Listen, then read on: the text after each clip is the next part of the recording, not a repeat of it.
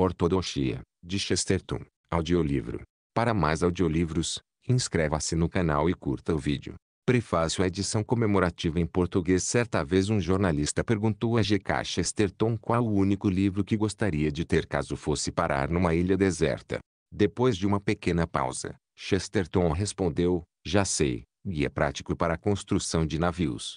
Fora a Bíblia, se eu tivesse de escolher um único livro em situação semelhante, é bem provável que seria Ortodoxia, a autobiografia espiritual de Chesterton.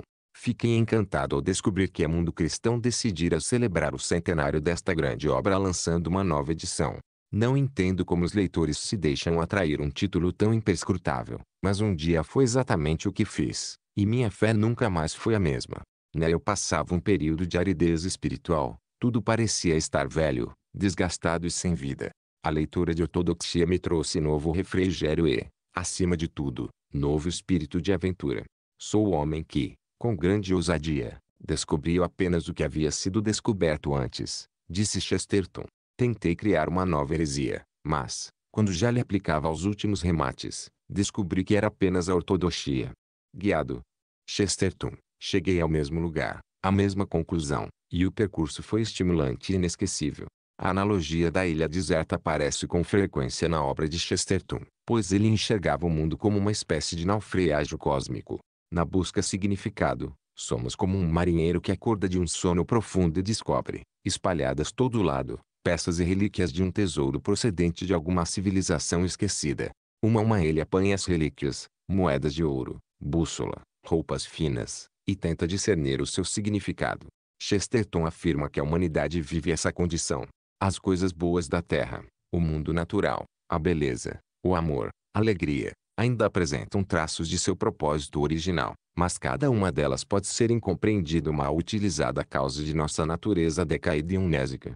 Após uma longa odisseia de dúvidas e ceticismo, Chesterton retornou à fé porque entendeu que somente o cristianismo fornecia as pistas para solucionar o mistério sobre essas relíquias. Em primeiro lugar, intuí que este mundo é incapaz de explicar-se. Segundo, passei a acreditar que o sobrenatural deve ter algum significado, e que isso pressupõe a existência de alguém que lhe empresta sentido. Havia algo de muito pessoal no mundo, como se fosse uma obra de arte. Terceiro, considerei bela a antiga forma desse propósito, apesar de seus defeitos, assim como são belos os dragões. Quarto, concluí que a maneira mais apropriada de expressar gratidão a essa entidade é cultivar humildade e discrição, assim como devemos agradecer a Deus cerveja e vinho burgundi, evitando beber em excesso.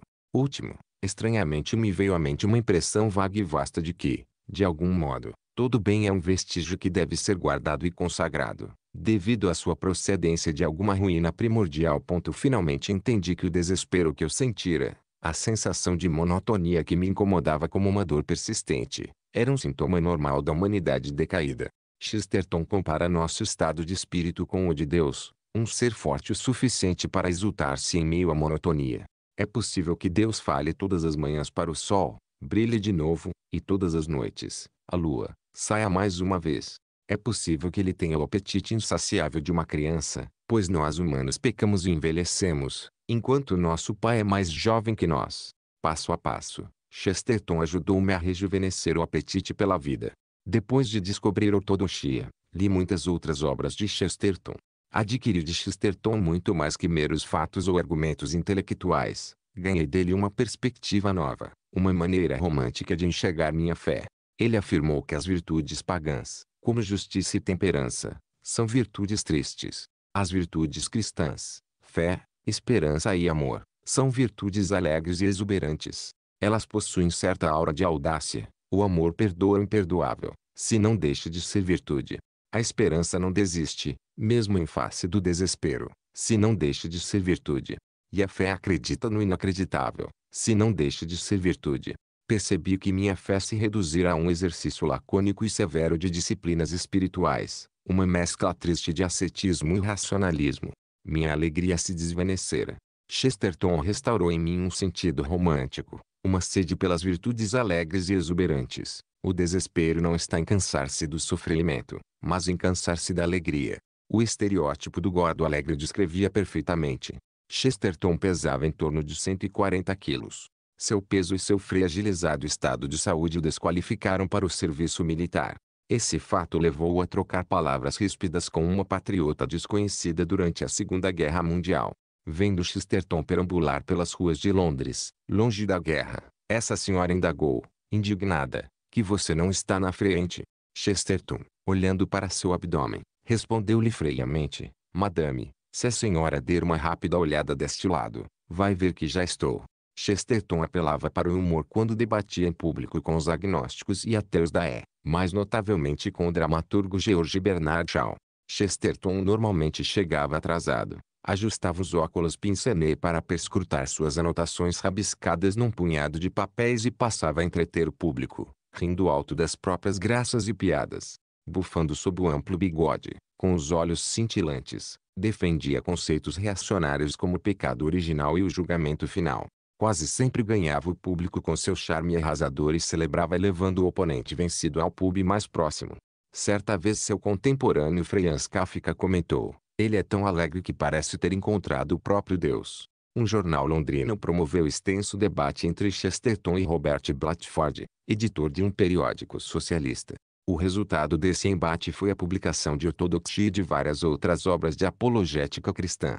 Quando Blatchford citava as razões pelas quais não conseguia aceitar o cristianismo, Chesterton sempre respondia com uma refutação vigorosa e bem-humorada, que acabava virando de ponta cabeça os argumentos do oponente. Se oferecesse todas as minhas razões para ser cristão, a grande maioria seria exatamente as razões que o Sr. Blatchford daria para não ser. Chesterton reconhecia que a igreja não representava bem o evangelho. Dizia que o comportamento lamentável dos cristãos gerava de fato o argumento mais forte contra o cristianismo. Os cristãos são prova cabal daquilo que a Bíblia ensina sobre a queda. Certa vez o jornal London Times pediu a alguns escritores que respondessem à pergunta: O que há de errado com o mundo? Chesterton enviou a resposta mais sucinta: Prezados senhores eu. Atenciosamente, G.K. Chesterton Chesterton parecia perceber instintivamente que numa sociedade cheia de gente sofisticada que desprezava a religião, um profeta sisudo teria muito menos impacto do que um bobo da corte. Descreveu desta forma o seu método, para responder ao cético arrogante, não adianta insistir que deixe de duvidar. E melhor estimulá-lo a continuar a duvidar, para duvidar um pouco mais, para duvidar cada dia mais das coisas novas e loucas do universo, até que, enfim, alguma estranha iluminação, ele venha a duvidar de si próprio. Acredito que carecemos de um novo Chesterton. Num lugar como os Estados Unidos, precisamos de seu humor, de sua hilaridade e de sua humildade para trazer certo equilíbrio à igreja cristã, que se leva muito a sério e que hoje funciona como uma grande corporação. Num lugar como o Brasil, precisamos de sua sabedoria ao tratar dos excessos da igreja, e de sua genialidade para enfrentar aqueles que enxergam a religião como inimiga.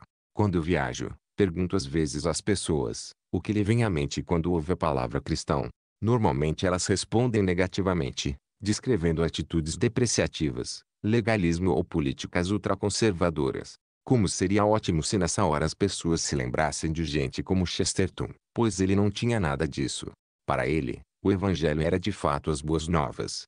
Nos dias atuais em que a cisão entre cultura e fé se abre ainda mais do que na era de Chesterton, poderíamos muito bem nos valer de sua mente brilhante, de seu estilo divertido e, acima de tudo, de seu espírito generoso e bem-humorado. Quando a sociedade se polariza, é como se as duas alas se posicionassem dos dois lados de um abismo para gritar desaforos uma para a outra. A abordagem de Chesterton era diferente. Ele caminhava até o centro da ponte Pêncio, esbravejava um desafio a qualquer guerreiro mais ousado e, então, levava a todos as gargalhadas. G.K. Chesterton conseguia apresentar a fé cristã com mais humor, bom ânimo e força intelectual do que qualquer outro no século passado. Com o mesmo zelo de um soldado em defesa do último reduto, ele encarava feras como Shaw, H.G. Wells, Sigmund Freud, Karl Marx e qualquer outro que ousasse explicar o mundo sem considerar Deus e sua encarnação. Eliot julgou que Chesterton fez mais, penso eu, que qualquer de seus contemporâneos para sustentar a existência dessa minoria importante para o mundo moderno. Foi o que ele fez mim. Sempre que percebo que minha fé volta a correr o risco de tornar-se árida, vou até minha estante e apanho um livro de G. K. Chesterton. E assim começa de novo a aventura. Filipiense em especial para a editora Mundo Cristão Prefácio do autor e este livro foi escrito para ser lido como complemento a Heretics e mostrar o lado positivo além do negativo. Muitos críticos se queixaram daquele livro dizendo que ele simplesmente criticava as filosofias correntes sem oferecer nenhuma filosofia alternativa. Este livro é uma tentativa de responder a esse desafio. Ele é inevitavelmente afirmativo e, isso mesmo, inevitavelmente autobiográfico. O autor foi levado a recuar e enfrentar mais ou menos a mesma dificuldade que afligiu Neumann ao escrever a sua apologia. Foi forçado a ser egoísta só para ser sincero. Embora todos os outros aspectos possam diferir, o motivo nos dois casos é o mesmo. O autor tem o propósito de tentar explicar não se a fé cristã pode ser abraçada, mas como ele pessoalmente passou a abraçá-la. Este livro, portanto, está organizado com base no princípio positivo de um enigma e sua solução. Trata primeiro de todas as solitárias e sinceras especulações pessoais do autor e depois do dramático estilo em que elas são de súbito respondidas a contento pela teologia cristã. O autor vê isso como algo que leva a um credo convincente. Mas se não chegar a tanto, trata-se no mínimo de uma repetida e surpreendente coincidência. Gilbert Cachesterton 1. Introdução em defesa de Teudo M. A única desculpa possível para este livro é que se trata de uma resposta a um desafio. Mesmo um mau disparo tem sua dignidade quando se aceita um duelo. Quando há algum tempo publiquei uma série de artigos escritos às pressas, em honestos, sob o título de Heretics, vários críticos cuja inteligência tem meu sincero respeito disseram que não viam problema algum no fato de eu dizer a todos que afirmassem a sua teoria cósmica, mas que eu cuidadosamente me havia furtado a sustentar os meus preceitos com exemplos. Começarei a preocupar-me com a minha filosofia, disse o Senhor. State, depois que o Sr. Chesterton tiver apresentado a dele. Talvez tenha sido uma sugestão incauta, dirigida como foi alguém sempre mais que disposto a escrever um livro diante da mais ligeira provocação. Mas, no fim das contas, embora o Sr. State tenha inspirado e criado este livro, ele não precisa lê-lo. Se de fato o ler, descobrirá que em suas páginas eu tentei, de forma vaga e pessoal, num conjunto de quadros mentais mais do que numa série de deduções, expor a filosofia em que passei a acreditar. Não a chamarei de minha filosofia, uma vez que não a criei. Deus e a humanidade a criaram, e ela me criou. Muitas vezes alimentei a fantasia de escrever um romance sobre um navegador inglês que cometeu um pequeno erro ao calcular sua rota e descobriu a Inglaterra, tendo a impressão de estar numa nova ilha dos mares do sul. Sempre me vejo, em, com ocupações ou preguiça demais para escrever essa bela obra, portanto é melhor que eu ofereça com o objetivo de apresentar uma ilustração filosófica. Provavelmente a impressão geral será de que o homem que desembarcou para fincar a bandeira britânica naquele templo bárbaro que no fim das contas era o pavilhão de Brighton, sentiu-se um perfeito idiota. Não estou aqui preocupado em negar que ele parecia idiota. Mas se você imagina que ele se sentiu idiota, ou que em todo caso a sensação de tolice era a sua emoção única ou dominante, então você não estudou com a delicadeza exigida a rica natureza romântica do herói dessa história. Seu erro foi de fato um erro altamente invejável, e ele sabia disso, se é que era o homem que eu imaginei. O que poderia ser mais prazeroso do que provar em poucos minutos todos os fascinantes terrores de ir para o exterior combinados com toda a confortável segurança de voltar novamente para casa? O que poderia haver de melhor do que ter toda a emoção de descobrir a África do Sul sem a repugnante necessidade de lá desembarcar? O que poderia ser mais maravilhoso do que preparar-se para descobrir a Nova Gales do Sul e depois perceber, com uma efusão de lágrimas, que era apenas a velha Gales do Sul? Esse pelo menos me parece ser o principal problema dos filósofos e, de certo modo, é o principal problema deste livro. Como podemos imaginar ficarmos ao mesmo tempo assombrados com o mundo e, mesmo assim, nele nos sentirmos em casa. Como pode essa estranha cidade cósmica, com seus cidadãos de muitas pernas, com suas monstruosas e antigas lâmpadas, como pode este mundo provocar em nós ao mesmo tempo o fascínio de uma cidade estranha e o conforto e a honra de ser a nossa cidade? Mostrar que uma crença ou uma filosofia é verdadeira de todos os pontos de vista seria uma tarefa demasiado grande mesmo para um livro muito maior do que este. É necessário seguir uma linha de raciocínio, e esta é a linha que me proponho seguir aqui. Quero apresentar a minha crença como uma resposta específica a essa dupla necessidade espiritual, a necessidade da mistura do conhecido com o desconhecido que a cristandade corretamente chamou de romance. Pois até mesmo a palavra romance tem em si o mistério e o antigo significado de Roma. Quem quer que se disponha a discutir o que quer que seja deveria sempre começar dizendo o que não está em discussão. Além de declarar o que se quer provar é preciso declarar o que não se quer provar. O que eu não me proponho provar, o que proponho que se tome como terreno comum entre mim e o leitor médio, essa atração de uma vida ativa e imaginativa, pitoresca e cheia de curiosidade poética, uma vida como a que em todo caso o homem ocidental sempre parece ter desejado. Se um homem diz que a extinção é melhor do que a existência, ou que uma vida insócia é melhor que a variedade e a aventura, então esse homem não é uma das pessoas comuns com quem estou falando. Se alguém prefere o nada, nada lhe posso dar, mas quase todas as pessoas que conheço nesta sociedade ocidental no seio da qual vivo concordam com a proposição geral de que precisamos dessa vida de romance prático, a combinação de alguma coisa que é estranha com alguma coisa que é segura. Precisamos ver o mundo de tal modo que nele se combine uma ideia de deslumbramento com uma ideia de acolhimento. Precisamos nos sentir felizes nessa terra deslumbrante sem nunca nos sentir meramente confortáveis. É essa a realização do meu credo que vou principalmente perseguir nestas páginas. Mas tenho uma razão peculiar para aludir ao navegador que descobriu a Inglaterra. Aquele navegador sou eu. Eu descobri a Inglaterra. Não consigo imaginar como este livro pode conseguir não ser egoísta. É. Para dizer a verdade, não consigo absolutamente imaginar como ele pode conseguir não ser chato. A chatice, todavia, me livra da acusação que mais lamento, a acusação de ser superficial. Mera sofisticação superficial é o que desprezo acima de tudo, e talvez seja um fato salutar que é disso que geralmente sou acusado. Não conheço nada tão desprezível como um mero paradoxo, uma defesa meramente engenhosa do indefensável. Se fosse verdade, como se afirmou, que o Sr. Bernard Shaw vivia de paradoxos, então ele deveria ser um mero milionário, pois um homem de sua atividade mental poderia inventar um sofisma a cada seis minutos. E tão fácil como mentir, pois é mentir. A verdade é, naturalmente, que o Sr. Shaw enfrenta o cruel estorvo de não conseguir dizer uma mentira se não pensar que é uma verdade. Percebo que estou sob a mesma intolerável escravidão.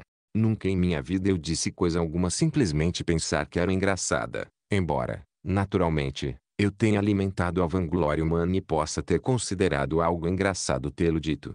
Uma coisa é descrever uma entrevista com uma górgona ou um grifo, uma criatura que não existe. Outra coisa é descobrir que o rinoceronte existe e depois sentir prazer pelo fato de que ele parece um animal que não existe.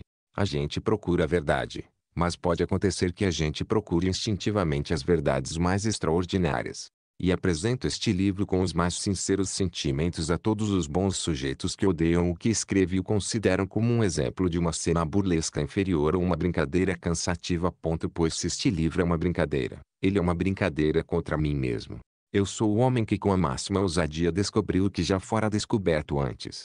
Se nas páginas que seguem há um elemento de farsa, a farsa é às minhas custas, pois este livro explica como eu fantasiei que era o primeiro a pôr os pés em Brighton e depois descobri que era o último.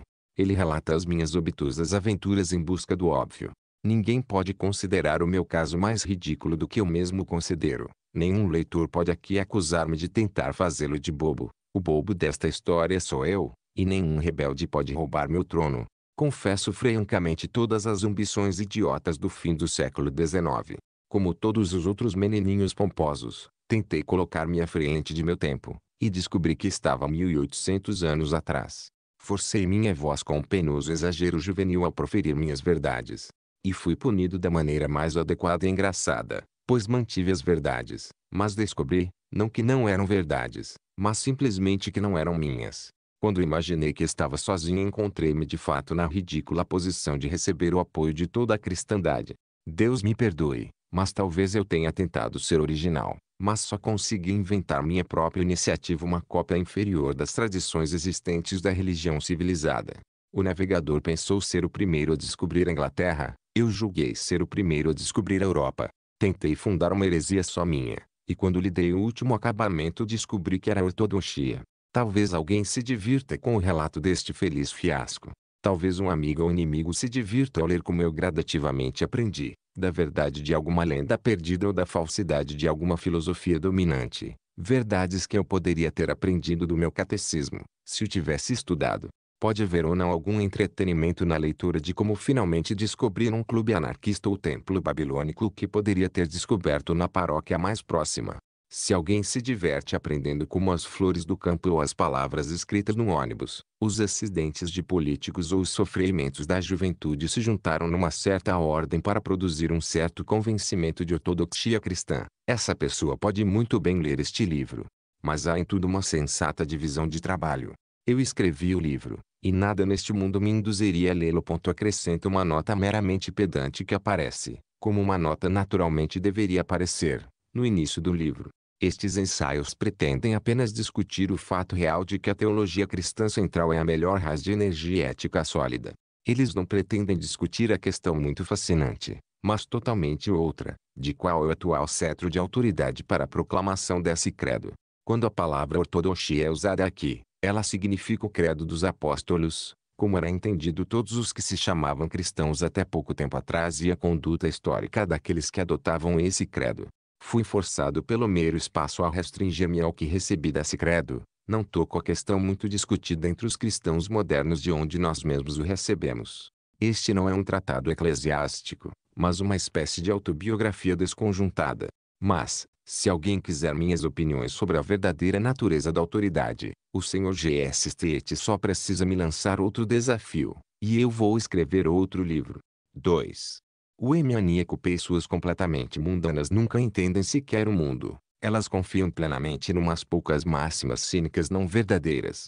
Lembro-me de que, certa vez, fiz um passeio com um editor de sucesso, e ele fez uma observação que eu ouvira muitas vezes antes. É, na verdade, quase um lema do mundo moderno. Todavia, eu ouvi essa máxima cínica mais uma vez e não me contive. De repente seis que ela não dizia nada. Referindo-se a alguém, disse o editor, Aquele homem vai progredir. Ele acredita em si mesmo. Lembro-me de que, quando levantei a cabeça para escutar, meus olhos se fixaram no ônibus no qual estava escrito um eu. Um disse-lhe eu então, quer saber onde ficam os homens que acreditam em si mesmos? Eu sei. Sei de homens que acreditam em si mesmos com uma confiança mais colossal do que a de Napoleão ou César. Sei onde há de a estrela fixa da certeza de um nome de um asilo para loucos, como será verificado mais à frente. Ponto sucesso posso conduzi-lo aos tronos dos super-homens. Os homens que realmente acreditam em si mesmos estão todos em asilos de lunáticos. Ele disse calmamente que, no fim das contas, havia um bom número de homens que acreditavam em si mesmos e que não eram lunáticos internados em asilos. Sim, certamente, retruquei, e você mais do que ninguém deve conhecê-los. Aquele poeta bêbado de quem você não quis aceitar uma lamentável tragédia, ele acreditava em si mesmo. Aquele velho ministro com um poema épico de quem você se escondia num quarto dos fundos, ele acreditava em si mesmo. Se você consultasse sua experiência profissional em vez de sua horrível filosofia individualista, saberia que acreditar em si mesmo é uma das marcas mais comuns de um patife. Atores que não sabem representar acreditam em si mesmos, e os devedores que não vão pagar. Seria muito mais verdadeiro dizer que um homem certamente fracassará acreditar em si mesmo, Total autoconfiança não é simplesmente um pecado. Total autoconfiança é uma fraqueza. Acreditar absolutamente em si mesmo é uma crença tão histérica e supersticiosa como acreditar em Joana Salticote. 2. Quem o faz traz o nome um eu escrito no rosto com a mesma clareza com que ele está escrito naquele ônibus. A tudo isso meu amigo editor deu esta profunda e eficaz resposta. Bem, se um homem não acredita em si mesmo, em que vai acreditar? Depois de uma longa pausa eu respondi, Vou para casa escrever um livro em resposta a essa pergunta. Este é o livro que escrevi para responder-lhe. Mas acho que este livro bem pode começar onde começou a nossa discussão, na vizinhança de um manicômio. Os modernos mestres da ciência muito se impressionam com a necessidade de iniciar todas as investigações com um fato. Os antigos mestres da religião igualmente se impressionavam com essa necessidade. Começavam com o fato do pecado, fato tão prático como as batatas, Pudesse ou não o homem ser lavado em águas milagrosas, não pairaria nenhuma dúvida de que ele desejava lavar-se. Mas certos líderes religiosos de Londres, não somente os materialistas, começaram a negar nos dias de hoje não altamente questionável água, mas sim a inquestionável sujeira. 2. Ela se dizia virgem e grávida do novo Messias, e chegou a ter muitos seguidores. Certos novos teólogos questionam o pecado original, que constitui a única parte da teologia cristã que pode realmente ser provada. Alguns seguidores do Rev. R. J. Campbell, em sua espiritualidade quase exigente demais, admitem a ausência de pecado em Deus, que não podem ver nem em sonhos. Mas eles essencialmente negam o pecado humano, que eles podem ver na rua. Os santos mais poderosos, assim como os mais poderosos céticos, tomaram o mal positivo como ponto de partida de sua argumentação. Se for verdade que o homem pode sentir uma felicidade extraordinária em esfolar um gato, então o filósofo religioso só pode fazer uma dentre duas deduções. Ou ele deve negar a existência de Deus, como fazem todos os ateus, ou deve negar a presente união entre Deus e o homem, como fazem todos os cristãos. Os novos teólogos parecem pensar que uma solução altamente racionalista é negar o gato. Nessa notável situação agora é simplesmente impossível. Começar, como faziam nossos pais, pelo fato do pecado. Esse fato, que para eles está mais na do que nariz, é exatamente o que foi diluído ou negado de modo especial. Mas embora os modernos neguem a existência do pecado, eu acho que eles ainda não negaram a existência do asilo para lunáticos. Todos concordamos que há um colapso intelectual tão inconfundível como o desabamento de uma casa. Os homens negam o inferno, mas não, enquanto, eu, para o objetivo do nosso argumento fundamental, este último pode muito bem estar onde aquele estava. Quero dizer que, assim como todos os nossos pensamentos e teorias eram outrora julgados sua tendência a levar ou não o homem a perder sua alma, assim para o nosso objetivo presente, Todos os pensamentos e teorias podem ser julgados sua tendência a levar ou não o homem a perder a cabeça. É verdade que alguns falam, de modo superficial e leviano, de insanidade como sendo em si mesmo atraente. Mas um momento de reflexão mostrará que, se uma enfermidade é atraente, trata-se em regra da enfermidade dos outros. Um cego pode ser um quadro pitoresco, mas exige-se um par de olhos para ver o quadro. De modo semelhante até mesmo a poesia mais louca da insanidade só pode ser apreciada quem é sensato. Para o insano a insanidade é totalmente prosaica, porque é totalmente verdadeira. Um homem que imagina ser uma galinha é para si mesmo tão comum como uma galinha. Um homem que imagina ser um caco de vidro é para si mesmo tão sem graça como um caco de vidro. A homogeneidade de sua mente é o que o torna sem graça, e o que o torna louco. E somente pelo fato de percebermos a ironia de sua ideia que nós o achamos até engraçado, é somente pelo fato de ele não ver a ironia de sua ideia que ele é internado em Anwell, não outro motivo. Em resumo, as esquisitices chocam apenas as pessoas comuns. E isso que as pessoas comuns têm uma vida muito mais instigante, enquanto as pessoas esquisitas sempre estão se queixando da chatice da vida. E isso também que os novos romances desaparecem tão rapidamente, ao passo que os velhos contos de fada duram para sempre. Os velhos contos de fada fazem do herói um ser humano normal, suas aventuras é que são surpreendentes. Elas o surpreendem porque ele é normal. Mas no romance psicológico moderno o herói é anormal, o centro não é central. Consequentemente, as mais loucas aventuras não conseguem afetá-lo de forma adequada, e o livro é monótono. Pode-se criar uma história a partir de um herói entre dragões, mas não a partir de um dragão entre dragões. O conto de fadas discute o que o homem sensato fará num mundo de loucura. O romance realista sóbrio de hoje discute o que um completo lunático fará num mundo sem graça. Comecemos, então, com um manicômio. Dessa estalagem fantástica e perversa vamos partir para nossa jornada intelectual. Ora, se devemos examinar rapidamente a filosofia da sanidade, a primeira coisa a fazer no caso é apagar um enorme erro comum. Toda parte existe a noção de que a imaginação, especialmente a imaginação mística, é perigosa para o equilíbrio mental do homem. Geralmente se diz que os poetas não são confiáveis do ponto de vista psicológico, e geralmente faz-se uma vaga associação entre cingir a cabeça com uma coroa de louros e fazer loucuras. Os fatos e a história contradizem totalmente essa visão. A maioria dos poetas realmente grandes não só foi de gente sensata, mas também extremamente prática. Se Shakespeare um dia dominou cavalos, isso se deu ser ele o homem mais indicado para fazê-lo.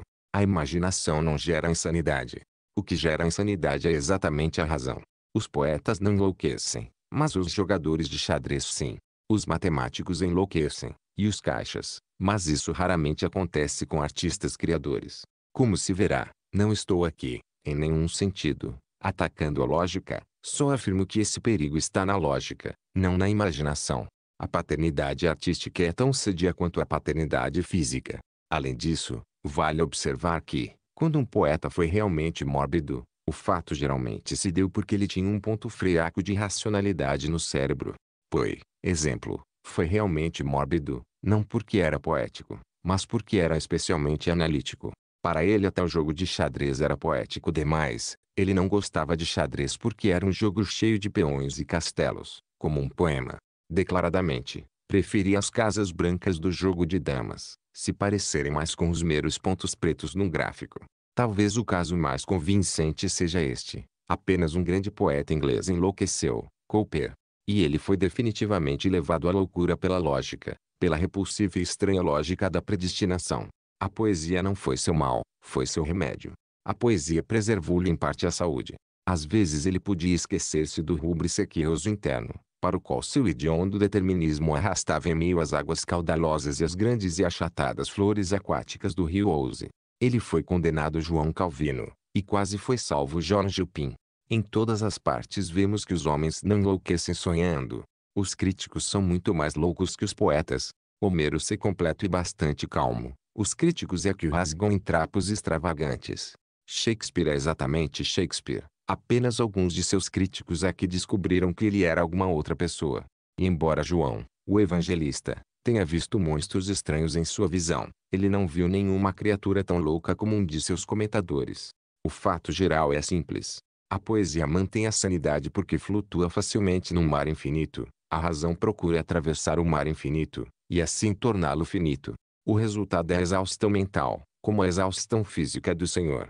Ou bem, Aceitar tudo é um exercício, entender tudo é uma tensão. O poeta apenas deseja a exaltação e a expansão, um mundo em que ele possa se expandir.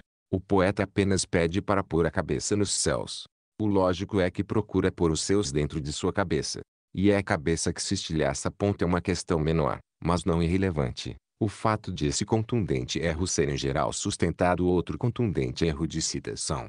Todos ouvimos citação do famoso verso de Dryden, o grande gênio é da loucura aliado íntimo.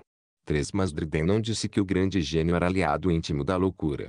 O próprio Dryden era um grande gênio e tinha uma noção mais exata.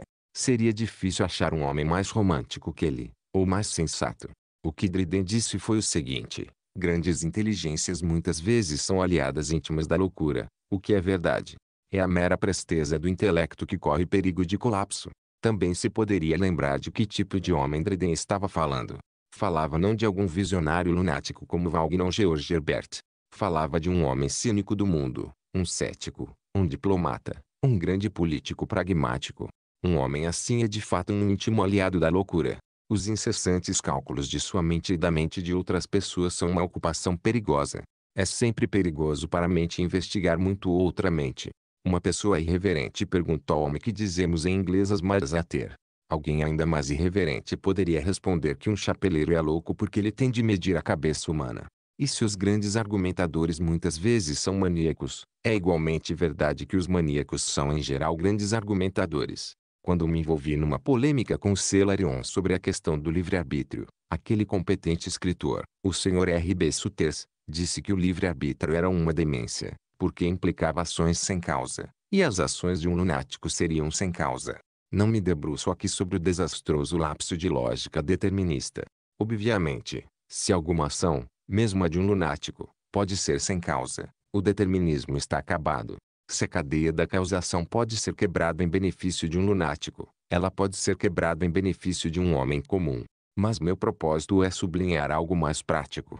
Seria natural, talvez, que um socialista marxista moderno nada soubesse sobre o livre-arbítrio, mas seria certamente notável que um socialista marxista moderno nada três greagenius estumadines nearaliede soubesse sobre lunáticos. O senhor Suters evidentemente não sabe nada sobre lunáticos.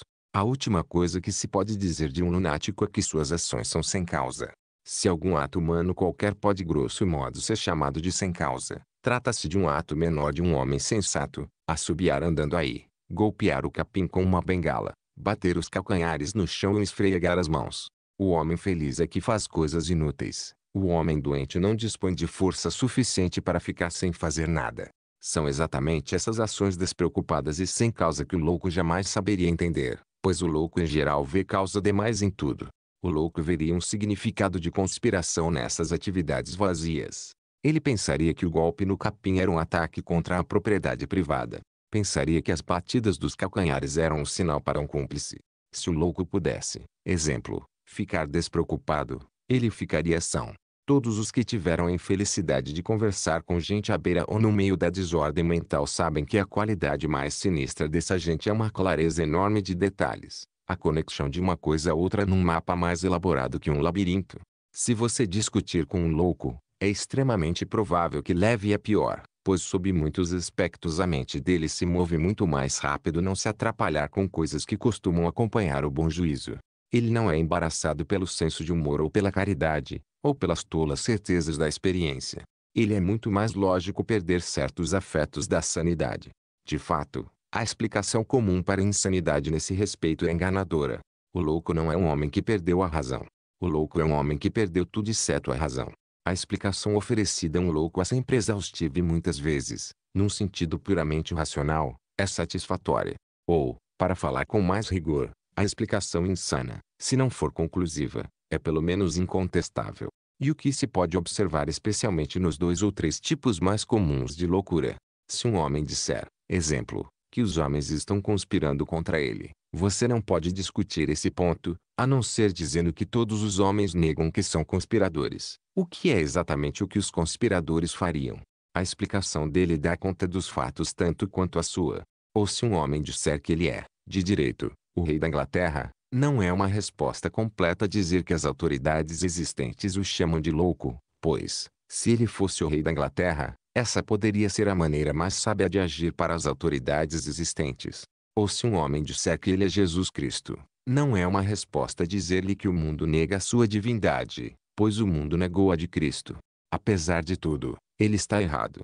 Mas se tentarmos descrever seu erro em termos exatos, não acharemos a tarefa tão fácil como havíamos imaginado. Talvez a maneira de nos aproximarmos ao máximo dessa descrição é dizer o seguinte, que a mente dele se move num círculo perfeito, irreduzido. Um círculo pequeno é exatamente tão infinito quanto um círculo grande, mas, embora seja exatamente tão infinito, não é tão grande. Da mesma forma a explicação insana é exatamente tão completa como a do sensato, mas não tão abrangente. Uma bala é exatamente tão redonda como o mundo, mas não é o mundo. Existe o que chamamos de universalidade reduzida, existe o que chamamos de eternidade pequena e restrita, você pode vê-la em muitas religiões modernas. Agora, falando como quem vê a realidade inteiramente de fora e de modo empírico, podemos dizer que a marca da loucura mais forte e inconfundível é a combinação entre a completude lógica e a concentração espiritual. A teoria do lunático explica muitas coisas, mas não as explica de um modo amplo. Quero dizer que se você ou eu estivesse lidando com uma mente no processo de tornar-se mórbida, nossa principal preocupação não deveria ser oferecer-lhe argumentos, mas sim a convencê-la de que existe algo mais limpo e mais arejado fora do sufoco de um único argumento. Suponhamos, exemplo, que se tratasse do primeiro caso que tomei como típico, suponhamos que fosse o caso de um homem acusando a todos de conspiração contra ele. Se pudéssemos expressar nossos mais profundos sentimentos de protesto e apelo contra essa obsessão, suponho que deveríamos dizer algo assim, certo? Admito que você tem seus argumentos e os sabe de cor, e que muitas coisas se encaixam em outras coisas, como diz você. Admito que a sua explicação esclarece muitos fatos, mas quantos outros ficam de fora? Não há no mundo outras histórias além da sua. Todos os homens estão ocupados com a sua ocupação. Vamos, Supor que os detalhes estejam corretos. Talvez quando o homem da rua causou-lhe a impressão de não ver você, só o tenha feito astúcia. Talvez quando o policial lhe perguntou seu nome, só o tenha feito porque já o sabia. Mas você se sentiria muito mais feliz se simplesmente soubesse que essas pessoas não lhe deram a menor atenção. Muito mais ampla seria a sua vida se o seu eu pudesse tornar-se menor dentro dela. Se você pudesse realmente olhar para os outros homens com uma curiosidade e um prazer comuns, se você pudesse vê-los caminhando tais quais eles são em seu radiante egoísmo e viril indiferença, você começaria a interessar-se eles porque eles não estão interessados em você. Você fugiria desse pequeno e espalhafatoso teatro no qual seu pequeno enredo é continuamente representado, e você iria perceber-se sob um céu mais livre, numa área cheia de maravilhosos estranhos. Ou suponhamos que se tratasse do segundo caso de loucura, aquele do homem que reivindica a coroa, o seu impulso seria responder, tudo bem. Talvez você saiba que é o rei da Inglaterra, mas que preocupar-se com isso. Faça um magnífico esforço e você será um ser humano e desprezará todos os reis da terra. Ou poderia tratar-se do terceiro caso, o do louco que chamava a si mesmo de Cristo. Se nós expressássemos o nosso sentimento, deveríamos dizer, então você é o Criador e Redentor do mundo. Mas como deve ser pequeno esse seu mundo? Que céu reduzido você deve habitar, com anjos do tamanho de borboletas. Como deve ser triste ser Deus, e um Deus incompetente. Será que de fato não existe nenhuma vida mais plena, nenhum amor mais maravilhoso do que o seu? E será que é mesmo na sua pequena e penosa compaixão que toda a humanidade deve depositar sua fé?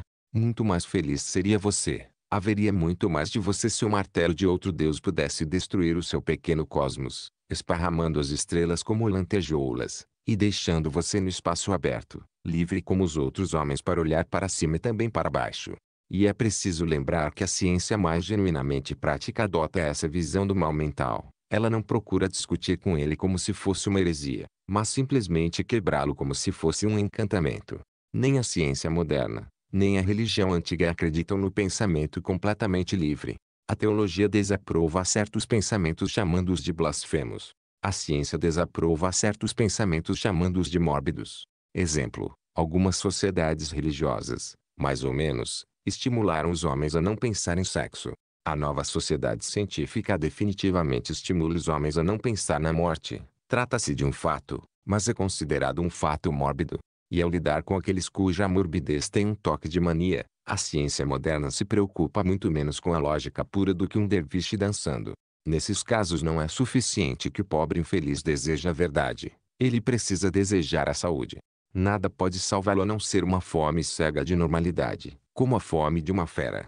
Um homem não consegue sair do mal mental só meio de seu pensamento, pois é exatamente o órgão do pensamento que se tornou doente, ingovernável e, assim dizer, independente.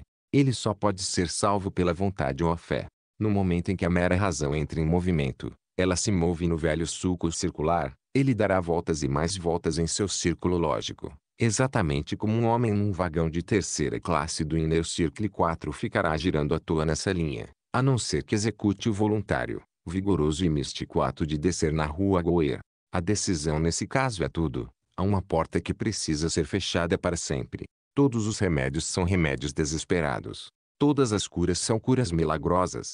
Curar um louco não é discutir com um filósofo, é expulsar um demônio.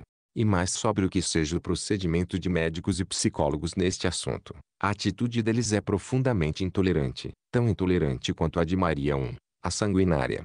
A atitude deles é de fato a seguinte, que o louco deve parar de pensar, se quiser continuar a viver. O conselho deles é a amputação intelectual. Se a sua cabeça ofende, corte-a, pois é melhor, não só entrar no reino do céu como uma criança, mas entrar como um imbecil, em vez de, com todo o seu intelecto, ser lançado no inferno, ou no sanatório um eu. Assim a experiência do louco. Ele em geral é um argumentado muitas vezes um argumentador bem-sucedido. Sem dúvida ele poderia ser derrotado no mero raciocínio, e os argumentos contra ele poderiam ser colocados de maneira lógica. 4 Inner Circle Line também chamada de linha virtual, porque não tem nenhuma estação de uso exclusivo. A Circle Line foi construída para ligar duas outras linhas. Mas podem ser colocados de maneira muito mais precisa em termos mais gerais e até mesmo mais estéticos. O louco está na limpa e bem iluminada prisão de uma ideia só, é afiado num só doloroso ponto. Está desprovido da sadia hesitação e sadia complexidade. Agora, como expliquei na introdução, Estabeleci apresentar nestes primeiros capítulos não tanto um diagrama de uma doutrina, mas alguns quadros de um ponto de vista. E descrevi detalhadamente minha visão do maníaco este motivo, que exatamente como eu sou afetado pelo maníaco, também sou afetado pela maioria dos pensadores modernos. Aquele inconfundível estado de espírito, ou tom, que ouço provindo de um eu hoje em dia, também ouço provindo da metade das cadeiras de ciência e cátedras de ensino da atualidade. E a maioria dos doutores da loucura são doutores da loucura em mais de um sentido. Todos apresentam exatamente aquela combinação que já observamos, a combinação de um raciocínio expansivo e exaustivo com um reduzido bom senso. São universais apenas no sentido de que tomam uma explicação superficial e a levam muito longe. Mas o padrão pode estender-se infinitamente ainda ser um padrão pequeno. Eles veem um tabuleiro de xadrez como branco sobre preto, e se o universo fosse pavimentado com ele, ainda seria branco sobre preto. Como o lunático, eles não conseguem alterar seu ponto de vista, não conseguem fazer um esforço mental e de repente vê-lo como preto sobre branco. Tome o primeiro e mais óbvio caso de materialismo. Como uma explicação do mundo, o materialismo tem uma espécie de simplicidade insana. Ele tem exatamente a qualidade do argumento do louco. Temos simultaneamente a sensação de que ele cobre tudo e a sensação que deixa tudo de fora. Contemple algum materialista capaz e sincero como, exemplo, o Senhor. Maccabe, e você terá exatamente essa sensação única. Ele entende tudo, e nada parece digno de entendimento. O cosmos dele é completo em todos os rebites e engrenagens, mas mesmo assim seu cosmos é menor que o nosso mundo. De certo modo o esquema dele, como o lúcido esquema do louco, parece não ter consciência das energias alheias e da grande indiferença da Terra. Ele não pensa nas realidades da Terra, nas pessoas em luta, ou nas mães orgulhosas, ou no primeiro amor, ou no medo no mar. A Terra é muito grande, e o cosmos é muito pequeno. O cosmos é praticamente o menor buraco em que um homem pode esconder a cabeça. É preciso entender que não estou discutindo a relação desses credos com a verdade, mas, no momento presente, apenas a sua relação com a saúde. Mais adiante na discussão espero atacar a questão da verdade objetiva. Aqui falo apenas de um fenômeno de psicologia. Não tento neste momento provar a Ekel que o materialismo é falso, como também não tentei provar ao homem que se julgava Cristo que ele padecia as consequências de um erro. Aqui simplesmente comento o fato de os dois casos terem a mesma espécie de completude e a mesma espécie de incompletude. Pode-se explicar a detenção de um homem em um eu público indiferente dizendo que é a calcificação de um Deus do qual o mundo não é digno. A explicação realmente explica. Da mesma forma, pode-se explicar a ordem do universo dizendo que todas as coisas, mesmo as almas dos homens, são folhas desabrochando de modo inevitável numa árvore absolutamente inconsciente, o destino cego da matéria. A explicação realmente explica, embora não, naturalmente, de uma forma tão completa como a do louco. Mas o ponto principal aqui é que a mente humana normal não se opõe às duas explicações, mas sente em relação a ambas a mesma objeção. Sua formulação aproximada é que se o homem em um eu for o Deus real, esse Deus não é grande coisa. E, de modo semelhante, se o cosmos do materialista for o cosmos real, esse cosmos não é grande coisa. A realidade se encolheu. A divindade é menos divina que muitos homens, e a vida no seu todo é algo muito mais cinza, estreito e trivial do que muitos de seus aspectos. As partes parecem maiores que o todo. De fato devemos lembrar que, seja verdadeira ou não, a filosofia materialista é com certeza mais limitante do que qualquer religião. Num sentido, naturalmente, Todas as ideias inteligentes são estreitas. Não podem ser mais amplas do que elas mesmas. Uma cristão só é limitado no mesmo sentido em que um ateu é limitado. Ele não pode pensar que o cristianismo é falso e continuar sendo cristão, e o ateu não pode considerar que o ateísmo é falso e continuar sendo ateu.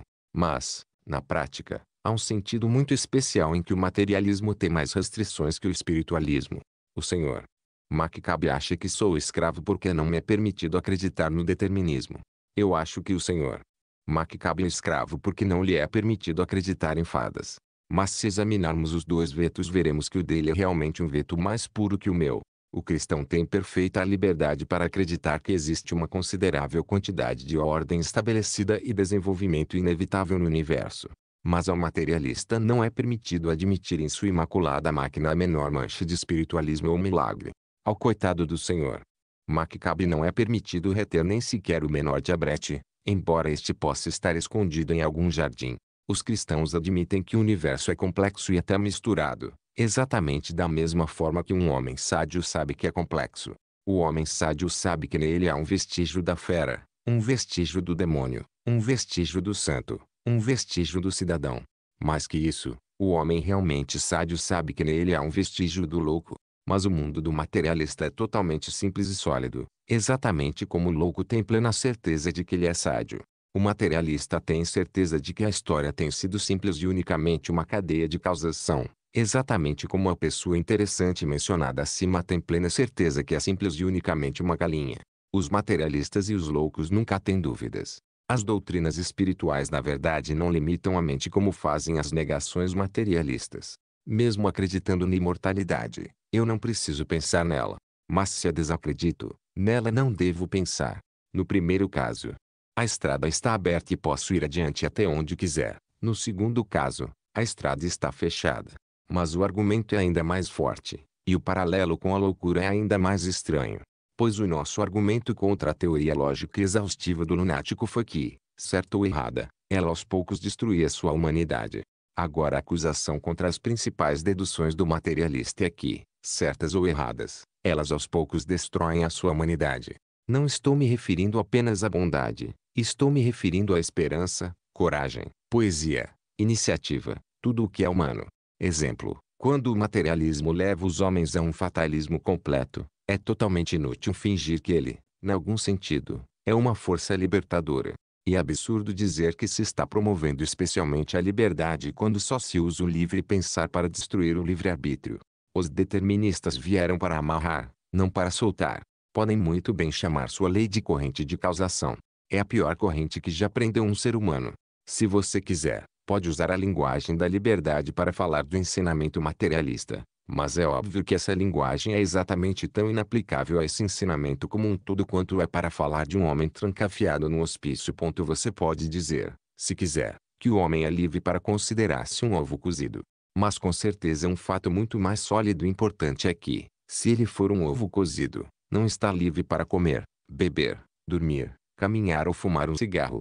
De modo semelhante você pode dizer, se quiser, que o corajoso especulador determinista é livre para não acreditar na realidade da vontade.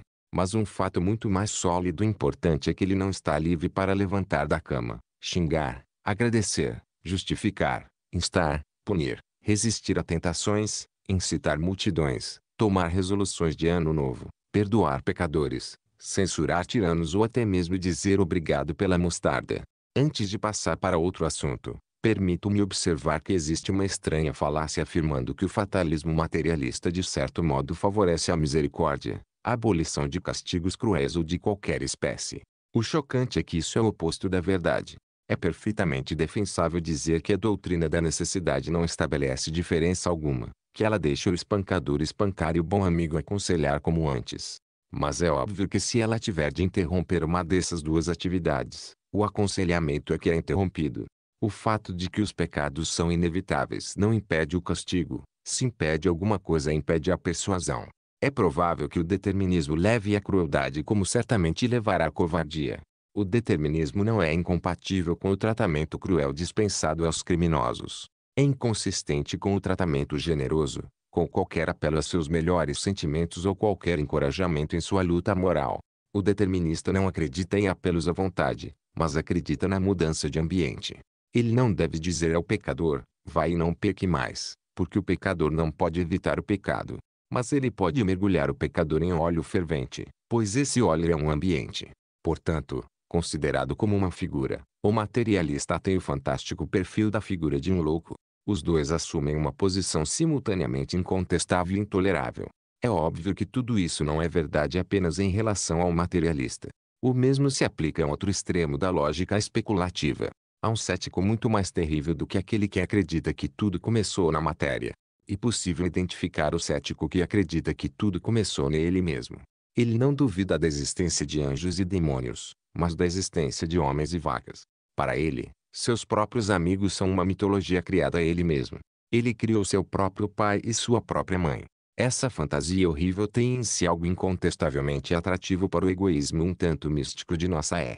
O editor que pensava que os homens progrediriam se acreditassem em si mesmos. Aqueles seguidores do super-homem que estão sempre tentando encontrá-lo no espelho. Aqueles escritores que falam em registrar sua personalidade em vez de criar vida para o mundo. Apenas alguns centímetros separam toda essa gente desse terrível vazio.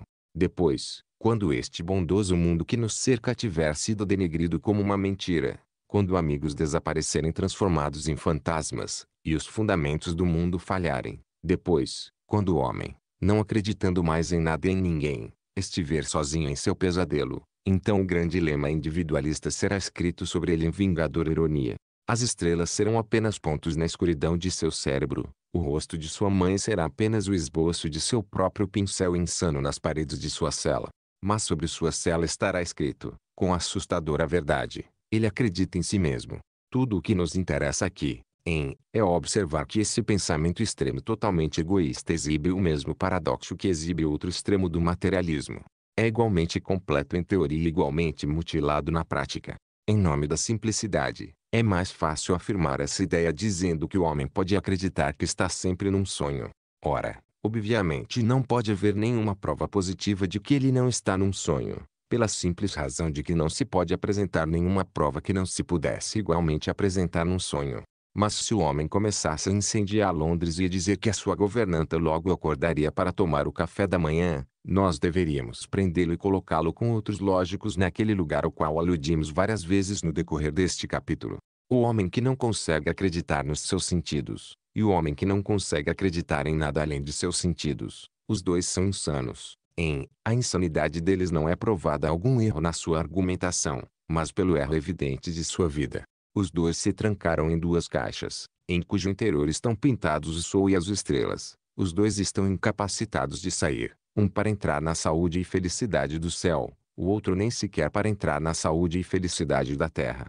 A posição deles é bastante razoável, mais que isso, num sentido infinitamente razoável, exatamente como uma moeda de 10 centavos é infinitamente circular. Mas existe isso que conhecemos como uma infinidade mesquinha, uma eternidade vil e escrava, engraçado notar que muitos dentre os modernos, céticos ou místicos, tomaram como seu distintivo um certo símbolo oriental, que é exatamente o símbolo dessa nulidade extrema. Quando querem representar a eternidade, eles a representam usando uma serpente com seu rabo na boca. Há um chocante sarcasmo na imagem dessa refeição nada agradável. A eternidade dos fatalistas do materialismo, a eternidade dos pessimistas orientais, a eternidade dos arrogantes teosofistas e cientistas mais altos de hoje está, de fato, muito bem representada pela serpente comendo o próprio rabo, um animal aviltado que destrói até a si mesmo. Este capítulo é puramente prático e diz respeito àquilo que constitui a marca e o elemento principal da insanidade. Podemos dizer, em resumo, que é a razão usada sem raízes, a razão no vazio, o homem que começa a pensar sem os apropriados primeiros princípios fica louco, começa a pensar do lado errado. Nas páginas restantes deste livro devemos tentar descobrir qual é o lado certo. Mas, se isso é o que leva os homens à loucura, podemos perguntar, para concluir, o que é que os mantém sádios? No final do livro espero dar uma resposta definitiva, que alguns vão achar definitiva demais.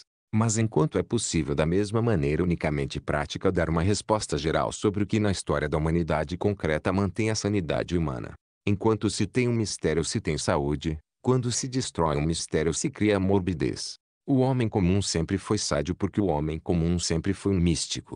Ele aceitou a penumbra. Ele sempre teve um pé na terra e outro num país encantado. Ele sempre se manteve livre para duvidar de seus deuses, mas, ao contrário do gnóstico de hoje, livre também para acreditar neles. Ele sempre cuidou mais da verdade do que da coerência. Se via duas verdades que pareciam contradizer-se, ele tomava as duas juntamente com a contradição. Sua visão espiritual é estereoscópica, como a visão física. Ele vê duas imagens simultâneas diferentes e, contudo, enxerga muito melhor isso mesmo. Assim, ele sempre acreditou que existia isso que se chama de destino, mas também isso que se chama de livre-arbítrio. Assim, ele acreditava que as crianças eram de fato o reino do céu, mas, apesar disso, deviam obedecer ao reino da terra. Ele admirava a juventude ela ser jovem e a velhice não ser.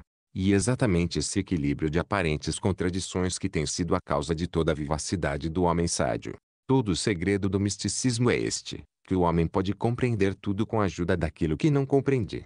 O lógico mórbido procura tornar tudo lúcido e consegue tornar tudo misterioso.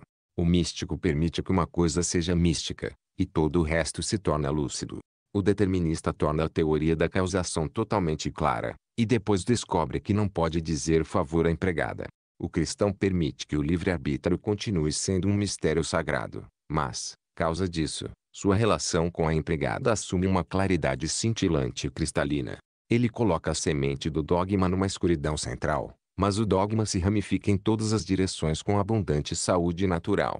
Sendo que tomamos o círculo como símbolo da razão e da loucura, podemos muito bem tomar a cruz como símbolo ao mesmo tempo do mistério e da saúde. O budismo é centrípeto, mas o cristianismo é centrífugo. Ele se propaga, pois o círculo é perfeito e infinito em sua natureza, mas é fixo para sempre em seu tamanho. Ele nunca pode ser maior ou menor.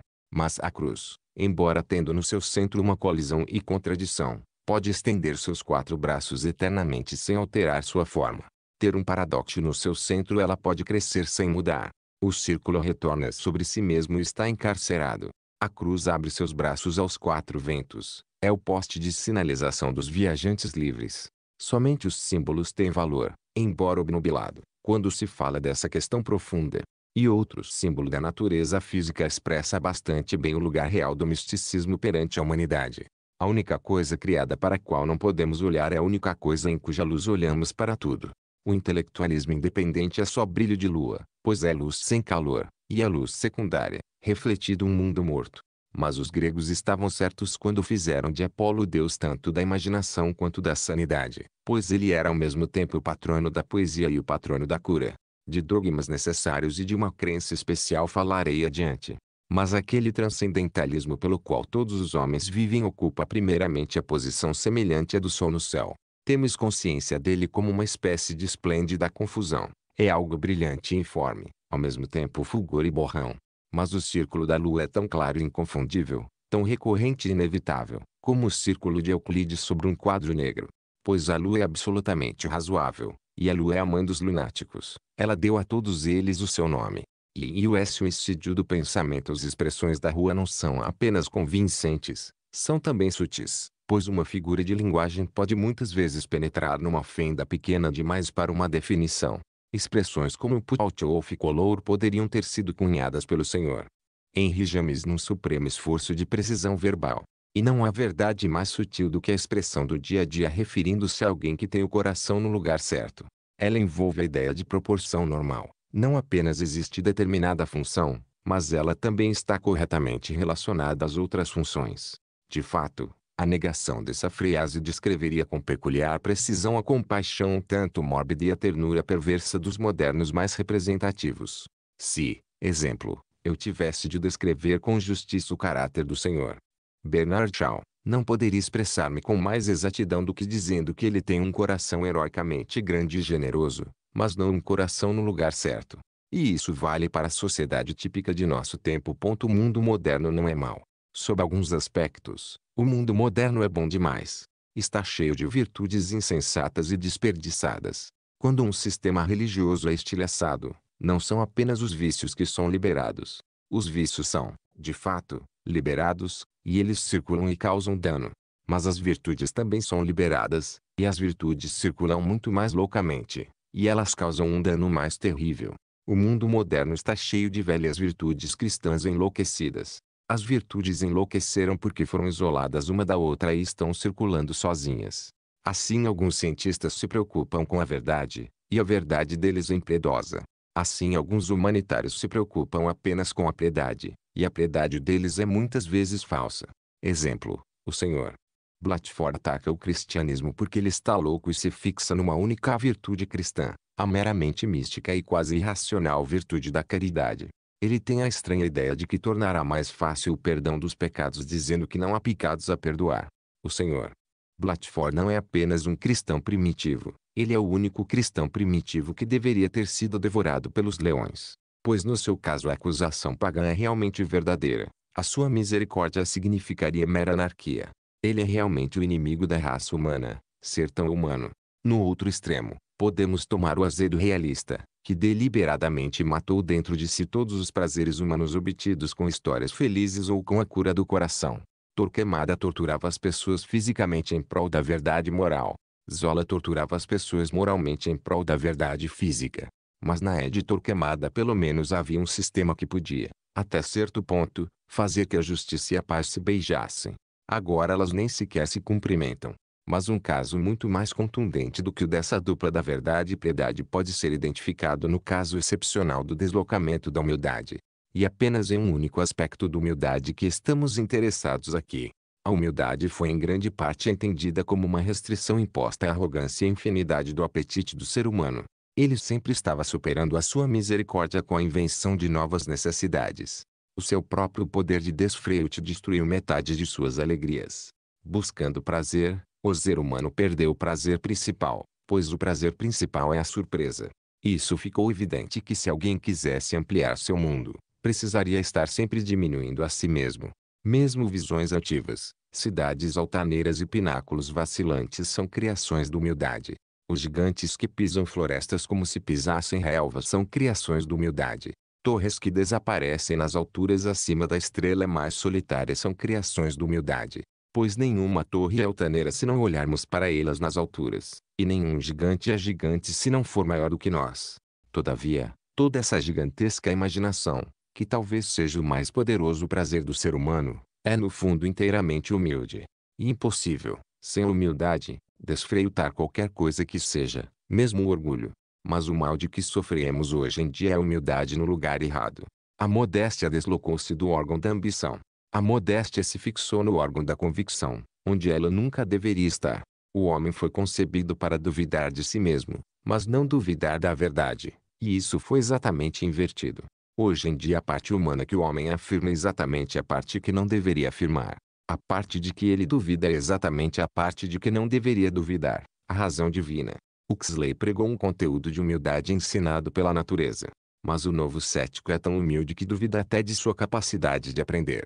Assim, estaríamos errados se precipitadamente disséssemos que não há nenhuma humildade típica de nossa é. A verdade é que há uma humildade real típica de nossa é, mas acontece que praticamente se trata de uma humildade mais venenosa do que as mais loucas prostrações do asceta. A antiga humildade era uma espora que não deixava o homem parar, não um prego na bota que o impedia de ir em frente. Pois a antiga humildade fazia o homem duvidar de seus esforços, o que possivelmente o levava a trabalhar com mais afinco. Mas a nova humildade faz o homem duvidar de seus objetivos, e isso o fará parar de trabalhar pura e simplesmente. Em qualquer esquina podemos encontrar alguém que profera desvairada e blasfema afirmação de que ele pode estar errado. E claro que a sua visão deve ser a certa, ou então não é a sua visão. Todos os dias encontra-se alguém dizendo que, obviamente, o seu ponto de vista pode não ser o certo.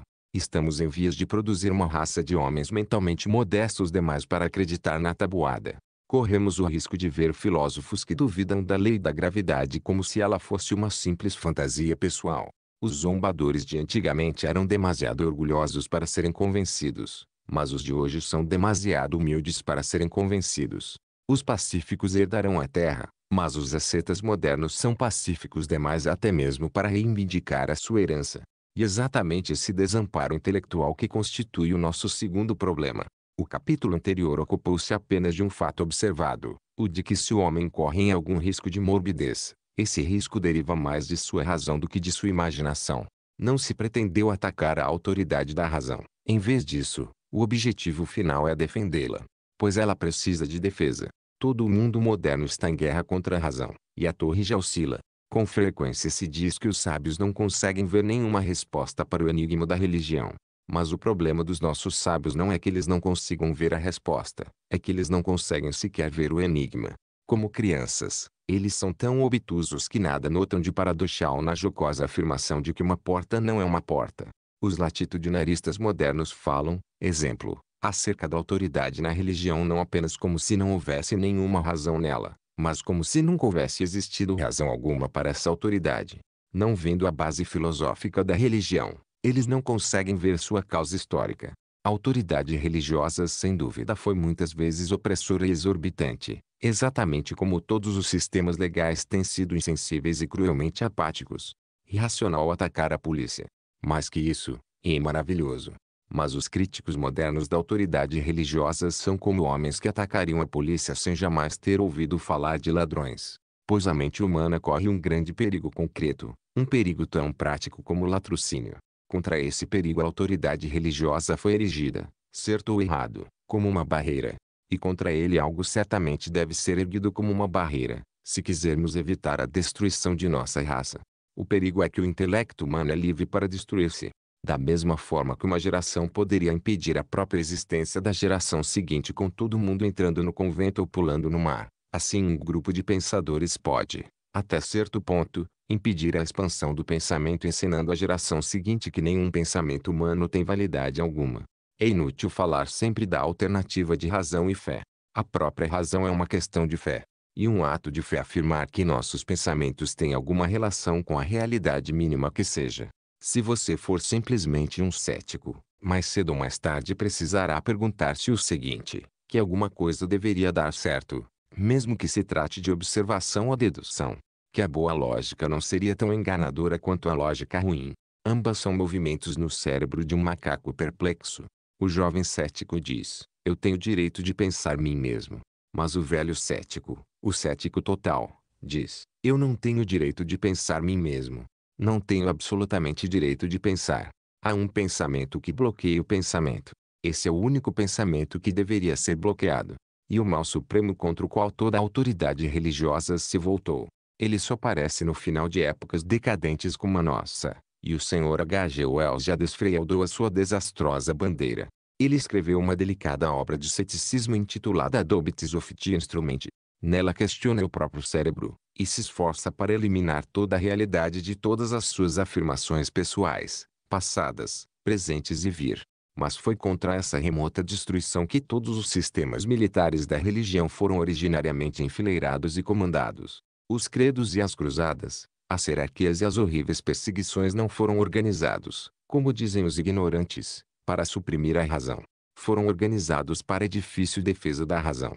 O homem, instinto cego, sabia que, se uma única vez as coisas fossem loucamente questionadas, a razão poderia ser questionada primeiro. A autoridade dos sacerdotes para absolver, a autoridade dos papas para definir a autoridade, e até mesmo a autoridade dos inquisidores para aterrorizar. Essas são todas sombrias defesas erigidas em volta de uma autoridade central, mais indemonstrável, mais sobrenatural de todas, a autoridade do homem de pensar. Ponto. Sabemos agora que isso é assim mesmo, não temos desculpa para não sabê-lo, pois podemos ouvir o ceticismo invadir violentamente o antigo espaço das autoridades, e ao mesmo tempo podemos ver a razão oscilando em seu trono. Na medida em que a religião já desapareceu, a razão vai desaparecendo, pois ambas têm a mesma natureza primária e autoritária. Ambas são métodos de comprovação que não podem elas mesmas ser comprovadas. E no ato de destruir a ideia da autoridade divina nós já destruímos em boa parte a ideia daquela autoridade humana pela qual efetuamos uma longa conta de dividir.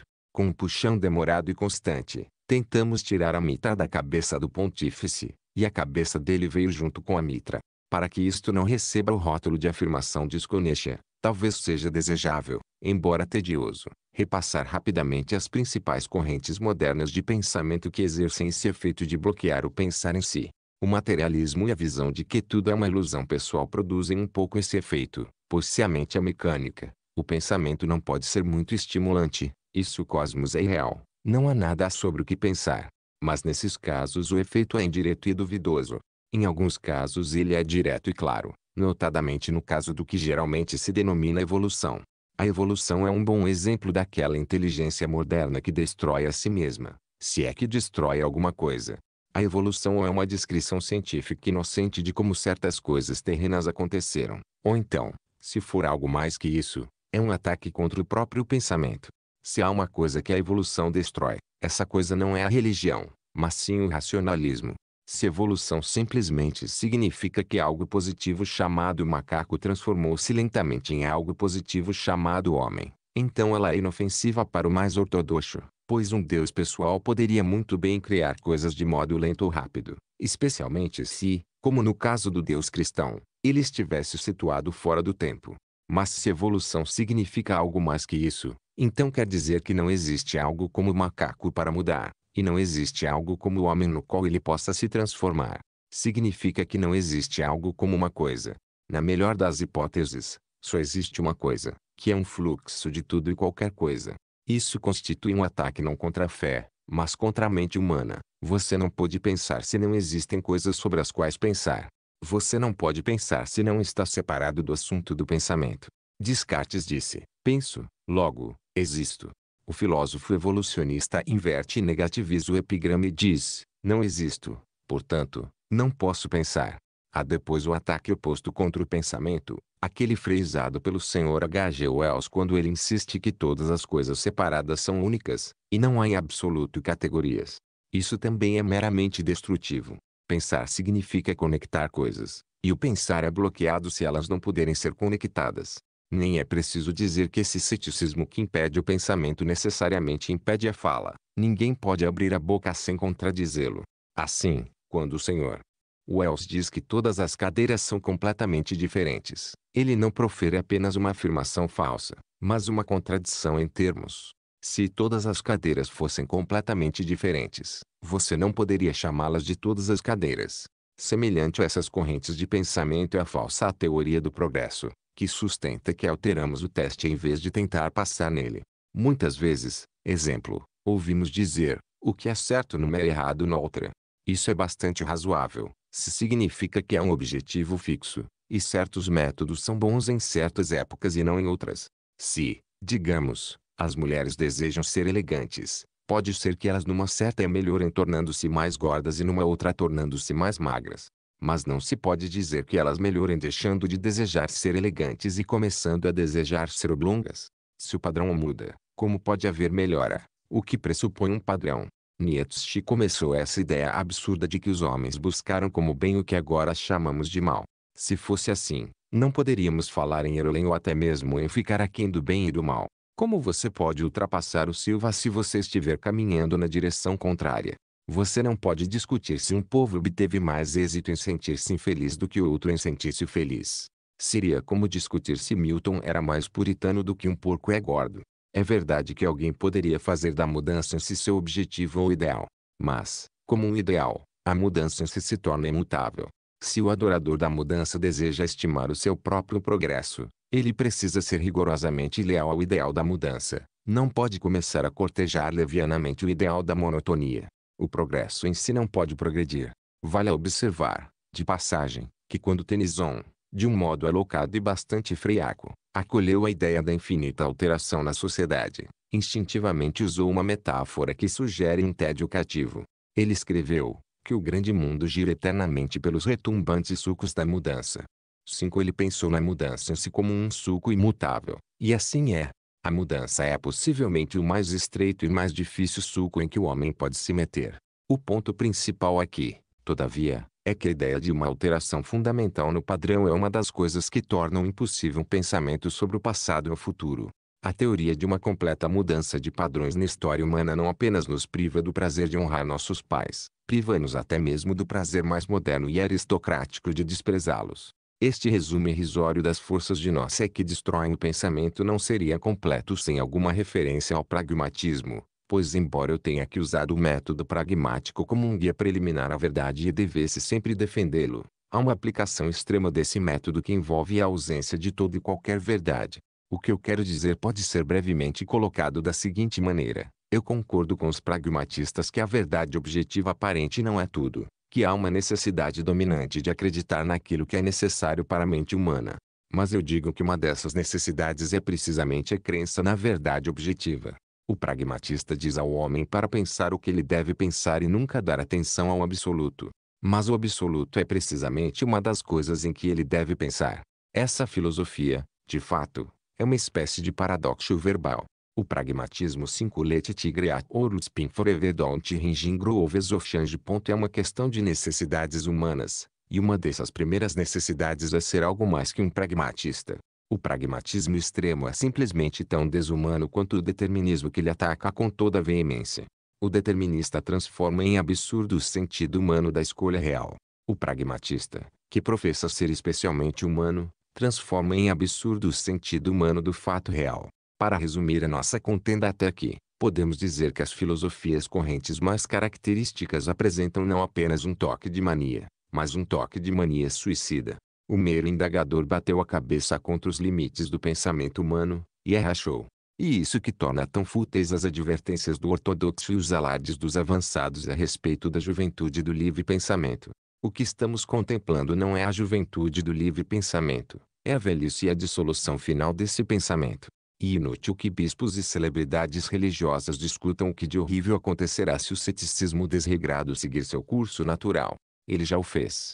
E inútil que eloquentes até os falem das grandes verdades que serão reveladas se algum dia testemunharmos o início do livre pensamento. Já testemunhamos o seu fim. Ele já não tem perguntas a fazer, já se questionou. Você não pode evocar nenhuma visão mais insensata do que uma cidade na qual os homens se perguntam se tem alguma identidade. Você não pode imaginar um mundo mais cético do que aquele em que se duvida se existe um mundo. Ele poderia com certeza ter chegado à falência de modo mais rápido e completo se não houvesse sido debilmente atrapalhado pela aplicação de leis insustentáveis de blasfêmia ou pela absurda falsa aparência de que a moderna Inglaterra é cristã. Mas teria chegado à falência de qualquer jeito.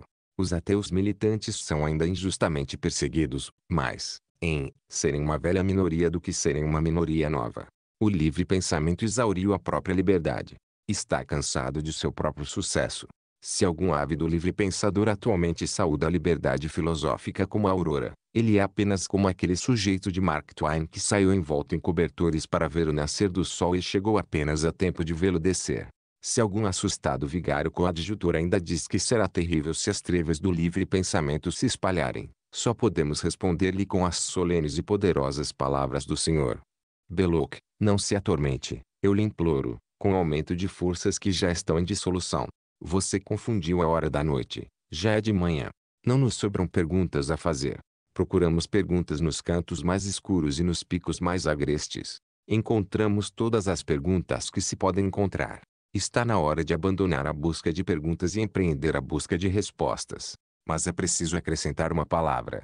No início deste esboço negativo preliminar eu disse que nossa mina mental tem sido causada pela razão deslocada, não pelas loucuras da imaginação.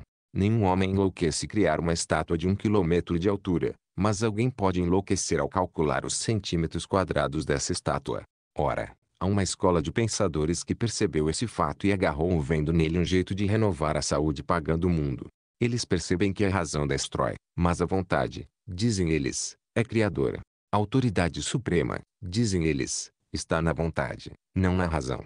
O ponto supremo não é saber que alguém busca determinada coisa, mas o fato de buscá-la. Não disponho aqui de espaço para traçar ou explicar essa filosofia da vontade. Surgiu, suponho, intermédio de Nietzsche, que pregou algo chamado de egoísmo.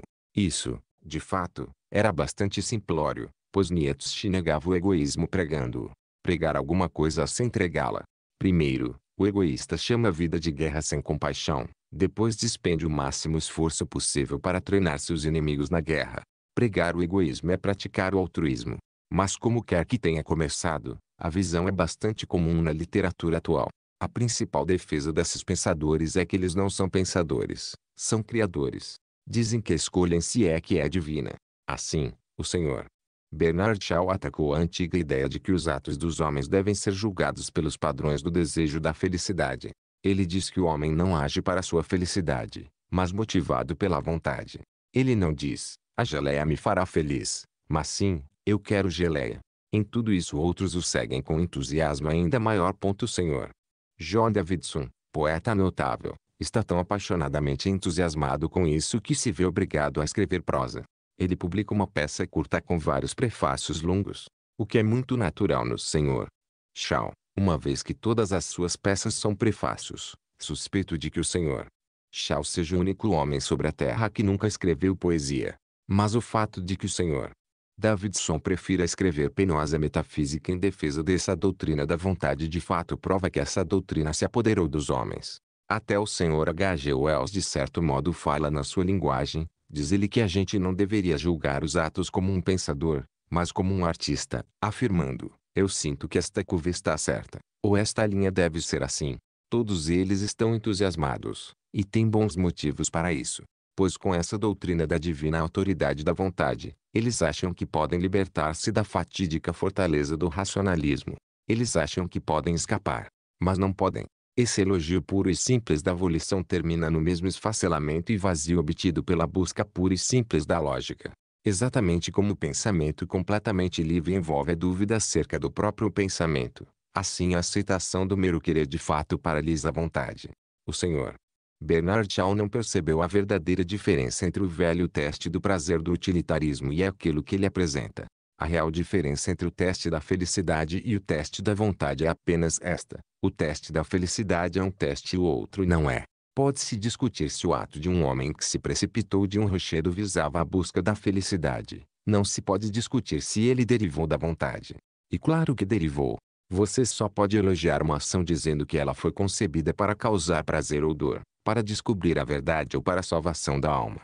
Mas você não pode elogiar uma ação porque ela mostra vontade, pois dizer isso é simplesmente dizer que é uma ação. Com esse elogio da vontade não se pode realmente escolher um determinado caminho como sendo melhor que outro. No entanto, escolher um caminho como sendo melhor que outro é a própria definição da vontade que você está elogiando. A adoração da vontade é a negação dessa mesma vontade. Admirar a simples escolha é recusar-se a escolher. Se o Sr. Bernard Shaw aparecer e me disser, quer alguma coisa, isso equivale a dizer, não me importa o que você quer, o que equivale a dizer, nessa questão a minha vontade não entra. Não se pode admirar a vontade em geral, porque a essência da vontade é que ela é particular. Um brilhante anarquista como o Sr. John Davidson sente certa irritação contra a moralidade ordinária, e isso ele invoca a vontade, vontade de qualquer coisa. Ele apenas quer que a humanidade queira alguma coisa.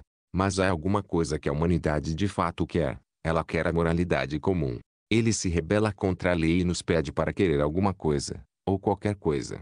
Mas nós já quisemos alguma coisa. Já expressamos nossa vontade pela lei contra a qual ele se rebela. Todos os adoradores da vontade, de Nietzsche ao Senhor Davidson, estão na realidade completamente vazios de volição. Eles não podem querer, eles mal podem aspirar.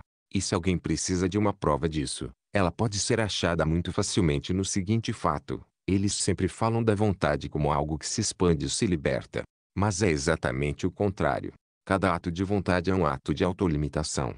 Desejar uma ação é desejar uma limitação. Nesse sentido todas as ações são ações de sacrifício de si mesmo. Quando você escolhe uma coisa qualquer, você rejeita tudo mais. Aquela objeção que os homens dessa escola costumavam levantar contra o ato do casamento é realmente uma objeção contra todos os atos. Todos os atos são uma irrevogável exclusão-seleção. Exatamente como quando você se casa com uma mulher desiste de todas as outras, assim também quando você toma um caminho de ação desiste de todos os outros caminhos. Se você se torna rei da Inglaterra, desiste do posto de bedeu em Brompton. Se você vai a Roma, sacrifica uma vida rica e sugestiva em Wimbledon, e a existência desse lado negativo é o limitador da vontade que faz a maior parte da conversa dos anárquicos adoradores da vontade não passar muito de uma bobagem. Exemplo, o Senhor. John Davidson nos pede para ignorar completamente não dos mandamentos bíblicos. Mas é óbvio, com certeza, que o não é apenas um dos corolários inescapáveis de eu quero. Eu quero ver o desfile do prefeito de Londres. Seis de você não me impedirá. O anarquismo nos estimula a ser artistas criativos arrojados e a não dar atenção alguma a leis de limites. Mas é impossível ser artista e não dar atenção a leis de limites. A arte é a limitação. A essência de todos os quadros é a moldura. Se você desenha uma girafa, deve desenhá-la de pescoço comprido. Se, dentro do seu método criativo arrojado, você se julgar livre para desenhar uma girafa de pescoço curto, de fato descobrirá que não está livre para desenhar uma girafa. No momento em que se entra no mundo dos fatos, entra-se no mundo dos limites. Pode-se libertar as coisas de leis externas ou acidentais, mas não das leis da sua própria natureza. Você pode, se quiser, libertar um tigre da jaula, mas não pode libertá-lo de suas listras. Não liberte o camelo do fardo de sua corcova, você o estaria libertando de ser um camelo. Não saia aí feito um demagogo, estimulando triângulos a libertar-se da prisão de seus três lados. Se um triângulo se libertar de seus três lados, sua vida chega a um desfecho lamentável. Alguém escreveu uma obra intitulada Tiloves of Triangles. Nunca li, mas tenho certeza de que se triângulos alguma vez foram amados, eles o foram serem triangulares. Esse é certamente o caso de toda a criação artística, que, sob algum aspecto, é o exemplo mais decisivo da vontade pura. O artista ama suas limitações. Elas constituem a coisa que ele está fazendo. O pintor se sente satisfeito ser plana a sua tela. O escultor se sente satisfeito ser incolor a argila. Caso a explicação não tenha ficado clara, um exemplo histórico pode servir de ilustração. A Revolução Francesa foi realmente um fato heróico e decisivo, porque os jacobinos quiseram algo definido e limitado. Desejaram as liberdades da democracia, mas também todos os vetos democráticos. Desejaram ter votos e não títulos. O republicanismo teve um lado ascético em Franklin ou Robespierre bem como um lado expansivo em Danton e Wilkes. Isso eles criaram algo com substância e forma sólidas. A igualdade se estilo Mayor's Show, uma festa pública em que o prefeito de Londres desfila pelas ruas da cidade numa caraiagem dourada. Ponto social completa e a riqueza campesina da França. Mas desde aquele tempo a mente revolucionária ou especulativa da Europa se enfraqueceu pelo seu distanciamento de qualquer proposta a causa dos limites inerentes ao que se propunha. O liberalismo degradou sem liberalidade. Os homens tentaram transformar o verbo revolucionar de transitivo em intransitivo.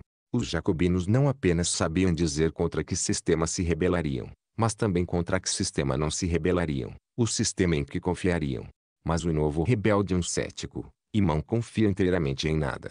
Não tem nenhuma lealdade, portanto, ele nunca poderá ser de verdade um revolucionário. E o fato de que ele duvida de tudo realmente o atrapalha quando quer fazer alguma denúncia.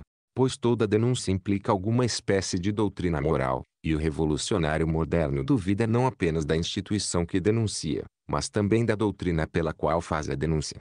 Assim, ele escreve um livro queixando-se de que a opressão imperialista insulta a pureza das mulheres, e depois escreve outro, no qual ele mesmo a insulta. Ele amaldiçoa Sultão pela perda da virgindade de garotas cristãs, e depois amaldiçoa a senhora Grundy pela preservação dela. Como político, ele grita que toda guerra é um desperdício de vida, e depois, como filósofo, grita que toda vida é um desperdício de tempo. Um pessimista nisso denunciará um político matar um camponês, e depois, pelos mais elevados princípios filosóficos, provará que o camponês deveria ter se suicidado. Alguém denuncia o casamento como uma mentira, e depois denuncia os libertinos aristocráticos tratarem essa mesma instituição como uma mentira. Alguém chama a bandeira de bugiganga, e depois acusa os opressores da Polônia ou da Irlanda de terem suprimido aquela bugiganga. O adepto dessa escola primeiro participa de uma reunião política, na qual se queixa de que os selvagens são tratados como se fossem animais, depois apanha o chapéu e o guarda-chuva e vai para uma reunião científica, na qual prova que eles são praticamente animais. Em resumo, o revolucionário moderno, sendo um cético sem limites, está sempre ocupado em minar suas próprias minas. No seu livro sobre política ele ataca os homens espezinharem a moralidade, no seu livro sobre ética ele ataca a moralidade por espezinhar os homens. Portanto, o homem moderno em estado de revolta tornou-se praticamente inútil para qualquer propósito da revolta. Rebelando-se contra tudo, ele perdeu o direito de rebelar-se contra qualquer coisa específica. Pode-se acrescentar que é possível observar o mesmo vazio e falência em todos os tipos ferozes e terríveis de literatura, especialmente na sátira. A sátira pode ser maluca e anárquica, mas ela pressupõe a aceitação da autoridade de certas coisas sobre outras, pressupõe um padrão. Quando criancinhas da rua riem-se da obesidade de algum distinto jornalista, elas estão inconscientemente adotando um padrão de escultura grega. Estão apelando para o Apolo de mármore. E o curioso desaparecimento da sátira de nossa literatura é um exemplo das coisas cruéis que estão desaparecendo pela falta de qualquer princípio contra o qual se possa ser cruel. Nietzsche tinha algum talento natural para o sarcasmo. Ele sabia escarnecer, embora não soubesse rir. Mas há sempre algo incorpóreo e sem peso na sua sátira, simplesmente porque ela não tem nenhum peso de moralidade comum em que se apoiar. O próprio Nietzsche é mais absurdo que qualquer coisa ele denunciada. Mas, de fato, ele se sustenta muito bem como exemplo típico de todo esse fracasso da violência abstrata. O amolecimento do cérebro que no fim o atingiu não foi um acidente físico. Se Nietzsche não houvesse acabado na imbecilidade, o nietzscheanismo teria feito. Pensar no isolamento e com orgulho acaba na idiotice. Todos os homens que não passam o amolecimento do coração devem no mínimo passar pelo amolecimento do cérebro. Essa última tentativa de evitar o intelectualismo acaba em intelectualismo e, portanto, em morte. A surtida falhou. A insensata adoração do desregramento e a adoração materialista da lei acaba no mesmo vazio. Nietzsche escala montanhas assustadoras, mas no fim acaba chegando ao Tibete. Senta-se ao lado de Tolstói na terra do nada e do nirvana. Eles estão desolados, um porque não pode agarrar nada, o outro porque nada pode largar. A vontade tolstoiana é congelada pelo instinto budista de que todas as ações especiais são más. Mas a vontade do seguidor de Nietzsche é igualmente congelada a sua visão de que todas as ações especiais são boas, pois, se todas as ações especiais são boas, nenhuma delas é especial. Ambos se encontram numa encruzilhada. Um deles odeia todas as estradas e o outro gosta de todas elas. O resultado é: bem, há coisas que não são difíceis de imaginar. Eles ficam parados na encruzilhada. Aqui termino. A primeira e mais monótona tarefa deste livro a tosca resenha do pensamento recente. Depois disso, começo a esboçar uma visão da vida que talvez não interesse ao meu leitor, mas que, de qualquer modo, muito me interessa. Diante de mim, quando fecho esta página, está um monte de livros modernos que estive manuseando para o meu objetivo, um monte de ingenuidade, um monte de futilidades. Dada a circunstância do meu distanciamento neste momento, posso ver a inevitável colisão das filosofias de Schopenhauer e Tolstói, Nietzsche e com a mesma clareza com que se observa uma inevitável colisão de uma jangada a partir de um balão. Eles estão todos no caminho que leva ao vazio do manicômio, pois a loucura pode ser definida como o uso da atividade mental de modo a atingir o desamparo mental. Eles já quase chegaram lá. Aquele que pensa que é feito de vidro, pensa visando a destruição do pensamento, pois vidro não pode pensar. Assim também aquele que não quer rejeitar nada, quer a destruição da vontade, pois a vontade não é apenas a escolha de alguma coisa, mas também a rejeição de quase tudo. Quando manuseio e derrubo esses astutos, maravilhosos, cansativos e inúteis livros modernos, a lombada de um deles prende meu olhar. Intitula-se Jeanne d'Arc e seu autor é Anatole France. Apenas examinei essa obra de relance, mas mesmo o relance foi suficiente para me trazer a lembrança via de Jesus. De Renan. Tem o mesmo estranho método do cético reverente. Lança descrédito sobre histórias sobrenaturais que têm algum fundamento, simplesmente contando histórias naturais que não têm fundamento algum. Pelo fato de não conseguirmos acreditar no que um santo fez, devemos fingir que sabemos exatamente o que ele sentiu. Mas não estou mencionando nenhum desses dois livros para criticá-los, só o faço porque a combinação acidental dos nomes evocou duas surpreendentes imagens de sanidade que implodiram todos os livros diante de mim. Joana Dark não ficou parada na encruzilhada, nem rejeitando todos os caminhos como Tolstói, nem aceitando-os a todos como Nietzsche. Ela escolheu um caminho e o percorreu feito um raio. No entanto, pensando bem no caso dela, Joana tinha tudo o que era verdadeiro em Tolstói ou em Nietzsche, tudo o que era até suportável nos dois. Pensei em tudo o que é nobre em Tolstói, o prazer nas coisas simples, especialmente na simples compaixão, as realidades da terra, a reverência pelos pobres, a dignidade das costas curvadas. Joana Dark tinha tudo aquilo e com grande vantagem, ela suportou a pobreza além de admirá-la, ao passo que Tolstói é apenas um típico aristocrata tentando descobrir o segredo da pobreza. Depois pensei em tudo aquilo que foi corajoso, orgulhoso e patético no pobre Nietzsche, e na sua revolta contra o vazio e a timidez de nosso tempo.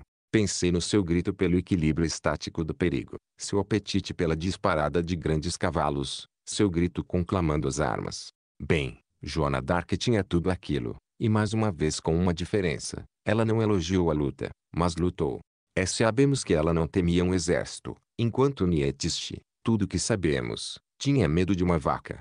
Tolstói elogiou os camponeses, ela foi a camponesa. Nietzsche apenas elogiou o guerreiro, ela foi a guerreira. Ela superou os dois nos seus ideais antagônicos. Foi mais gentil que o primeiro, mais violenta que o segundo.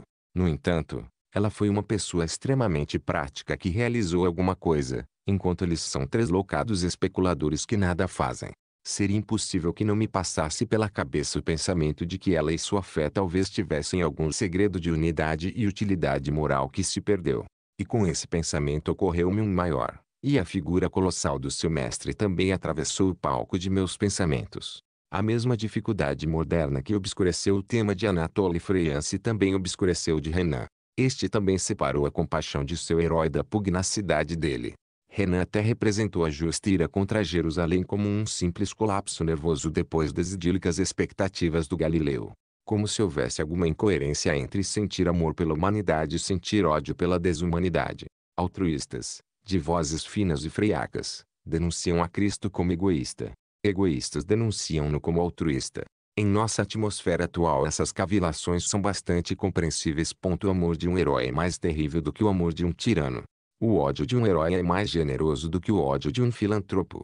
Há uma imensa e heróica sanidade da qual os modernos só podem coletar fragmentos. Há um gigante do qual nós só conseguimos ver os braços caídos e as pernas que caminham aí. Eles rasgaram a alma de Cristo em tiras tolas, rotuladas de egoísmo e altruísmo, e eles estão igualmente intrigados com sua insana magnificência e sua insana mansidão. Eles repartiram entre si os seus vestidos, e sobre sua túnica lançaram sortes, embora a túnica fosse inconsútil de alto a baixo. 4. A ética de Ufolândia que eu ando o homem de negócio censura o idealismo de seu office boy. Geralmente o faz numa fala mais ou menos assim. Sim, claro, quando a gente é jovem tem esses ideais abstratos, e constrói castelos no ar. Mas na meia-idade todos eles se desfazem como nuvens, e a gente passa a acreditar na política prática, a usar as máquinas que tem e a conviver com o mundo como ele é. Assim, Pelo menos costumavam me falar na juventude senhores veneráveis e filantrópicos que agora ocupam honradas tumbas. Mas desde aquela eu cresci e descobri que aqueles velhos filantrópicos estavam dizendo mentiras. O que de fato aconteceu é exatamente o contrário do que eles previram. Diziam que eu perderia meus ideais e começaria a acreditar nos métodos da prática política.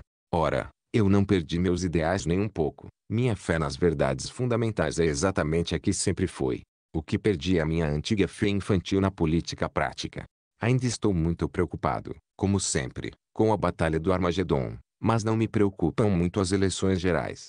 Quando bebê eu pulava no colo de minha mãe ante a simples menção dela. Não, a visão é sempre sólida e confiável. A realidade é que muitas vezes é uma fraude.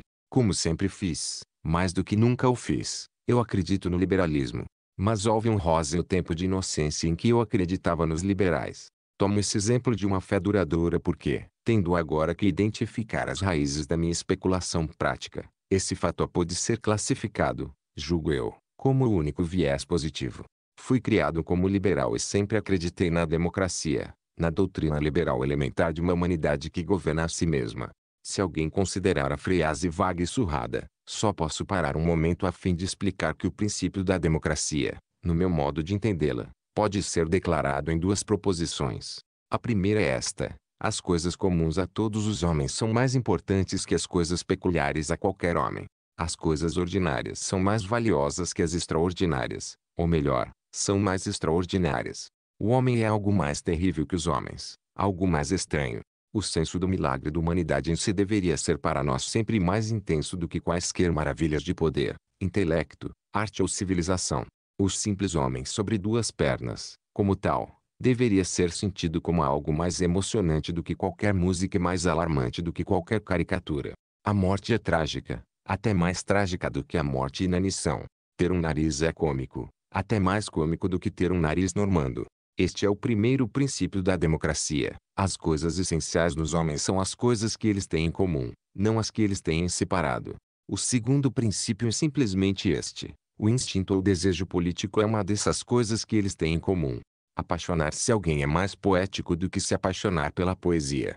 A crença democrática é de que o governo é algo como apaixonar-se alguém, semelhante a tocar órgão na igreja, pintar sobre velino, descobrir o Polo Norte, fazer acrobacias no ar, ser astrônomo real e assim diante.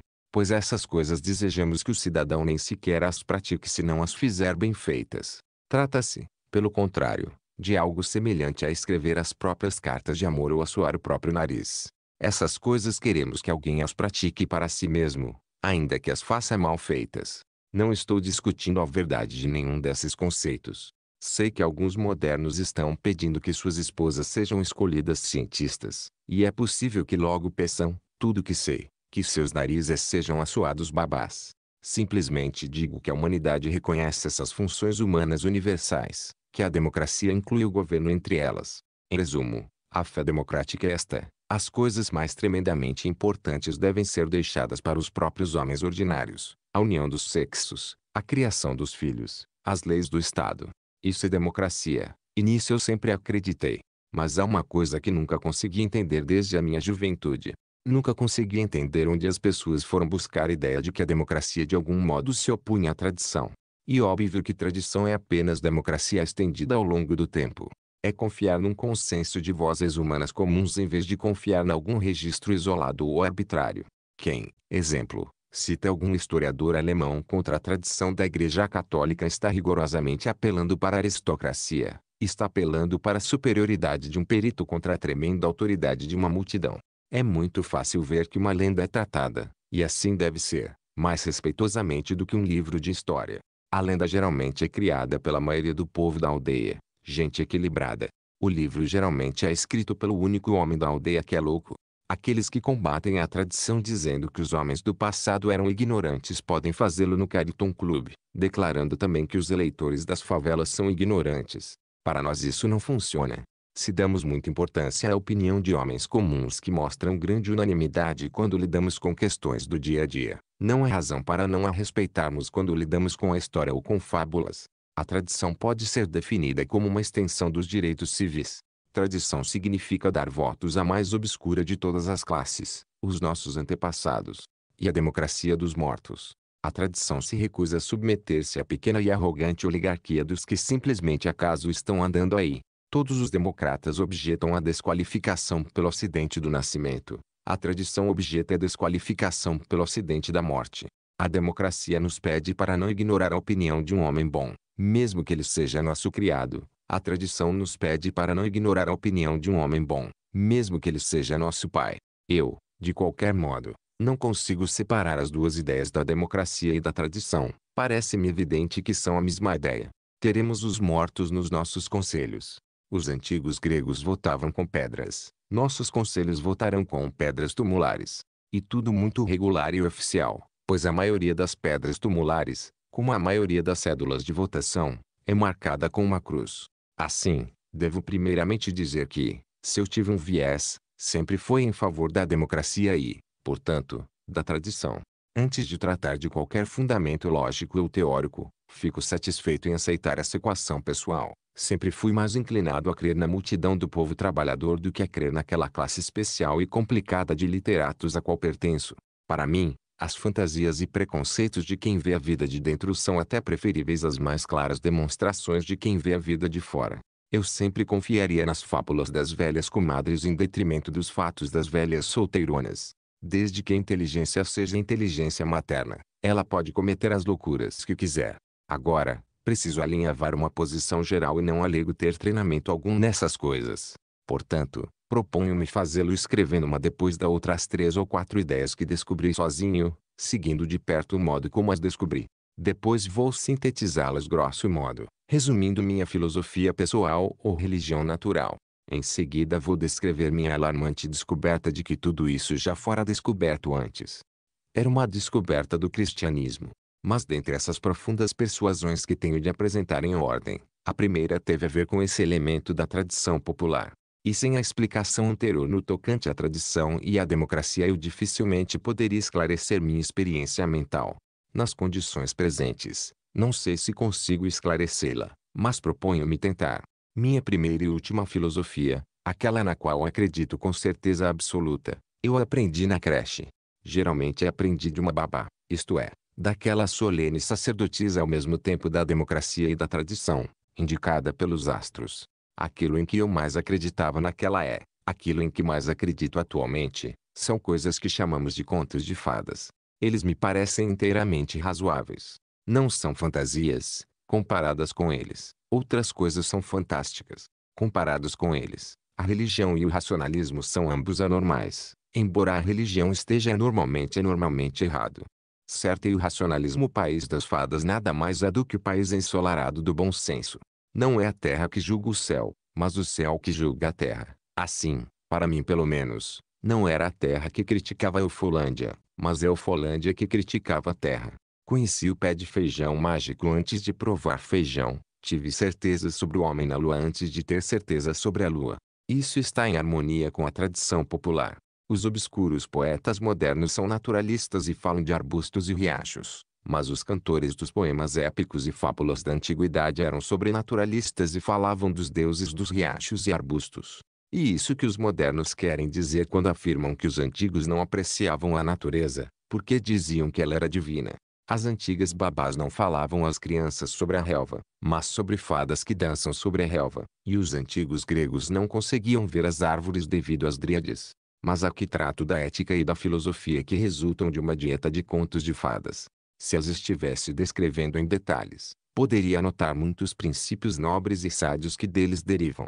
A lição cavalheiresca de Jaque, o matador de gigantes, dizendo que os gigantes deveriam ser mortos serem gigantescos, e uma revolta viril contra o orgulho como tal, pois o rebelde é mais antigo do que todos os reinos, e os jacobinos têm mais tradição que os jacobitas. A lição de Cinderela, que é a mesma do Magnificat, e Chaltavit e Humiles. Há a grande lição de A Bela e a Fera, dizendo que uma criatura precisa ser amada antes de ser amável. Há a terrível alegoria de A Bela Adormecida, dizendo como a criatura humana foi abençoada com todos os seus dons recebidos ao nascer, e, no entanto, amaldiçoada com a morte, e como a morte pode ser suavizada em sono. Mas não estou preocupado com nenhum dos estatutos da Ufolândia em separado, mas sim com o espírito total de sua lei, que aprendi antes de saber falar e hei de reter quando não mais puder escrever. Estou preocupado com certo modo de olhar para a vida, que foi criado em mim pelos contos de fada, mas foi desde aquela humildemente ratificado pelos simples fatos. O argumento poderia ser exposto da seguinte forma. Há certas sequências ou desenvolvimentos que são, no verdadeiro sentido da palavra, razoáveis. Eles são, no verdadeiro sentido da palavra, necessários. Assim são as sequências matemáticas e meramente lógicas. Nós do país das fadas admitimos essa razão e essa necessidade. Exemplo, se as irmãs feias são mais velhas que a Cinderela, então é necessário que a Cinderela seja mais jovem do que as irmãs feias. Não há como fugir disso. Aikel pode falar quanto quiser do fatalismo acerca desse fato, realmente tem de ser. Se Jaque é filho de um moleiro, um moleiro é o pai de Jaque. A razão freia o decreta de seu terrível trono, e nós do país das fadas nos submetemos. Se todos os três irmãos andam a cavalo, há seis animais e dezoito pernas envolvidos, isso é racionalismo verdadeiro, e o país das fadas está cheio dele. Mas quando ergui a cabeça acima da cerca dos elfos e comecei a notar o mundo natural, observei um fato extraordinário. Observei que homens eruditos de óculos estavam conversando das coisas reais que aconteciam, nascimento e morte e coisas assim, como se elas fossem racionais e inevitáveis. Falavam como se o fato de as árvores darem frutos fosse tão necessário quanto o fato de que uma mais duas árvores são três. Mas não é. Há uma enorme diferença pelo teste do país das fadas, que é o teste da imaginação. Não podemos imaginar dois mais um não somando três. Mas pode-se facilmente imaginar árvores que não produzem frutos. Pode-se imaginá-las produzindo candelabros ou tigres pendurados pelo rabo. Esses homens de óculos falavam muito de um homem chamado Newton, que foi atingido uma maçã e descobriu uma lei. Mas não era possível levá-los a ver a distinção entre uma lei verdadeira, uma lei da razão, e o simples fato de maçãs caírem. Se a maçã atingiu o nariz de Newton, o nariz de Newton atingiu a maçã. Essa é uma verdadeira necessidade, pois não podemos conceber uma coisa ocorrendo sem a outra. Mas podemos muito bem imaginar a maçã não caindo sobre seu nariz, Podemos imaginá-la voando fogosa pelos ares para atingir algum outro nariz, pelo qual ela sentia uma versão mais clara. Sempre fizemos em nossos contos de fadas essa distinção nítida entre a ciência das relações mentais, na qual há de fato leis, e a ciência dos fatos físicos, nos quais não há nenhuma lei, mas apenas estranhas repetições. Acreditamos em milagres corporais, mas não em possibilidades mentais. Acreditamos que o pé de feijão subiu até o céu, mas isso em nada confunde nossas convicções acerca da questão filosófica de quantos feijões são cinco. Aqui reside a perfeição peculiar de tom e verdade dos contos infantis. O cientista diz, corte o pedúnculo, e a maçã cairá, mas diz isso calmamente, como se uma ideia de fato levasse a outra. A bruxa dos contos de fada diz, toque a corneta, e o castelo do ogro cairá. Mas ela não diz isso como se fosse alguma coisa em que o efeito obviamente surgisse da causa. Sem dúvida ela já deu esse conselho a muitos heróis e viu muitos castelos caírem, mas ela não perde nem o espanto nem a razão. Sua cabeça não se perturba tentando imaginar uma conexão mental necessária entre uma corneta e a queda de uma torre. Mas os cientistas quebram a cabeça até conseguirem imaginar uma conexão mental necessária entre uma maçã que deixa o galho e uma maçã atingindo o chão. Eles realmente falam como se tivessem descoberto não apenas um conjunto de fatos maravilhosos, mas também uma verdade ligando esses fatos. Falam como se a ligação de duas coisas fisicamente estranhas as conectasse filosoficamente. Sentem que, pelo fato de uma coisa incompreensível sempre vir depois de outra coisa incompreensível, as duas de certo modo constituem uma coisa compreensível. Dois enigmas negros constituem uma resposta branca. No país das fadas nós evitamos a palavra lei, mas na terra da ciência eles são especialmente apaixonados dela.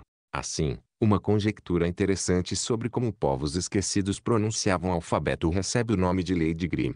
Mas a Lei de Grimm é muito menos intelectual do que os contos de Grimm.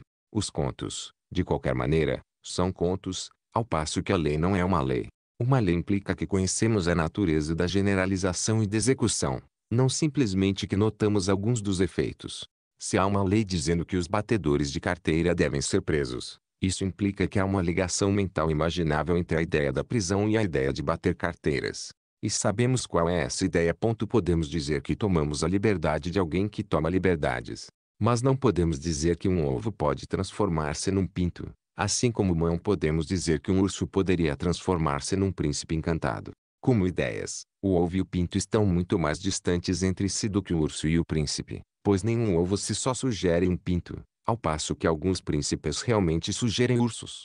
Aceitando-se então que certas transformações de fato acontecem, é essencial que as consideremos da maneira filosófica dos contos de fada, não da maneira filosófica da ciência e das leis da natureza. Quando nos perguntam que os ovos se transformam em pássaros ou que as frutas caem no outono, devemos responder exatamente como a fada madrinha responderia se Cinderela lhe perguntasse que os ratos se transformaram em cavalos ou que as roupas dela desapareceram depois da meia-noite. Devemos responder que é mágica. Não é uma lei, pois não entendemos sua fórmula geral. Não é uma necessidade, pois, embora contemos com esse tipo de acontecimento na prática, não temos o direito de dizer que ele deve sempre acontecer. Não constitui nenhum argumento em defesa de uma lei inalterável o fato de que contamos com o curso comum das coisas. Não contamos com isso, apostamos nisso. Arriscamos a remota possibilidade de um milagre como arriscamos a possibilidade de uma panqueca envenenada ou de um cometa que vai destruir o mundo. Não contamos com isso, não porque se trata de um milagre, e, portanto, uma impossibilidade, mas porque é um milagre, e, portanto, uma exceção. Todos os termos usados nos livros de ciência, lei, necessidade, ordem e assim diante, são realmente não intelectuais, porque pressupõem uma síntese interior, que nós não possuímos. As únicas palavras que sempre me satisfizeram como descrições da natureza são os termos usados nos contos de fada, sortilégio, feitiço, encantamento, eles expressam a arbitrariedade do fato e do mistério. Uma árvore dá frutos porque é uma árvore mágica. A água corre morro abaixo porque está enfeitiçada. O sol brilha porque está enfeitiçado. Eu nego totalmente que isso seja fantástico ou mesmo místico. Podemos incluir um pouco de misticismo mais adiante, mas essa linguagem dos contos de fada sobre as coisas é simplesmente racional e agnóstica. E a única maneira de expressar com palavras minha percepção clara e definida de que uma coisa é totalmente distinta de outra, de que não há nenhuma ligação lógica entre voar e botar ovos. É o homem que fala de uma lei que nunca viu que é místico. Ou melhor, o cientista ordinário é estritamente um sentimental. Um sentimental no sentido essencial, de estar mergulhado em meras associações que o vão carregando. Ele viu tantas vezes pássaros voando e botando ovos que sente como se devesse existir alguma fantástica, delicada ligação entre as duas ideias, quando não há nenhuma. Um amante desamparado talvez não seja capaz de dissociar a lua de seu amor perdido. Assim o materialista é incapaz de dissociar a lua da maré. Nos dois casos não há conexão, excetuando-se o fato de que alguém viu essas coisas juntas. Um sentimentalista talvez derramasse lágrimas ante o perfume de uma macieira em flor, porque, uma obscura associação pessoal, ela lhe traz à memória os tempos de criança, Assim também o professor materialista é, todavia, um sentimental, porque, uma obscura associação pessoal, a macieira em flor lhe traz à memória as maçãs. Mas o freio racionalista do país das fadas não vê razão que, em abstrato, a macieira não deva dar tulipas encanadas. Isso às vezes acontece no país dele. Esse assombro elementar, em, não é mera fantasia proveniente de contos de fadas. Pelo contrário, todo o fogo dos contos de fadas deriva dele. Exatamente como todos nós gostamos de histórias de amor porque há nelas um instinto sexual. Todos nós gostamos de contos assombrosos porque eles tocam um ponto nevrálgico do antigo instinto do assombro. Isso se comprova com o fato de que quando somos criancinhas não precisamos de contos de fadas, só precisamos de contos. A vida pura e simples é suficientemente interessante. Uma criança de 7 anos se impressiona quando lhe contam que Tommy abriu a porta e viu um dragão. Mas uma criança de 3 anos se impressiona quando lhe contam que Tommy abriu a porta.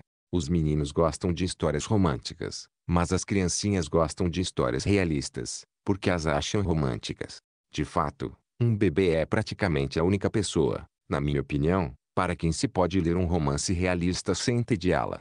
Isso prova que até os contos infantis apenas ecoam um salto quase pré-natal de interesse e espanto. Esses contos dizem que as maçãs eram douradas apenas para relembrar o momento esquecido em que descobrimos que elas eram verdes. Fazem os rios correr cheios de vinho só para que nos lembremos, um momento irrefletido, de que eles correm cheios de água. Eu disse que isso é totalmente razoável e até agnóstico. E, de fato, neste ponto sou absolutamente em favor do agnosticismo mais alto, seu nome mais adequado é ignorância. Todos lemos em livros científicos e, na verdade, Em todos os romances, a história do homem que esqueceu seu nome. Esse homem caminha pelas ruas e pode ver e apreciar tudo, só que não se lembra de quem ele é. Bem, todos os homens são esse sujeito da história. Todos os homens se esqueceram de quem são. Alguém pode entender o cosmos, mas jamais o ego, o eu mais distante do que qualquer estrela. Amarás ao Senhor teu Deus, mas não conhecerás a ti mesmo. Todos padecemos sob a mesma calamidade mental. Todos nos esquecemos de nosso nome. Todos nos esquecemos do que realmente somos. Tudo aquilo que chamamos de bom senso, racionalidade, espírito prático e positivismo apenas significa que em certos níveis cegos da vida nos esquecemos de que esquecemos. Tudo o que chamamos de espírito, arte e êxtase significa apenas que um terrível instante nos lembramos de que esquecemos. Mas embora caminhemos pelas ruas com uma espécie de admiração idiota, ainda assim trata-se de admiração. O espanto tem um elemento positivo de louvor. Esse é o próximo marco milhar a ser definitivamente fincado em nosso caminho pelo país das fadas. No capítulo seguinte vou falar sobre otimistas e pessimistas no seu aspecto intelectual, na medida em que isso existe. Aqui estou apenas tentando descrever as enormes emoções que são indescritíveis. E a emoção mais forte foi que a vida era tão preciosa quanto intrigante. Era um êxtase porque era uma aventura. Era uma aventura porque era uma oportunidade. O bom dos contos de fada não era afetado pelo fato de que poderia haver mais dragões do que princesas. Era bom estar num conto de fadas. O teste de toda a felicidade é a gratidão. E eu me sentia grato, embora mal soubesse a quem. As crianças ficam agradecidas quando o Papai Noel enche suas meias com presentes de brinquedos e doces. Não poderia eu ser agradecido a Papai Noel quando ele deixou em minhas meias o presente de duas pernas milagrosas. Agradecemos às pessoas os presentes de charutos e meias que recebemos no nosso dia natalício. Não posso agradecer a alguém, no meu dia natalício, o presente de ter nascido. Havia, então, esses dois primeiros sentimentos, imutáveis e indiscutíveis, o mundo era um choque, mas não era simplesmente chocante. A existência era uma surpresa, mas uma surpresa agradável. De fato, todas as minhas primeiras visões foram exatamente formuladas num enigma que desde a infância não me sai da cabeça. A pergunta era: que foi que disse a primeira rã? E a resposta: Senhor, como tu me fizeste pular. Isso resume tudo o que venho dizendo. Deus fez a rã pular, mas a rã prefere pular. E quando essas coisas são resolvidas surge o segundo grande princípio da filosofia dos contos de fada. Qualquer leitor dos contos de fadas de Grimm ou das belas coleções do Senhor André Vlang pode constatar isso que, para Gaudi dos pedantes, vou chamar de doutrina da alegria condicional. Touchstone falou de muita virtude presente num si. De acordo com a ética élfica, toda a virtude está num si. O lembrete no falar das fadas é sempre este. Você pode morar num palácio de ouro e safira, se não disser a palavra vaca. Ou então, você pode viver feliz com a filha do rei, se não lhe mostrar uma cebola. A visão depende sempre de um veto. Todas as coisas estonteantes e colossais concedidas dependem de uma coisinha retida. Todas as coisas loucas e esfuziantes liberadas dependem de uma coisa proibida.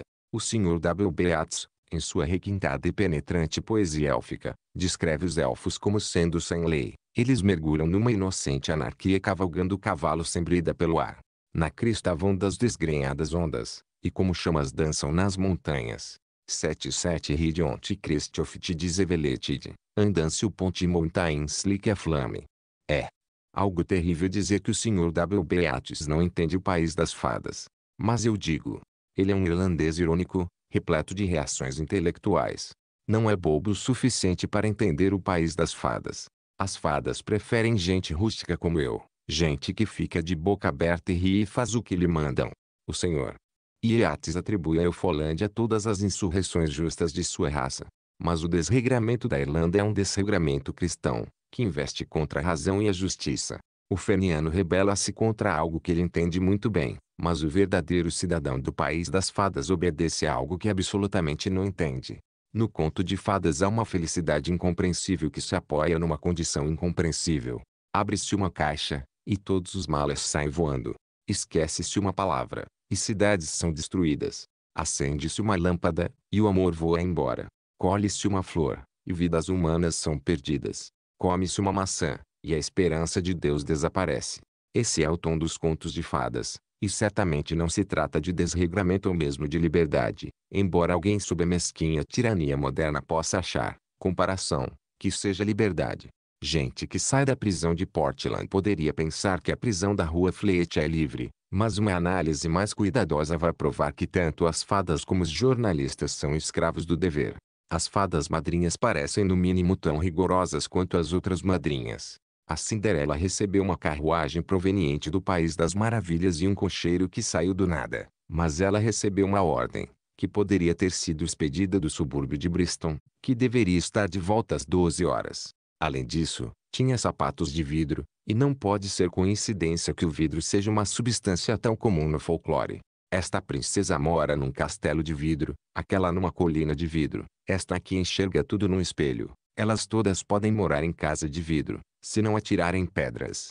Pois essa tênue cintilação de vidro em toda parte é a expressão do fato de que a felicidade brilha, mas é frágil, como a substância mais facilmente quebrada uma doméstica ou um gato. Esse sentimento dos contos de fada também calou fundo em mim e tornou-se um sentimento em relação ao mundo inteiro. Eu senti e sinto que a vida em si brilha como um diamante, mas é frágil como uma vidraça, e quando os seus eram comparados ao terrível cristal, eu ainda posso lembrar-me do calafreio. Tinha medo de que Deus deixasse o cosmos cair e ele se espatifasse. Lembre-se, em que ser quebrável não é o mesmo que ser perecível. Golpeie um vidro, e ele não vai resistir um instante, Simplesmente não o golpeei, e ele vai resistir mil anos. Assim me parecia que era a alegria do ser humano, na Eufolândia ou na Terra. A felicidade dependia de não fazer algo que você poderia fazer a qualquer momento e, muitas vezes, não era óbvio o motivo que não deveria fazê-lo. Ora, o ponto principal nesse caso é que, para mim, isso não parecia injusto. Se o terceiro filho do moleiro dissesse à fada, explique-me que não devo plantar bananeira no palácio das fadas, a fada poderia responder-lhe: Bem, se é disso que se trata, explique o palácio das fadas. Se a Cinderela disser: Que razão devo deixar o baile à meia-noite? Sua fada madrinha poderia responder: Que razão você vai ficar lá até meia-noite? Se eu, no meu testamento, deixar um fulano dez paquidermes falantes e cem cavalos alados, ele não poderá lamentar se as condições tiverem algo da natureza estranha do presente. De cavalo alado não se deve olhar os dentes, Parecia-me que a própria existência era um legado tão excêntrico que eu não poderia me queixar não entender as limitações da visão quando não entendia a visão que elas limitavam. A moldura não era mais estranha do que o quadro.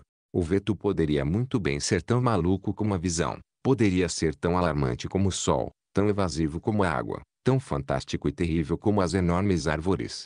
Essa razão nunca conseguia associar-me aos jovens do meu tempo no que eles chamavam de sentimento geral de revolta eu teria oposto resistência, é de esperar, a quaisquer regras que fossem perversas, e delas e de sua definição hei de tratar no outro capítulo. Mas não me sentia disposto a resistir a alguma regra simplesmente porque era misteriosa. Bens imóveis às vezes são obtidos meio de formalidades tolas, a quebra de uma vareta ou o pagamento de uma bagatela. Eu estava disposto a obter a imensa propriedade da terra e do seu meio de qualquer fantasia feudal semelhante. Ela não poderia ser mais louca do que o fato de que simplesmente me era permitido obtê-la. Neste ponto só vou apresentar um exemplo ético para mostrar o que pretendo dizer. Eu nunca conseguia envolver-me no burburinho geral daquela nova geração contra a monogamia, porque nenhuma restrição imposta ao sexo parecia-me tão estranha e inesperada quanto o sexo em si. Para mim obter permissão, comende-me de fazer amor com a lua e depois queixar-se de que Júpiter mantinha suas próprias luas num harém parecia anticlimático e vulgar. Restringir-se a uma única mulher é um preço pequeno diante do simples fato da visita a uma única mulher. Queixar-me de que eu só poderia casar-me uma vez era como queixar-me de ter nascido uma só vez. Era algo desproporcionado em relação à terrível emoção de que se estava falando. Aquilo mostrava, não uma sensibilidade exagerada, mas sim uma curiosa insensibilidade ao sexo. Louco é quem se queixa de não poder entrar no Éden cinco portas ao mesmo tempo. A poligamia é a falta da realização do sexo. É como quem apanha cinco peras de uma só vez num mero gesto de insanidade. Os estetas tocaram os limites extremos da loucura linguística em seus encômios às coisas belas. O Carlos levou as lágrimas. Um besouro lustroso os fez cair de joelhos. No entanto, a emoção deles nunca me impressionou sequer um instante pela razão seguinte. Nunca lhes ocorreu pagar pelo prazer sentido com alguma espécie de sacrifício simbólico. Os homens poderiam jejuar 40 dias para ouvir o canto de um meuro. Os homens poderiam passar pelo fogo para encontrar uma prímula. No entanto, esses amantes da beleza não conseguiam sequer manter-se sóbrios pelo meuro. Eles não passariam pelo casamento cristão comum como forma de recompensa pela prímula. Com certeza a gente poderia pagar pelo extraordinário prazer da moral ordinária. Oscar Wilde disse que o pôr do sol era um espetáculo não valorizado porque não poderíamos pagar ele. Mas ele estava errado. Nós podemos pagar pelo pôr do sol. Pagar-se não sendo um Oscar Wilde. Bem, deixei os contos de fadas sobre o chão da creche, e desde aquele tempo não encontrei nenhum livro sensato como eles. Deixei a babá, guardiã da tradição e democracia, e depois não encontrei nenhum tipo moderno tão sensatamente radical ou conservador como ela. Mas o assunto para um importante comentário era o seguinte, que quando, no início, eu me expus à atmosfera mental do mundo moderno, descobri que ele se opunha claramente em dois pontos a minha babá e seus contos infantis. Levei muito tempo para descobrir que o mundo moderno está errado e a babá estava certa. O fato realmente curioso era este, o pensamento moderno contradizia essa crença básica da minha infância nas suas duas doutrinas mais essenciais. Já expliquei que os contos de fadas sedimentaram em mim duas convicções. Primeiro, de que o mundo é um lugar fantástico e surpreendente. Segundo, de que diante dessa loucura e prazer nós deveríamos ser modestos e submeter-nos às estranhas limitações de uma bondade tão estranha. Mas descobri que todo o mundo moderno corria feito maré alta contra esses meus dois sentimentos de ternura, e o choque da colisão criou dois súbitos e espontâneos sentimentos, que acalento desde aquela é e que, mais toscos que fossem, solidificaram-se em convicções. Primeiro, descobri que todo mundo moderno usa a linguagem científica do fatalismo, diz que tudo é como sempre deve ter sido, desdobrando-se sem falhas desde o início. A folha na árvore é verde porque nunca poderia ter sido de outra cor. Ora, o filósofo dos contos de fadas se alegra com o fato de a folha ser verde precisamente porque ela poderia ter sido escarlate. Ele sente como se ela tivesse ficado verde um instante antes de olhar para ela. Ele se satisfaz pelo fato de a neve ser branca pelo simples motivo razoável de que poderia ter sido preta. Todas as cores têm em sua arrojada qualidade a partir da escolha. O vermelho das rosas do jardim não é apenas decisivo, mas dramático, como sangue subitamente derramado. Ele sente que algo foi feito. Mas os grandes deterministas do século XIX opunham-se fortemente a esse inato sentimento de que alguma coisa havia acontecido no instante anterior. De fato, na opinião deles, Nada jamais realmente aconteceu desde o começo do mundo. Nada havia ocorrido desde o acontecimento da existência, e mesmo sobre a data desse acontecimento eles não tinham certeza. O mundo moderno que encontrei era sólido, para o calvinismo moderno, devido à necessidade de as coisas serem como são. Mas, quando os questionei, descobri que os modernos realmente não tinham provas dessa inevitável repetição das coisas, excetuando-se o fato de que elas se repetiam. Ora, a mera repetição tornava tudo, para mim, antes mais misterioso que racional.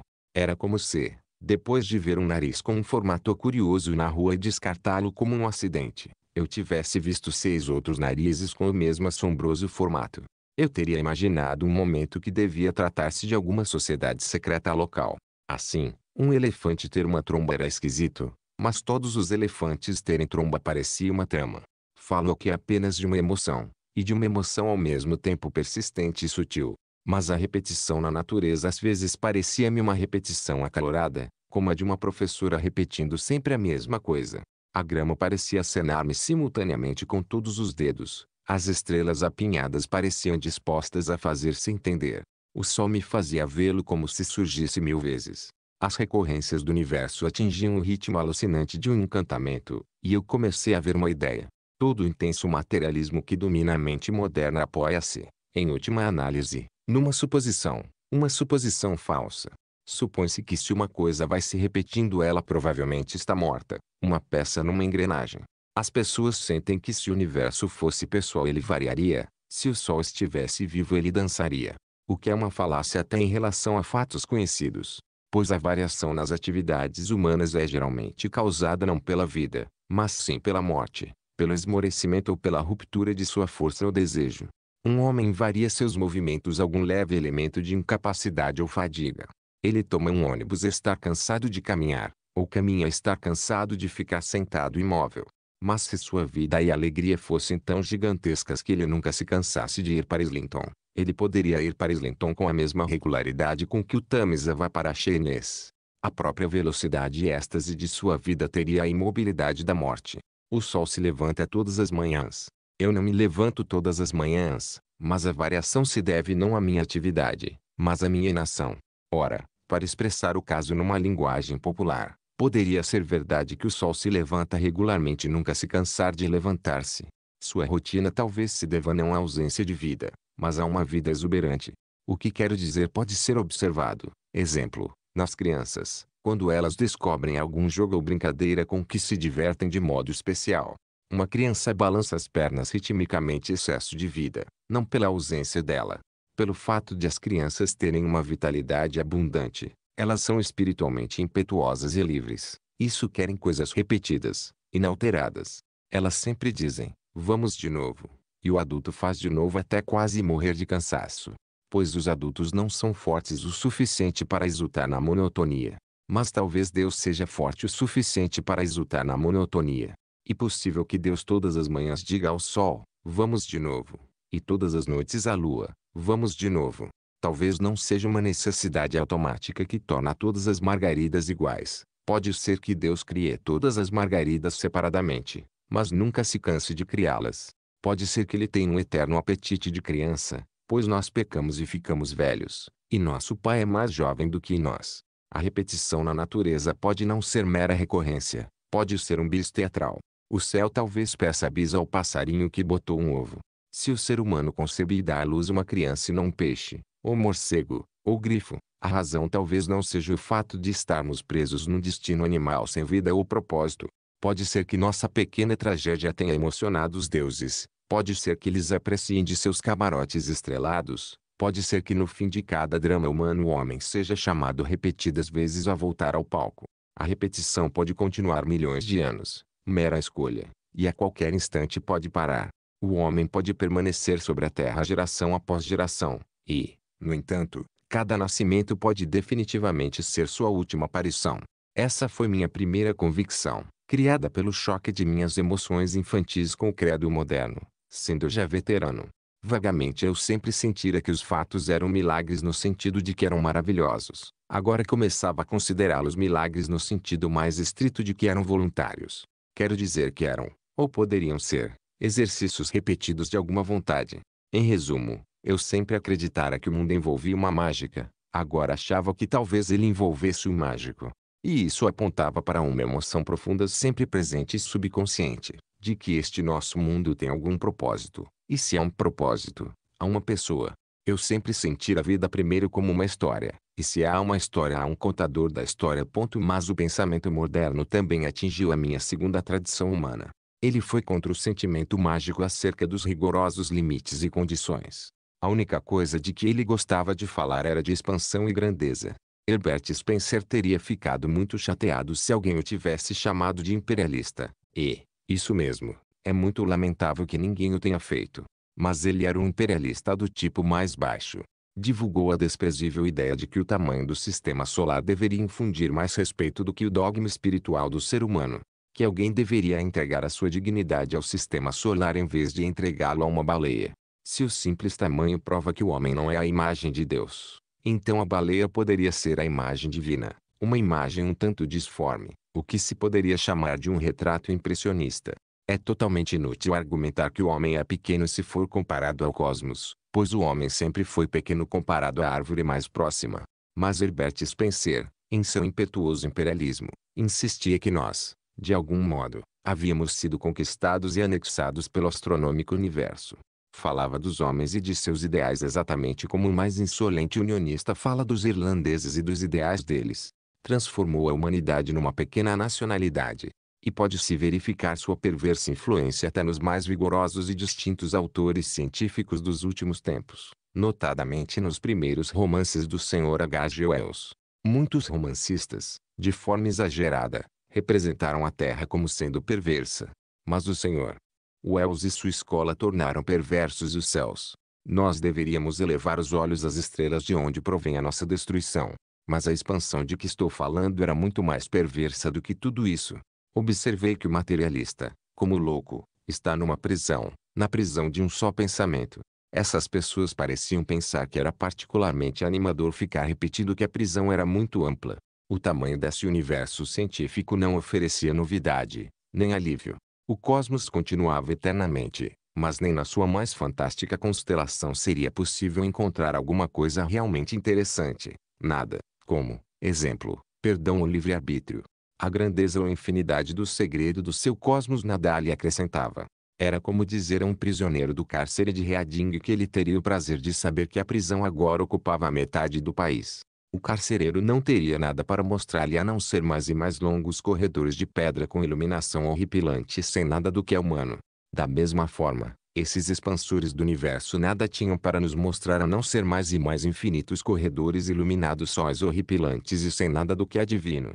No país das fadas existira uma lei real, uma lei que podia ser violada, pois uma lei é, definição, algo que pode ser violado. Mas o mecanismo dessa prisão cósmica era algo que não podia ser violado, pois nós mesmos éramos apenas uma parte de seu mecanismo. Ou não tínhamos capacidade para fazer alguma coisa, ou estávamos fadados a fazê-la.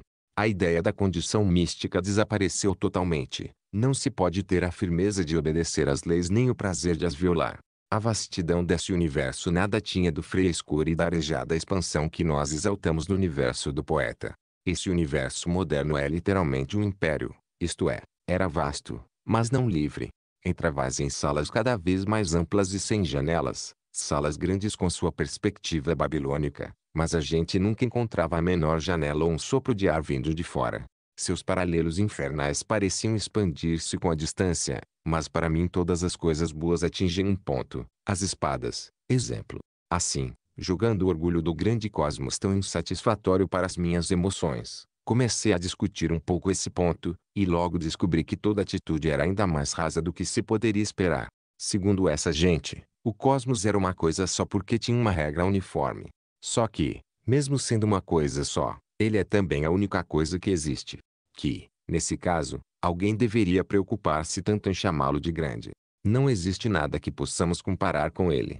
Será igualmente sensato chamá-la de pequeno. Alguém pode dizer, eu gosto deste vasto cosmos, com sua multidão de estrelas e inúmeras variedades de criaturas. Mas, se esse é ponto, que alguém não deveria dizer, eu gosto deste pequeno e aconchegante cosmos, com seu decente número de estrelas e essa elegante provisão de vida que é do meu agrado. Uma apreciação é tão boa quanto a outra. As duas são meros sentimentos. E um mero sentimento alegrar-se porque o sol é maior do que a terra. É um sentimento tão sensato como alegrar-se pelo fato de que o sol não é maior do que é.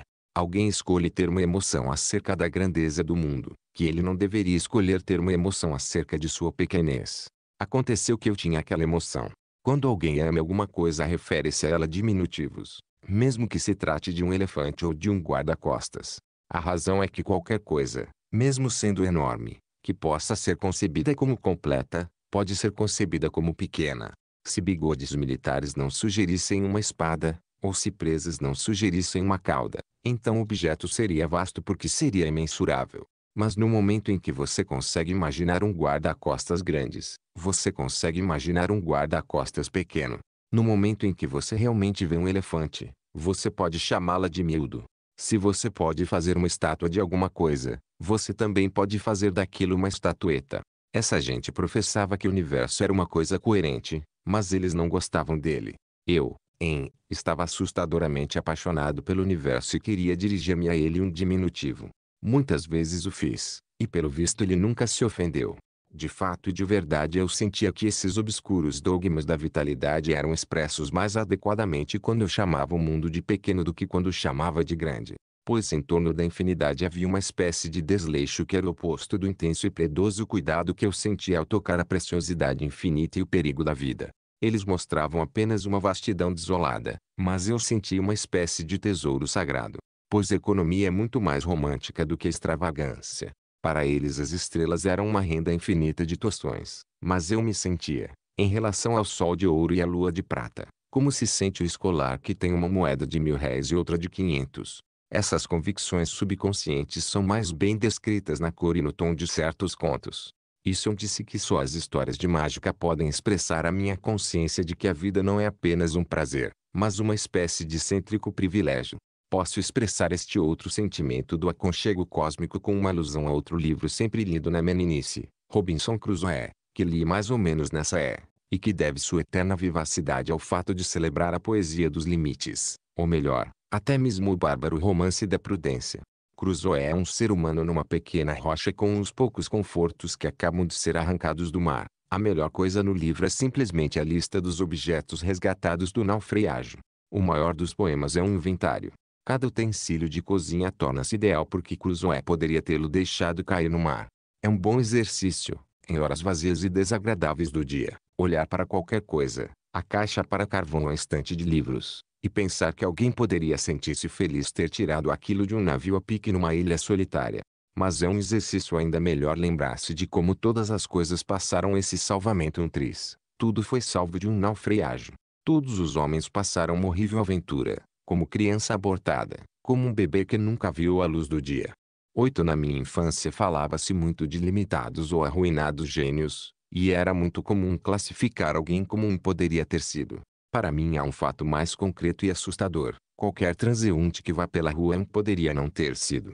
Mas eu realmente sentia como se toda a ordem e número de coisas fossem as sobras românticas do navio de Crusoe. O fato de existirem dois sexos e um sol era igual ao fato de existirem duas armas de fogo e um machado. Era extremamente indispensável que nada se perdesse, mas de alguma forma era divertido o fato de não se poder acrescentar nada. As árvores e os planetas pareciam coisas salvas de um naufrágio, e quando seis um Monte Matterhorn, senti prazer ele não ter sido esquecido na confusão. Eu me senti econômico em relação às estrelas como se elas fossem safiras. Eu guardava as colinas, pois o universo é uma única joia, e embora seja uma expressão natural falar de uma joia como sendo sem par e sem preço, dessa joia isso é literalmente verdadeiro. Este cosmos é de fato sem par e sem preço, pois não pode haver outro. Assim termina, de uma forma inevitavelmente inadequada, a tentativa de dizer coisas indizíveis. Essas são as minhas atitudes extremas em relação à vida, os solos férteis para sementes da doutrina. De alguma forma obscura, essas coisas eu pensava antes 8 ver Jó 3.2.16. De saber escrever e sentia antes de saber pensar, para que possamos avançar mais facilmente em seguida, vou grosso modo fazer aqui uma recapitulação. Eu sentia na alma, primeiro, que o mundo não se explicar a si mesmo. Pode tratar-se de um milagre com uma explicação sobrenatural. Pode ser um truque de mágica com uma explicação natural. Mas a explicação do truque de mágica, para eu considerá-la satisfatória, terá de ser melhor do que as explicações naturais que eu vi. A coisa é mágica, verdadeira ou falsa. Segundo, comecei a sentir que a mágica deve ter um sentido, e o sentido deve ter alguém que lhe dê origem. Havia no mundo algo pessoal, como numa obra de arte, o que quer que significasse, o significado era violento. Terceiro, considerei esse propósito belo em seu plano antigo, apesar de seus defeitos, como os dragões. Quarto, considerei que a forma apropriada de agradecer a ele é alguma forma de humildade e limitação. Deveríamos agradecer a Deus pela cerveja e vinho francês não os bebendo em excesso. Devíamos também obediência ao que quer que nos tenha criado. E fim sentimento mais forte, entrara na minha cabeça uma vaga e vasta impressão de que, de algum modo, todo bem era uma sobra a ser guardada e tida como sagrada proveniente de alguma destruição primordial. O homem salvara seu bem como Crusoe salvara seus bens, ele o salvara de um naufrágio. Tudo isso eu sentia e não me oferecia estímulo algum para senti-lo. E durante todo esse tempo eu nem sequer havia pensado na teologia cristã. 5. A bandeira da que quando eu era menino havia dois homens curiosos correndo aí chamados o otimista e o pessimista. Eu mesmo sempre usava esses termos, mas com prazer confesso que nunca tive uma ideia clara do que significassem. A única coisa que poderia ser considerada evidente era que eles não poderiam querer dizer o que diziam, pois a explicação verbal comum era que o otimista pensava que o mundo era o melhor possível, ao passo que o pessimista pensava que era o pior possível. Mas, Sendo que essas afirmações eram obviamente uma delirante tolice, a gente tinha de procurar outras explicações. Um otimista não podia ser um homem que achava que tudo estava certo e nada errado. Pois isso não significava nada. É como dizer que tudo é direito e nada esquerdo. De modo geral, cheguei à conclusão de que o otimista pensava que tudo era bom, exceto o pessimista, e o pessimista achava que tudo era ruim, exceto ele mesmo. Seria injusto omitir completamente da lista misteriosa mas sugestiva definição atribuída a uma menininha. Um otimista é alguém que procura os seus olhos, e um pessimista é alguém que procura os seus pés. Não sei se essa não é a melhor definição. Há nela até mesmo uma espécie de verdade alegórica, pois talvez fosse possível estabelecer uma distinção útil entre aquele pensador mais sombrio que pensa simplesmente em nosso contato contínuo com a Terra, e aquele pensador mais feliz que prefere considerar nosso poder primário de visão e escolha de caminho. Mas aqui está um grave erro nessa alternativa do otimista e o pessimista. Seu pressuposto é de que o homem critica este mundo como se estivesse procurando uma casa, como se lhe estivessem mostrando um novo apartamento. Se alguém viesse a este planeta provindo de outro mundo com posse total de suas forças, esse alguém poderia discutir se a vantagem dos bosques no verão compensava a desvantagem de haver cães com raiva, exatamente como alguém procurando uma casa poderia compensar a presença de um telefone com a ausência de uma vista para o mar. Mas homem nenhum está nessa posição. O ser humano pertence a este mundo antes de começar a perguntar se isso é agradável. Ele lutou pela bandeira, e muitas vezes conquistou heróicas vitórias ela muito antes de estar sequer alistado. Para resumir o que parece ser a questão essencial, ele tem um dever de lealdade muito antes de ter qualquer admiração. No capítulo anterior dissemos que o sentimento primário de que este mundo é estranho e, no entanto, atraente encontra sua melhor expressão nos contos de fadas. O leitor pode, se quiser, atribuir o estágio seguinte àquela belicosa e até chauvinista literatura que geralmente se vê na história de um menino. Devemos boa parte da moral sólida às publicações sensacionalistas baratas. Alguma razão, parecia-me e ainda me parece que a nossa atitude diante da vida pode ser expressa mais adequadamente em termos de uma espécie de lealdade militar do que em termos de crítica ou aprovação. Minha aceitação do universo não é otimismo, mas se parece com patriotismo. E uma questão de lealdade primária, o mundo não é uma pensão em Brenton, que temos de abandonar ser péssima. E a fortaleza de nossa família, com a bandeira tremulando no torreão, e quanto pior ela for tanto menos razão para deixarmos. A questão não é que este mundo é triste demais para ser amado ou alegre demais para não ser. A questão é que, quando se ama alguma coisa, a sua alegria é a razão para amá-la, e a sua tristeza é a razão para amá-la ainda mais. Todos os pensamentos otimistas sobre a Inglaterra e todos os pensamentos pessimistas sobre ela são igualmente boas razões para o patriota inglês. De modo semelhante, otimismo e pessimismo são igualmente argumentos para o patriota cósmico. Suponhamos que temos diante de nós um caso desesperador. Pinlico 9. Exemplo. Se pensarmos no que é realmente melhor para Pinlico, vamos descobrir que o fio do pensamento nos leva ao trono, ou ao mítico, ou ao arbitrário. Não basta alguém desaprovar Pinlico. Nesse caso esse alguém simplesmente cortará a garganta ou se mudará para Chelsea. Certamente também não basta alguém aprovar Pinlico, pois nesse caso Pinlico continua sendo Pinlico, o que seria terrível. Ao que parece, a única saída é alguém amar Pinlico, amá-la com um laço transcendente sem uma razão terrena.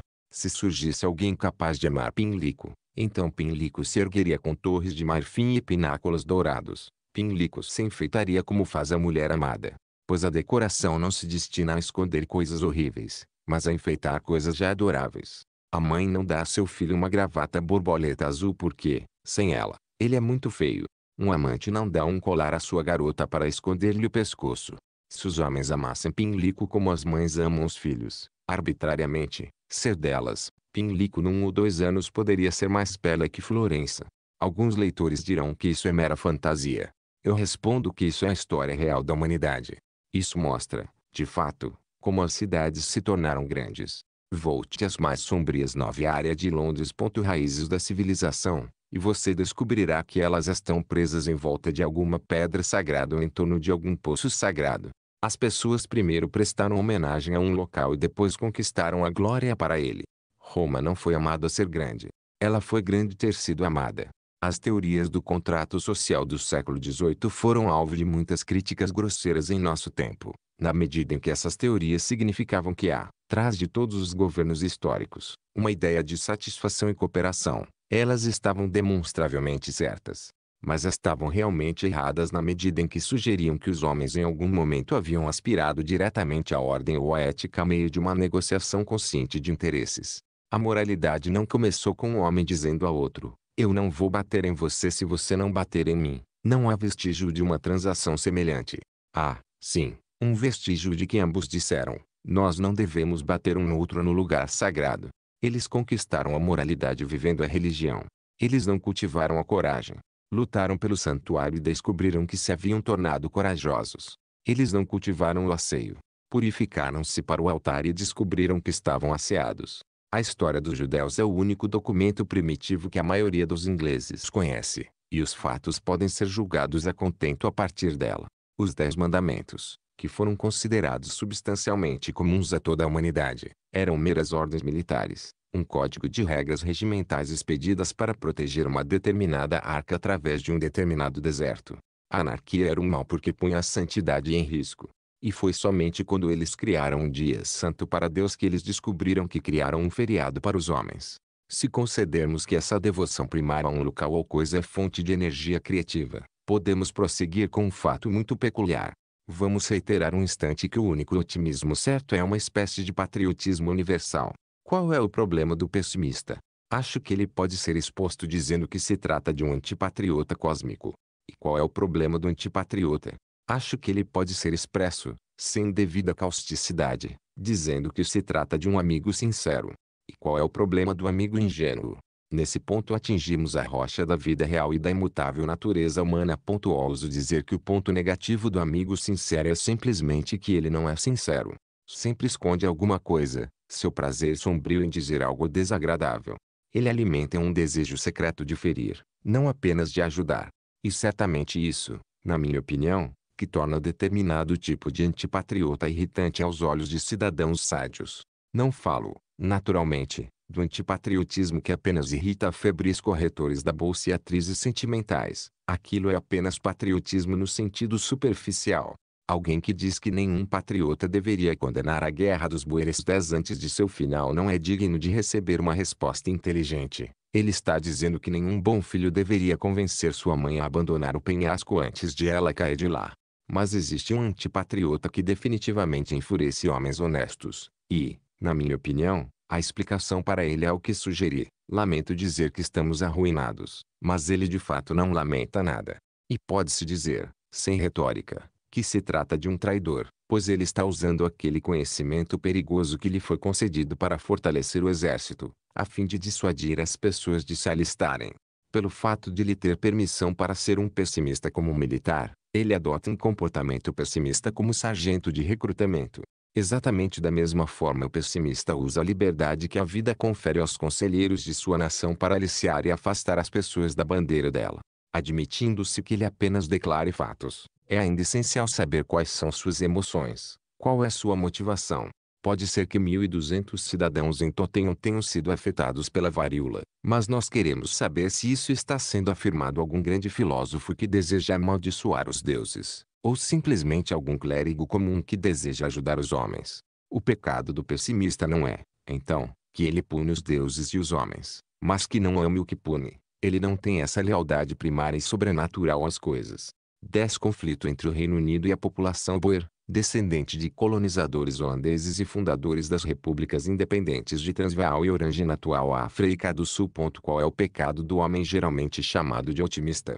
Obviamente, percebe-se que o otimista, no intuito de defender a honra deste mundo, defenderá o indefensável.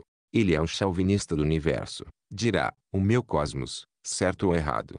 Sentir-se-á menos inclinado a reformas, mais inclinado a uma espécie de resposta oficial ministerial a todos os ataques, acalmando a todos com certezas. Ele não vai lavar o mundo, mas vai caiá-lo. Tudo isso conduz a um ponto realmente interessante de psicologia, que sem isso não se poderia explicar. Dizemos que deve haver uma lealdade fundamental à vida. A única questão é a seguinte: deve ser uma lealdade natural ou sobrenatural? Ou, se você preferir esta outra colocação, deve ser uma lealdade sensata ou insensata. Ora, a coisa extraordinária é que o otimismo ruim aparece com o otimismo razoável. O otimismo racional leva à estagnação. O otimismo irracional é que leva à reforma. Deixe-me explicar usando mais uma vez o paralelo do patriotismo. O homem mais capaz de destruir o lugar que ama é exatamente aquele que o ama uma razão. O homem que vai melhorar o lugar é aquele que o ama sem uma razão. Se um homem ama alguma característica de Pinlico, ele pode acabar defendendo aquela característica até mesmo contra Pinlico. Mas se ele simplesmente ama Pinlico em si, pode acabar arrasando o lugar para transformá-lo numa nova Jerusalém. Eu não nego que uma reforma possa ser excessiva, apenas digo que é o patriota místico que reforma. Mera satisfação pessoal chauvinista é algo extremamente comum entre aqueles que têm alguma razão pedante para o seu patriotismo. Os piores chauvinistas não amam a Inglaterra, mas sim uma Inglaterra teórica. Se amamos a Inglaterra ela ser um império, podemos superestimar o sucesso com que governamos os hindus. Mas se amamos apenas ser uma nação, somos capazes de enfrentar qualquer circunstância, pois ela seria uma nação mesmo se os hindus nos governassem. Assim também apenas aqueles cujo patriotismo depende da história permitirão que seu patriotismo falsifique a história. Um homem que ama a Inglaterra ser inglês não se preocupará em saber como ela se formou. Mas o homem que ama a Inglaterra ela ser anglo-saxã poderá opor-se aos fatos para defender sua fantasia. Ele pode acabar afirmando que a conquista normanda foi uma conquista saxônica. Ele pode acabar numa total insensatez, porque tem uma razão. Um homem que ama a França suas atividades militares desculpará o exército de 1870. Mas um homem que ama a França será a França vai melhorar o exército de 1870. Foi exatamente isso que fez a França, e ela é um bom exemplo de um paradoxo em ação. Em nenhuma outra parte do mundo o patriotismo é mais puramente abstrato e arbitrário, e em nenhuma outra parte a reforma é mais drástica e abrangente. Quanto mais transcendente for o seu patriotismo, tanto mais práticas serão suas políticas. Talvez o exemplo mais vulgar desse ponto seja o caso das mulheres com sua estranha e forte lealdade.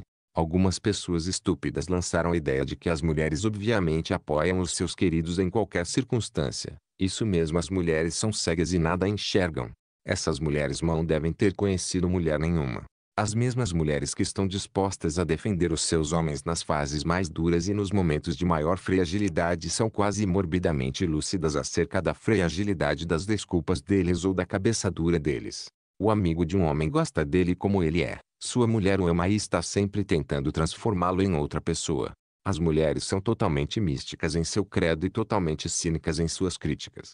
Takera expressou isso muito bem quando fez a mãe de Pendenise imaginar que ele não iria dar certo como homem, apesar de adorá-lo como um deus. Ela subestimou a virtude dele, embora lhe superestimasse o valor.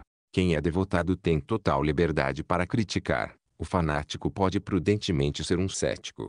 O amor não é cego, essa é a última coisa que ele é.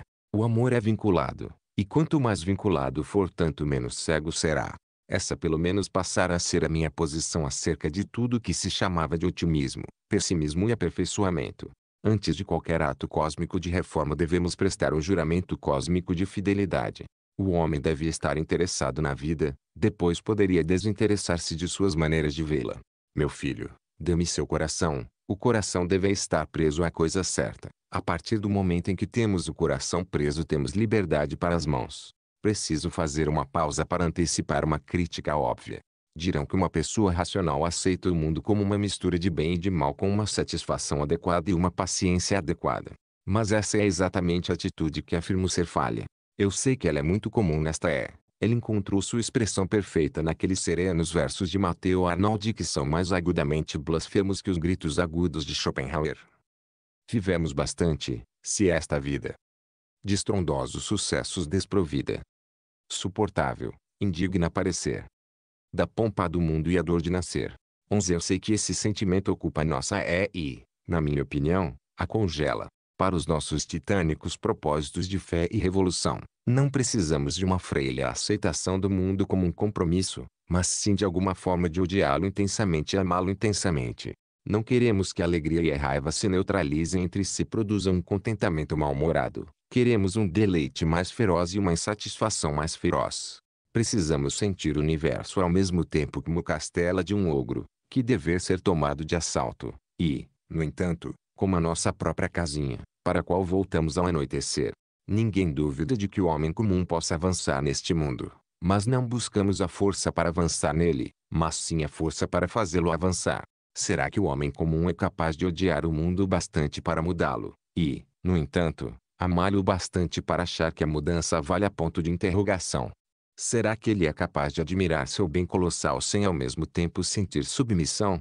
Será que ele é capaz de admirar sua colossal perversão sem jamais sentir desespero? Será capaz, em suma, de onze enog live, andi falife, whitlage results sulitli rife, tog bearabile, sem adli otis pompov orluds, of beauty. Ser ao mesmo tempo não apenas um pessimista e um otimista, mas também um fanático pessimista e um fanático otimista. Ele é pagão o suficiente a ponto de morrer pelo mundo e cristão o suficiente a ponto de morrer para o mundo. Nessa combinação, afirmo eu, o otimista racional é que falha, o otimista irracional obtém êxito. Ele está disposto a agredir violentamente o universo inteiro em benefício do próprio universo.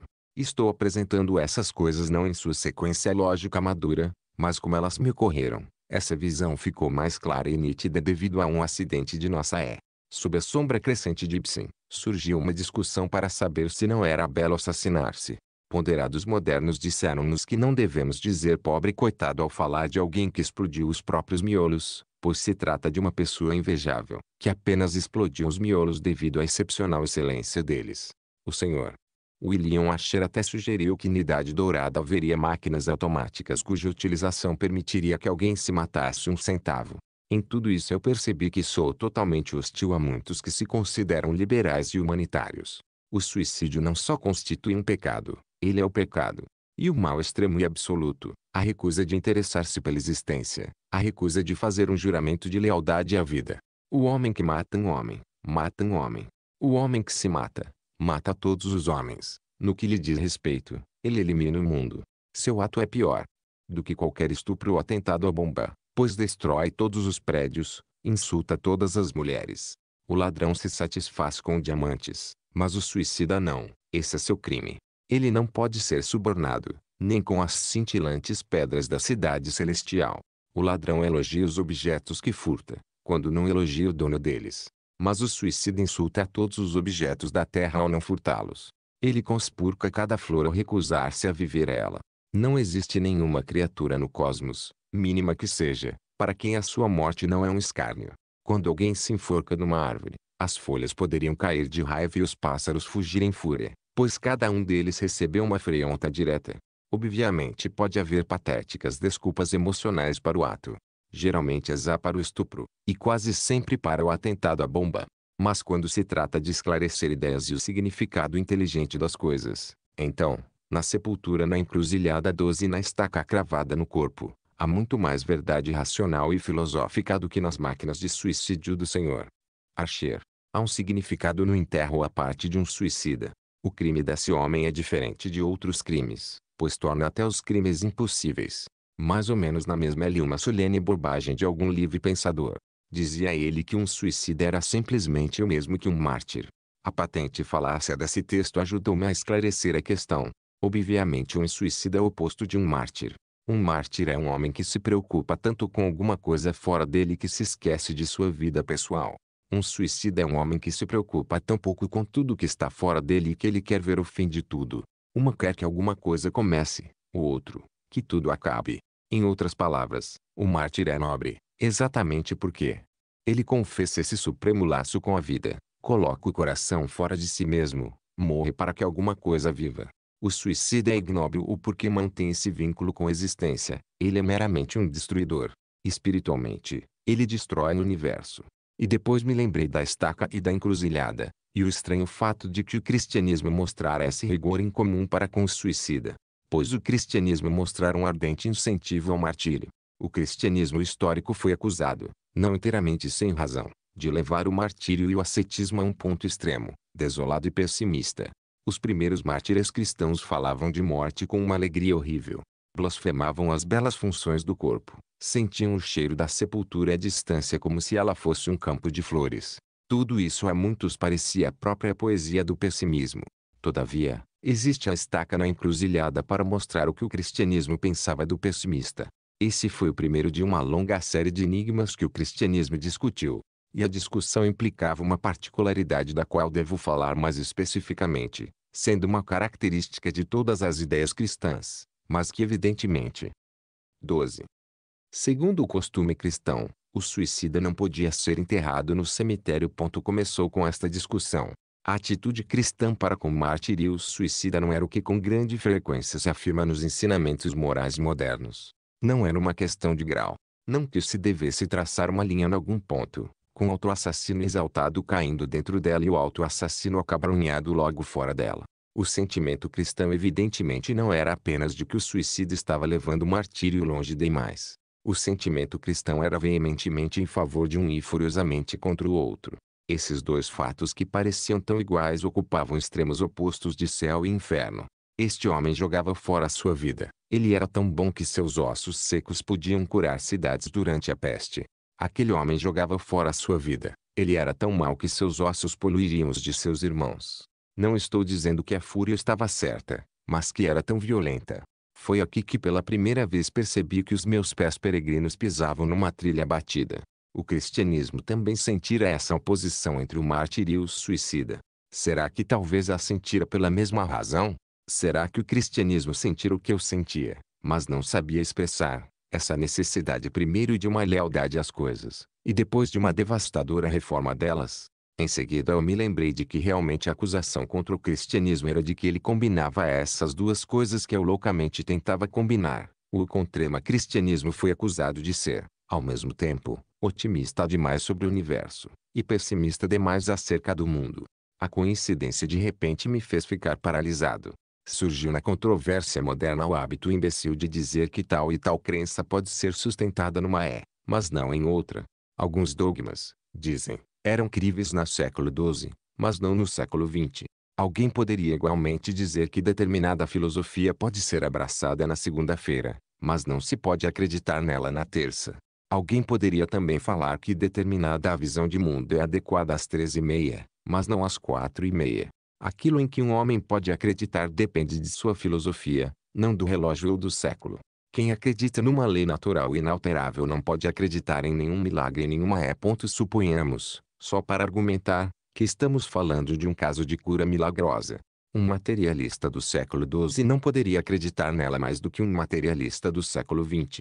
Mas um cientista cristão do século XX pode acreditar nela tanto quanto um cristão do século XII e simplesmente uma questão da teoria que se tem da realidade.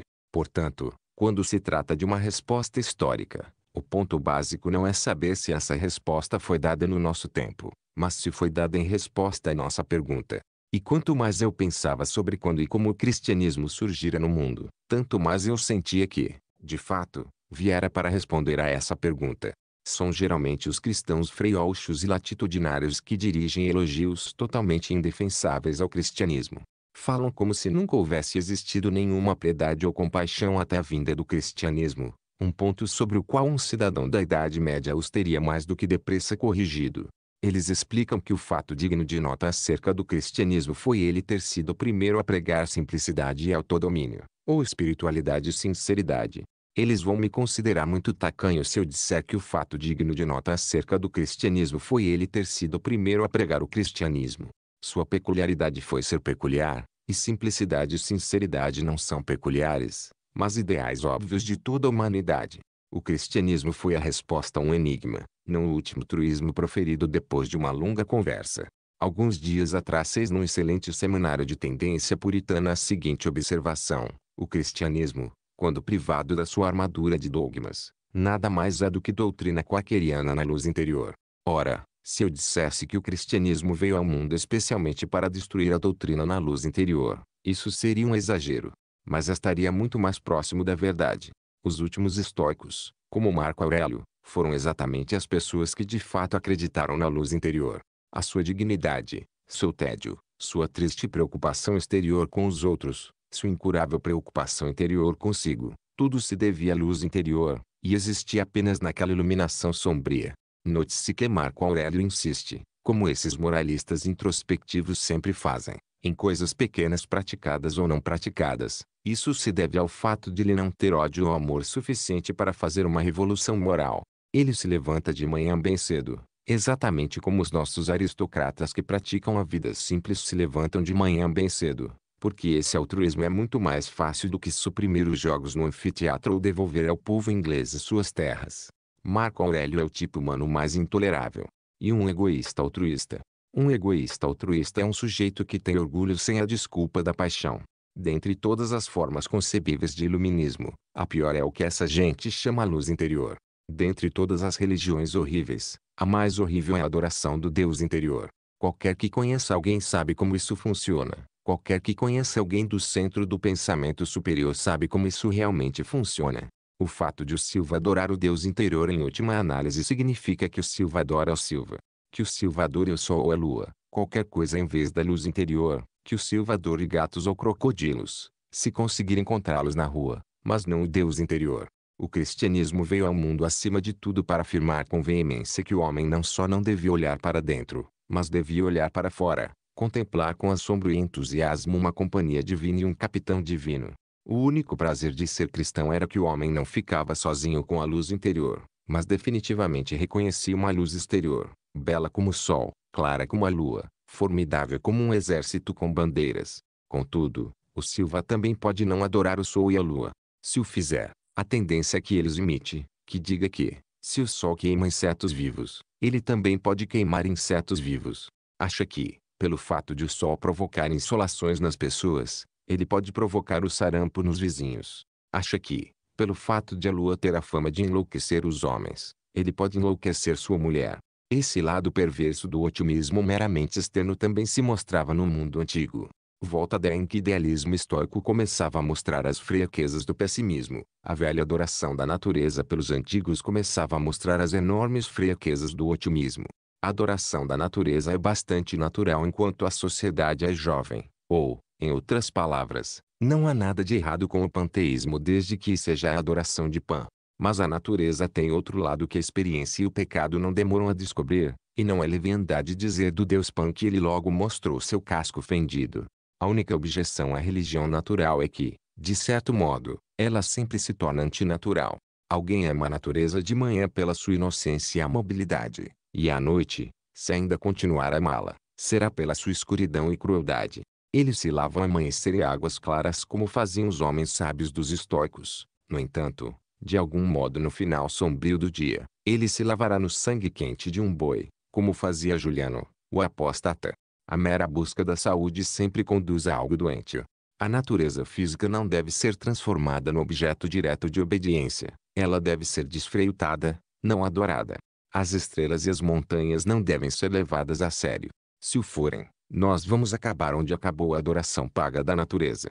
Ser a terra bondosa, nós podemos imitar todas as suas crueldades. Ser a sexualidade sadia, nós podemos enlouquecer ela. O mero otimismo atingia seu final insano e apropriado. A teoria de que tudo era bom tornara-se uma orgia geral de tudo o que era mim. Em contrapartida, os nossos pessimistas idealistas foram representados pelos velhos remanescentes dos estoicos. Marco Aurélio e seus amigos haviam de fato abandonado a ideia de qualquer Deus presente no universo e procuravam apenas o Deus interior. Não depositavam nenhuma esperança na virtude da natureza, e quase nenhuma esperança na virtude da sociedade não alimentavam um interesse suficiente no mundo exterior para realmente destruí-lo ou revolucioná-lo. Não amavam suficientemente a cidade para atear-lhe fogo. Assim, o mundo antigo estava exatamente diante do nosso desolado dilema. As únicas pessoas que realmente desfreitavam desse mundo ocupavam-se em desintegrá-lo, e as pessoas virtuosas não atribuíam atenção suficiente a essa gente para derrubá-la. Diante desse dilema o cristianismo de repente entrou em cena e apresentou uma resposta singular que o mundo no fim aceitou como a resposta. Foi a resposta naquela é, e eu penso que a resposta agora. A resposta foi como um golpe de espada, separava.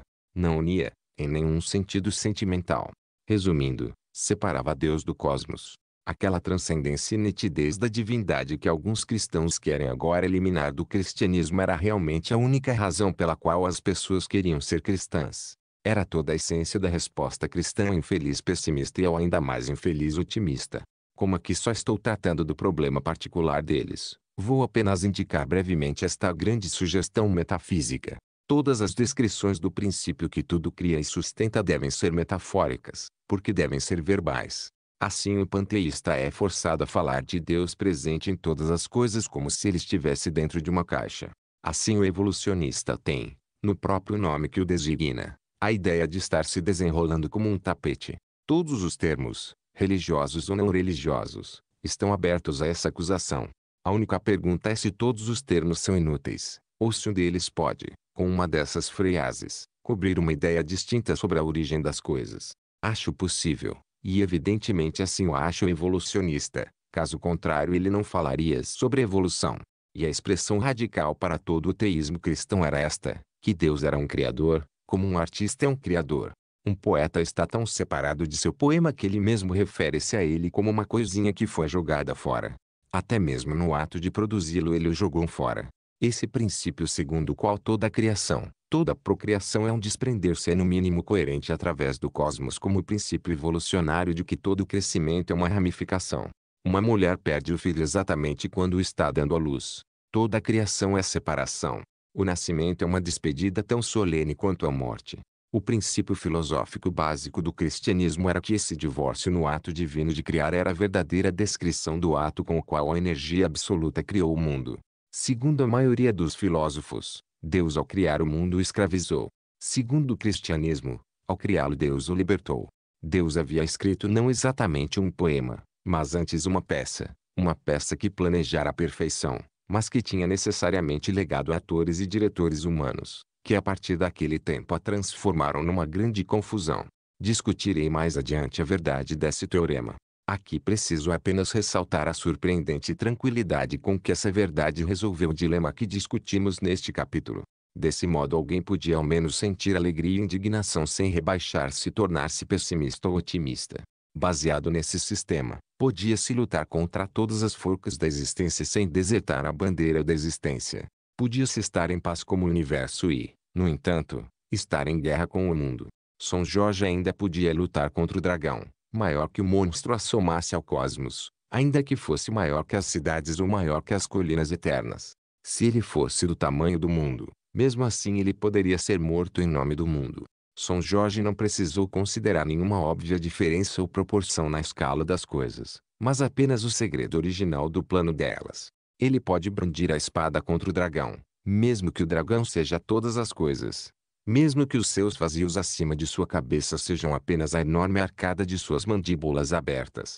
E depois aconteceu uma experiência que é impossível descrever. Foi como se eu houvesse estado tateando as cegas desde o berço com duas máquinas enormes e pouco manejáveis, de formato distinto e sem conexão aparente, o mundo e a tradição cristã. Eu descobrira esta falha no mundo, o fato de alguém ter de algum modo de amar o mundo sem confiar nele, de alguma forma, Devíamos amar o mundo sem sermos mundanos. Descobri essa saliente característica da teologia cristã, como uma espécie de ponta rígida insistência dogmática de que Deus era pessoal e criara um mundo separado de si mesmo. A ponta do dogma encaixava-se exatamente na falha do mundo. Evidentemente fora concebida para ocupar esse espaço, e então uma coisa estranha começou a acontecer. Assim que essas duas partes das duas máquinas se ajustaram, uma depois da outra, todas as demais se encaixaram, combinando com misteriosa exatidão. Eu podia ouvir peça a peça em toda a maquinaria ocupando seu lugar com uma espécie de clique de alívio. Depois de ajustado uma parte, todas as outras repetiam o ajuste. Como toque após toque o relógio bate o meio-dia. Instinto após instinto era respondido doutrina após doutrina. Ou, para variar a metáfora, eu era como alguém que houvesse avançado num país inimigo para tomar uma alta fortaleza. E quando o forte caíra, todo o país se rendera posicionando-se em bloco atrás de mim. A paisagem toda estava iluminada, assim dizer, remontando aos campos da minha infância. Todas aquelas fantasias cegas da meninice que no quarto capítulo em vão tentei identificar nas trevas, de repente, tornaram-se transparentes e sadias. Eu estava certo quando senti que as rosas eram vermelhas alguma espécie de escolha. Era a escolha divina. Eu estava certo quando senti que eu quase preferia dizer que a relva tinha a cor errada dizer que aquela sua cor devia ser necessária. Ela poderia de fato ser de qualquer outra cor. Minha percepção de que a felicidade pendia do fio incerto de uma condição, no fim das contas, significava alguma coisa, significava toda a doutrina da queda.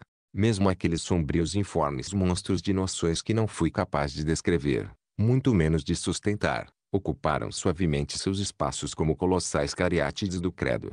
A fantasia de que o cosmos não era vasto e vazio, mas pequeno e aconchegante, tinha agora um significado realizado, pois toda obra de arte deve ser pequena aos olhos do artista. Para Deus as estrelas talvez fossem apenas minúsculas e caras, como diamantes.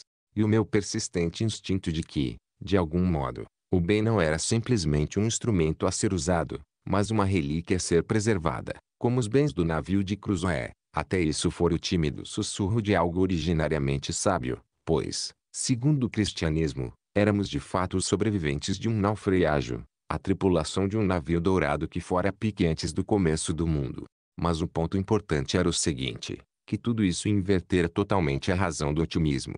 E no instante em que a inversão aconteceu, senti um súbito alívio como quando um osso é recolocado em sua articulação. Muitas vezes chamara-me de otimista, para evitar a blasfêmia demais evidente do pessimismo.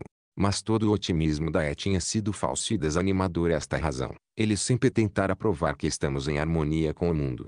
O otimismo cristão baseia-se no fato de não nos encaixarmos no mundo. Eu tentara ser feliz dizendo a mim mesmo que o homem é um animal como outro qualquer que procurava seu alimento provindo de Deus. Mas agora eu estava realmente feliz, pois aprendera que o homem é uma monstruosidade, eu estivera certo ao sentir que todas as coisas eram estranhas, pois eu mesmo era simultaneamente pior e melhor que todas elas. O prazer do otimista era prosaico, pois baseava-se na naturalidade de tudo. O prazer cristão era poético, pois residia na antinaturalidade de tudo à luz do sobrenatural. O contrema filósofo moderno me dissera muitas e muitas vezes que eu estava no lugar certo, e eu ainda me sentia deprimido mesmo aceitando isso. Mas eu ouvira que estava no lugar errado, e minha alma exultou de alegria, cantando como um pássaro na primavera. O conhecimento revelou e iluminou aposentos esquecidos da casa escura da infância. Agora eu sabia que a relva sempre me parecera estranha como a barba verde de um gigante, e que eu podia sentir saudades de casa estando em casa. 6. Paradoxos do serristianismo verdadeiro problema com este nosso mundo não é que se trata de um mundo sem razão, nem tampouco de um mundo razoável. O tipo mais comum de problema é que se trata de um mundo quase razoável, mas não totalmente.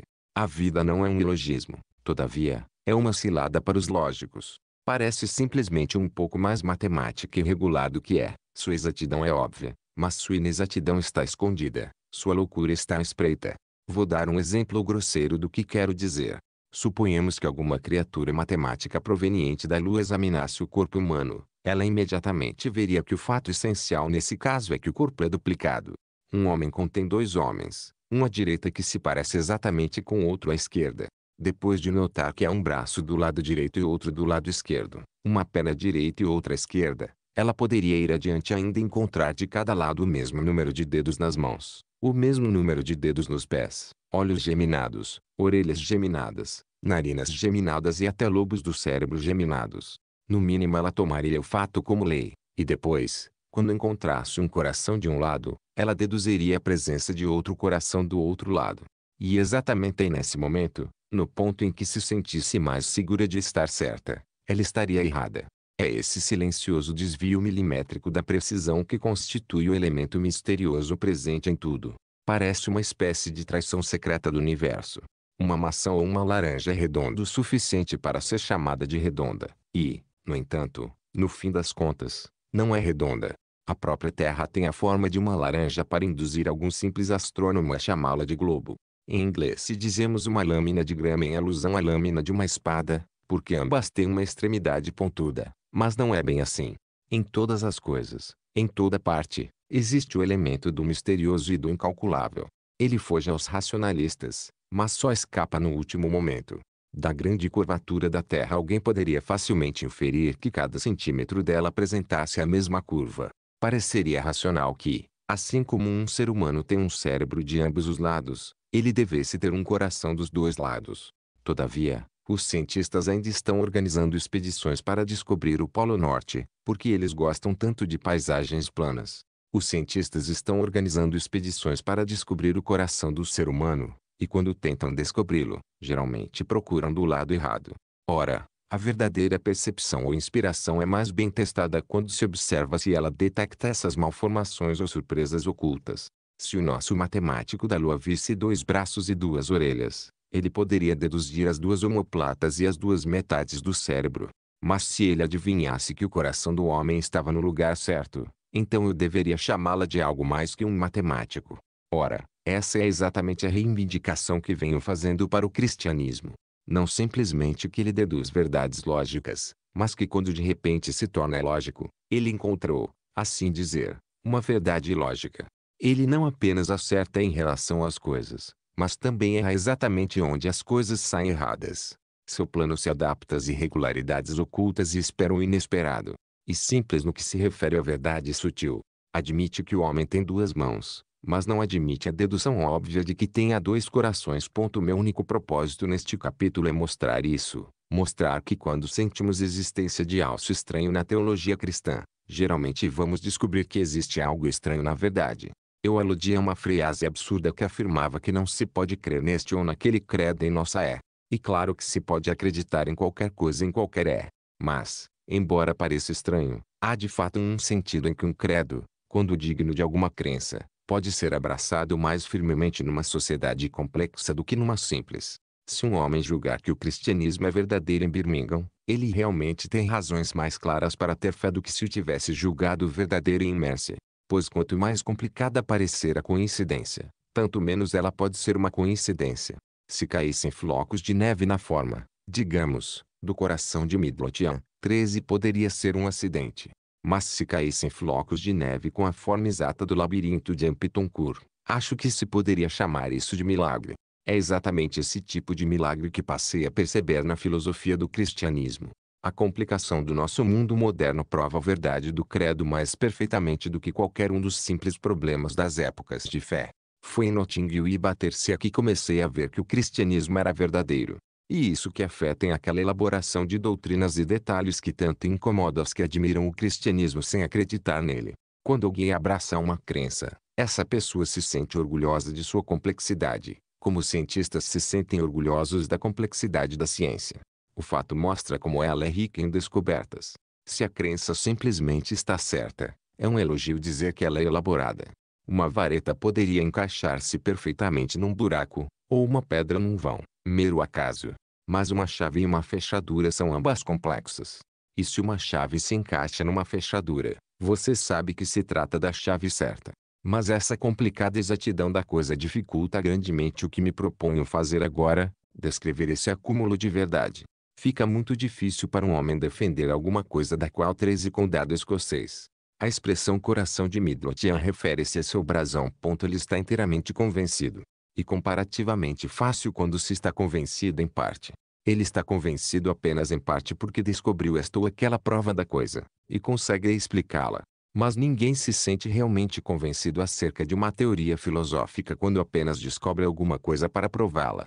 A pessoa fica realmente convencida quando descobre que tudo prova aquela teoria. E quanto mais numerosas forem as razões apontando para essa convicção, tanto mais confusa ela ficará se de repente for solicitada a resumi-las. Assim, se alguém perguntasse a um homem de inteligência comum, de supetão, que você prefere a civilização à selvageria, ele olharia desesperado ao redor contemplando um objeto depois do outro, e só saberia responder vagamente: Bem, existe essa estante de livros. E o carvão na caixa de carvão. E pianos. E a polícia. Toda a argumentação em defesa da civilização consiste no fato de que a argumentação em sua defesa é complexa. A civilização fez tantas coisas. Mas essa mesma multiplicidade de provas que deveria tornar a resposta irrefutável torna impossível. Portanto, toda a convicção completa está envolvida numa espécie de desamparo. A crença é tão enorme que se exige muito tempo para colocá-la em ação.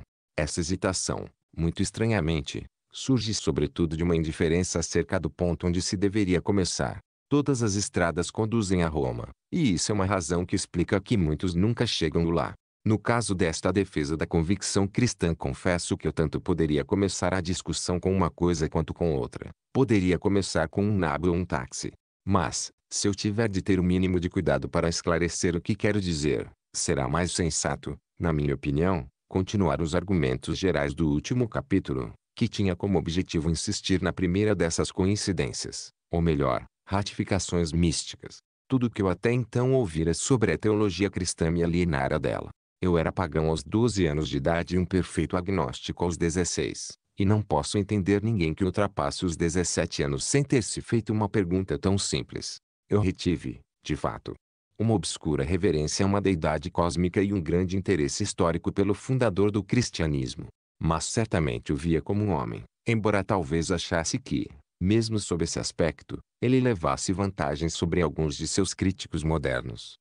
Li a literatura cética e científica do meu tempo, tudo nesse campo, pelo menos tudo o que pude encontrar em língua inglesa ao alcance de minhas mãos, e não li mais nada, quero dizer, mais nada de qualquer outro cunho filosófico. As obras sensacionalistas que também lhe pertenciam de fato a uma tradição heróica e sadia do cristianismo, mas eu não sabia disso naquele tempo. Nunca li uma linha de apologética cristã. Leio o menos possível disso atualmente. Foram Huxley, Herbert Spencer e Bradlaugh que me trouxeram de volta à teologia ortodoxa. Eles me semearam na mente as primeiras fortes dúvidas da dúvida. Nossas avós estavam muito certas quando diziam que Tom Paine e os livres pensadores perturbavam a cabeça. Perturbavam mesmo. Perturbaram a minha de um modo horrível. O nacionalista me fez perguntar se a razão tinha alguma utilidade qualquer. E, quando terminei Herbert Spencer, eu já fora tão longe que duvidei se a evolução havia sequer acontecido. Quando depus a última das palestras ateias do coronel engessou, e rompeu o terrível pensamento, tu quase me persuadiste a ser cristão. Eu era de um modo desesperado. Esse estranho efeito dos grandes agnósticos despertando dúvidas mais profundas do que aquelas que eles mesmos alimentavam poderia ser ilustrado de muitas maneiras. Tomo apenas uma. À medida que eu li e relia todas as explicações não cristãs ou anticristãs da fé, de Huxley a Bradlaugh, uma lenta e terrível impressão se formava gradativa mas graficamente em minha cabeça, a impressão de que o cristianismo deve ser maximamente extraordinário. Pois ele, no meu modo de entender, não só tinha os vícios mais ardentes, mas aparentemente tinha um talento místico para combinar vícios que pareciam incompatíveis entre si. O cristianismo era atacado de todos os lados e todas as razões contraditórias. Mal no nacionalista acabara de demonstrar que ele pendia demais para o Oriente, outro demonstrava com igual clareza que ele pendia demais para o Ocidente. Mal a minha indignação se arrefecera diante de sua configuração quadrada angular e agressiva. Minha atenção era novamente chamada para observar e condenar sua irritante natureza redonda e sensual. Caso algum leitor não tenha percebido aquilo de que estou falando, vou dar aleatoriamente os exemplos de que me lembro para ilustrar a contradição interna dos ataques dos céticos. Apresento quatro ou cinco casos, tenho mais cinquenta. Assim, exemplo, eu me comovia muito com o eloquente ataque contra o cristianismo pelo seu pessimismo desumano, pois eu pensava que o pessimismo sincero é um pecado que não tem perdão. O contrema pessimismo insincero é um refinamento social, mais agradável que desagradável, e felizmente quase todo pessimismo é insincero. Mas se o cristianismo era, como essas pessoas diziam, algo puramente pessimista que se opunha à vida, então eu estava perfeitamente preparado para explodir a Catedral de São Paulo em Londres.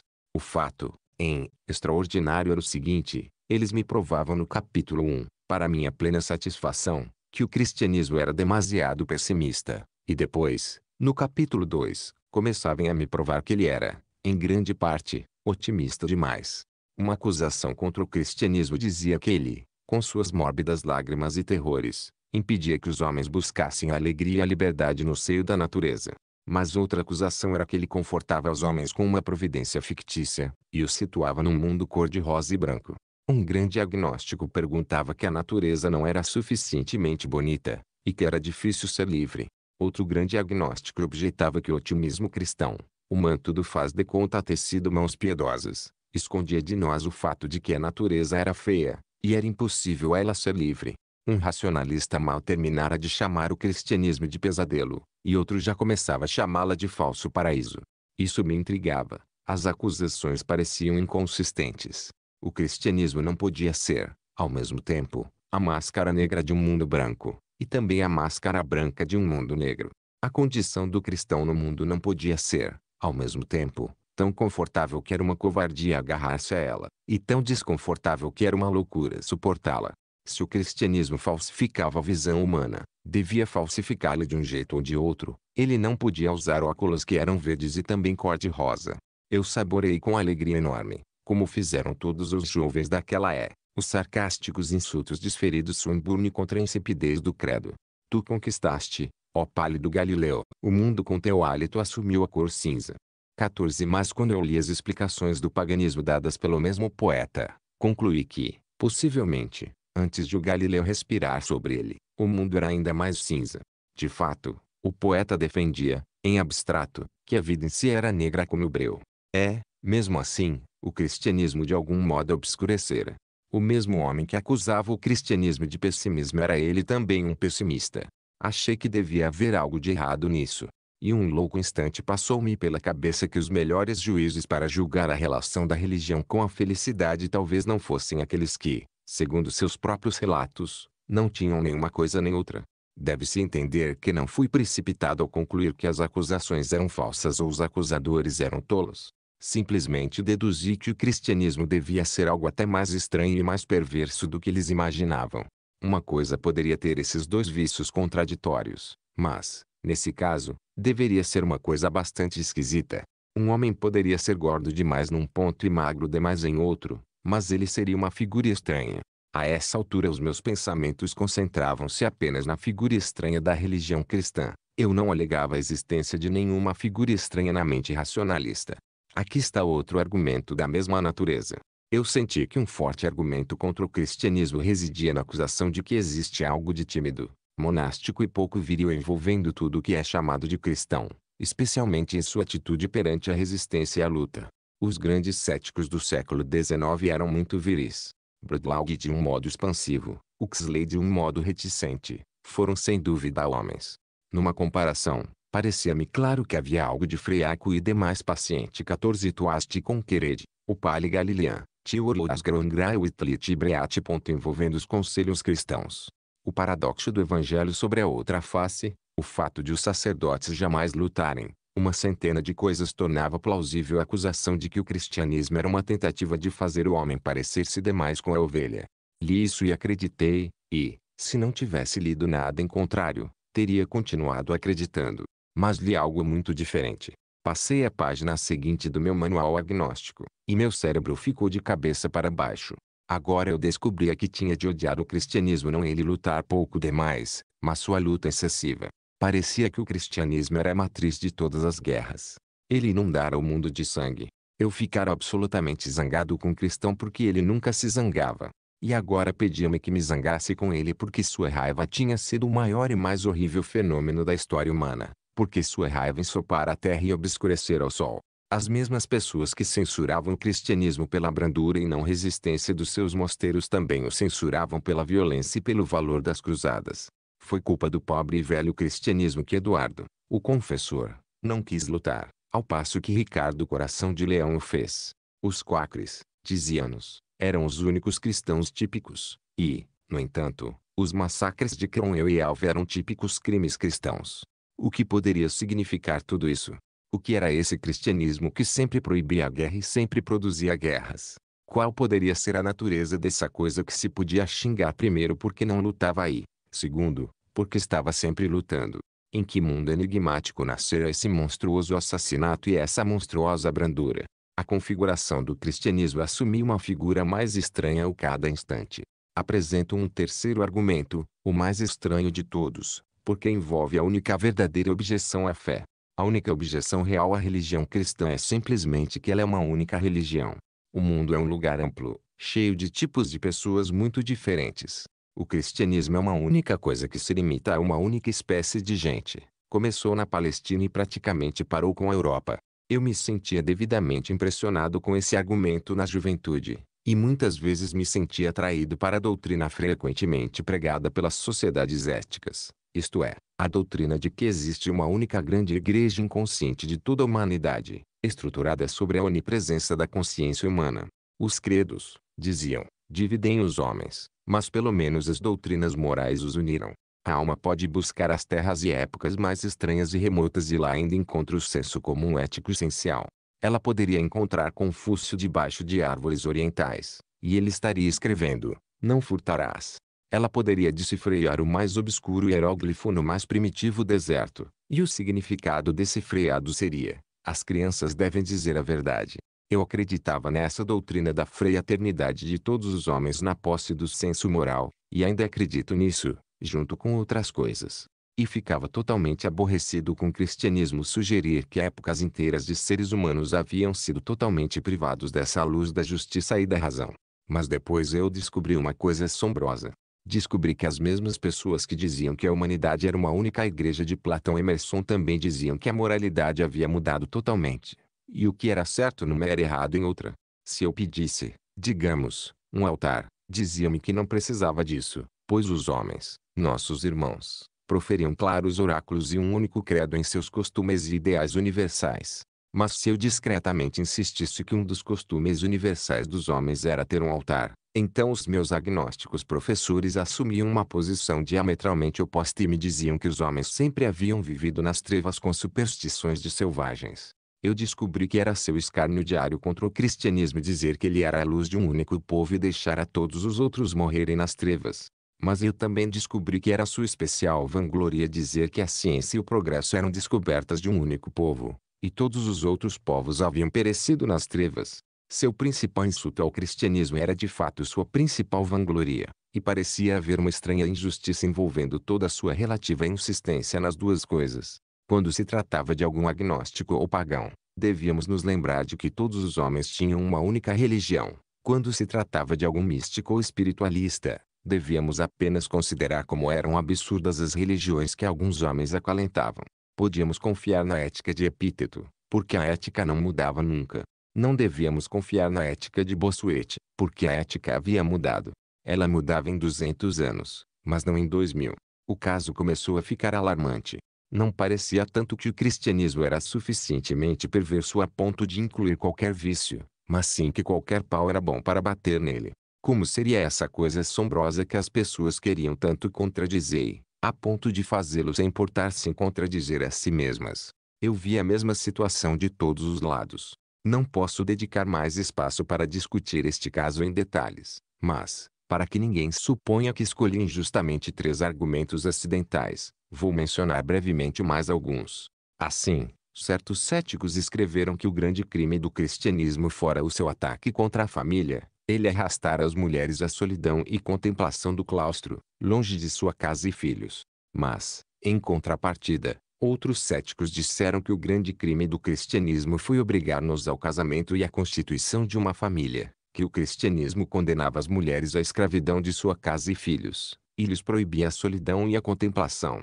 A acusação foi realmente invertida.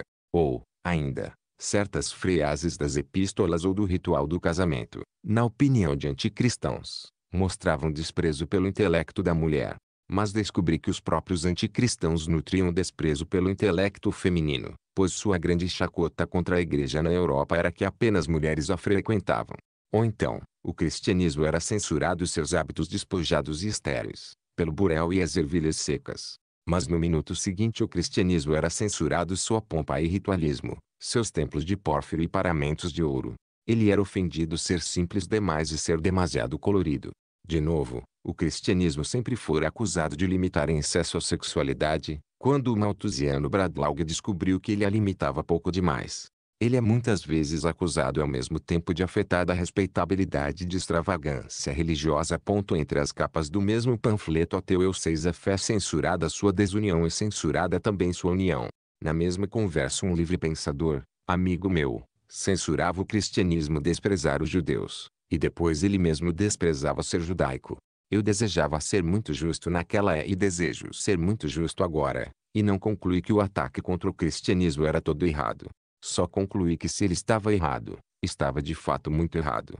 Esses hostis horrores talvez pudessem ser juntados numa única coisa, mas essa coisa devia ser muito estranha e solitária. Há homens que são avarentos e também perdulários, mas eles são raros. Há homens que são sensuais e também ascéticos, mas eles são raros. Mas se esse acúmulo de loucas contradições realmente existia, algo pacífico como um quacre e ao mesmo tempo sanguinolento, deslumbrante demais e surrado demais, austero e, no entanto, pendendo absurdamente para a volúpia dos olhos, o inimigo das mulheres e seu insensato refúgio, um solene pessimista e um parvo otimista, se essa perversidade existia, então havia nela algo totalmente supremo e único, pois eu não descobri em meus professores racionalistas nenhuma explicação dessa excepcional corrupção.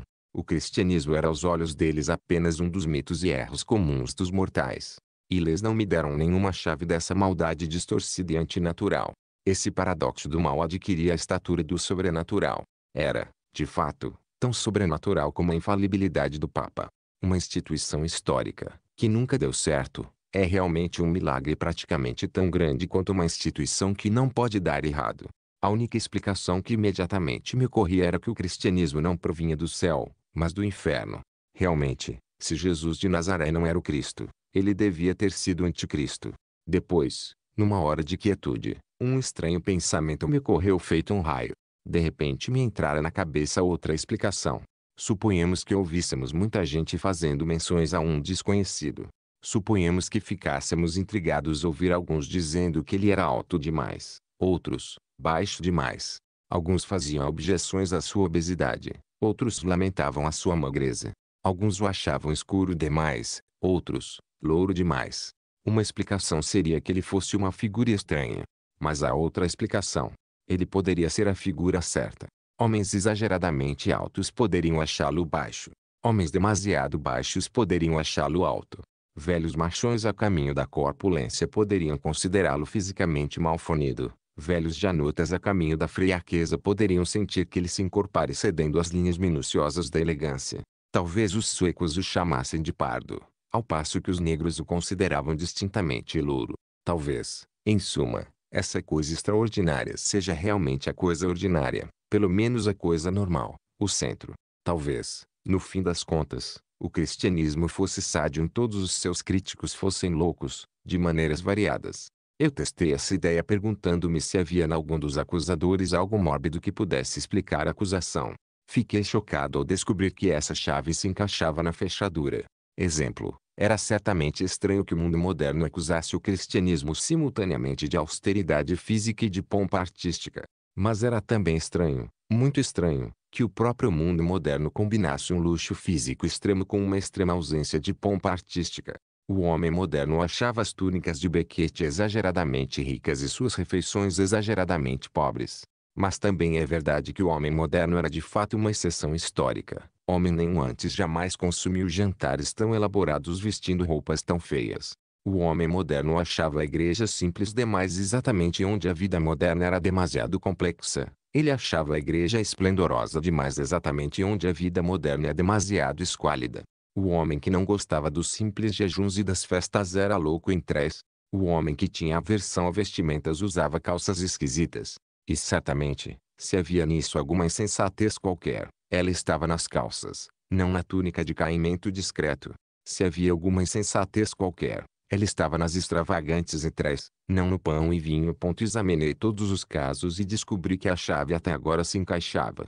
O fato de Swinburne ter se irritado com a infelicidade dos cristãos e depois mais ainda com a felicidade deles era fácil de explicar. Já não se tratava de uma complicação de enfermidades do cristianismo, mas de uma complicação de enfermidades de Swinburne. As limitações dos cristãos o aborreciam simplesmente porque ele era mais hedonista do que alguém sádio deveria ser. A fé cristã aborrecia porque se era mais pessimista do que alguém sádio deveria ser. Da mesma maneira os malthusianos atacavam o instinto cristianismo, não porque haja nele algo de anti-malthusiano, mas porque há algo anti-humano no malthusianismo.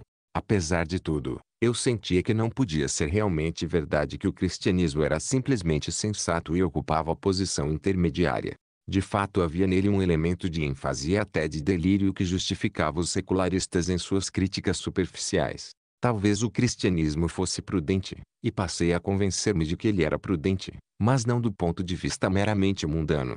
Ele não era temperado e respeitável. Seus violentos cruzados e dóceis santos poderiam compensar-se uns aos outros. Todavia, os cruzados eram muito violentos e os santos muito dóceis, dóceis além de qualquer decência. Ora, foi justamente nesse ponto da especulação que me lembrei dos meus pensamentos acerca do mártir e do suicida.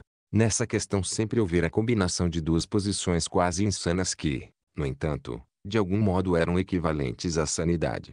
Esse caso era simplesmente mais uma contradição, e essa eu já descobrira que estava certa. Esse era exatamente um dos paradoxos nos quais os céticos encontraram o erro do credo, e nesse paradoxo eu constatava que o credo estava certo mais loucamente que os cristãos pudessem amar o mártir ou odiar o suicida. Eles nunca sentiram essas paixões mais loucamente do que eu as sentira muito antes de sonhar com o cristianismo. Então a parte mais difícil e interessante do processo mental se abriu, e comecei a delinear vagamente essa ideia em meio aos enormes pensamentos da nossa teologia. A ideia era aquela que eu havia esboçado no tocante ao otimismo e o pessimismo de que não queremos um amálgama de ambos, mas ambos no ponto máximo de sua energia, amor e ira, os dois inflamados. Aqui vou apenas delinear a ideia em relação à ética.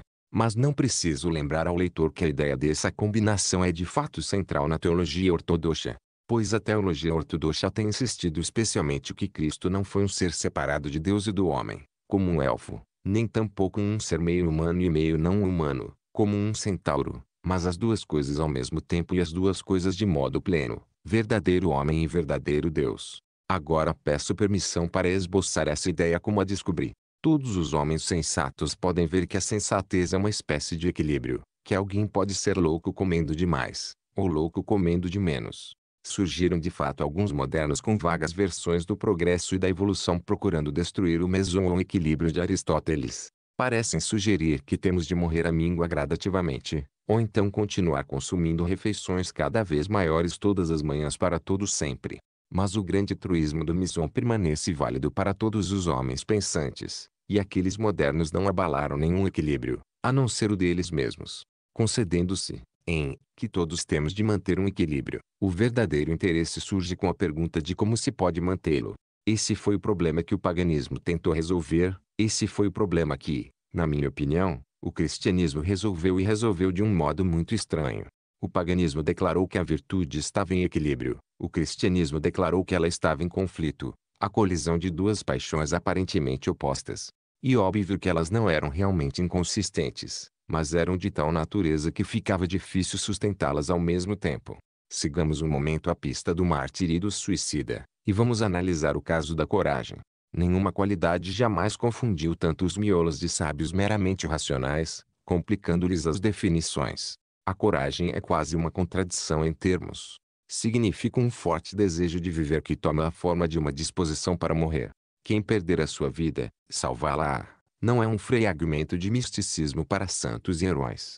É um fragmento de orientação para o dia a dia de navegantes e alpinistas. Poderia ser estampado no livro de orientações ou de exercícios para escaladores de montanhas. Nesse paradoxo está todo o princípio da coragem ponto e vírgula mesmo da coragem totalmente terrena ou totalmente brutal.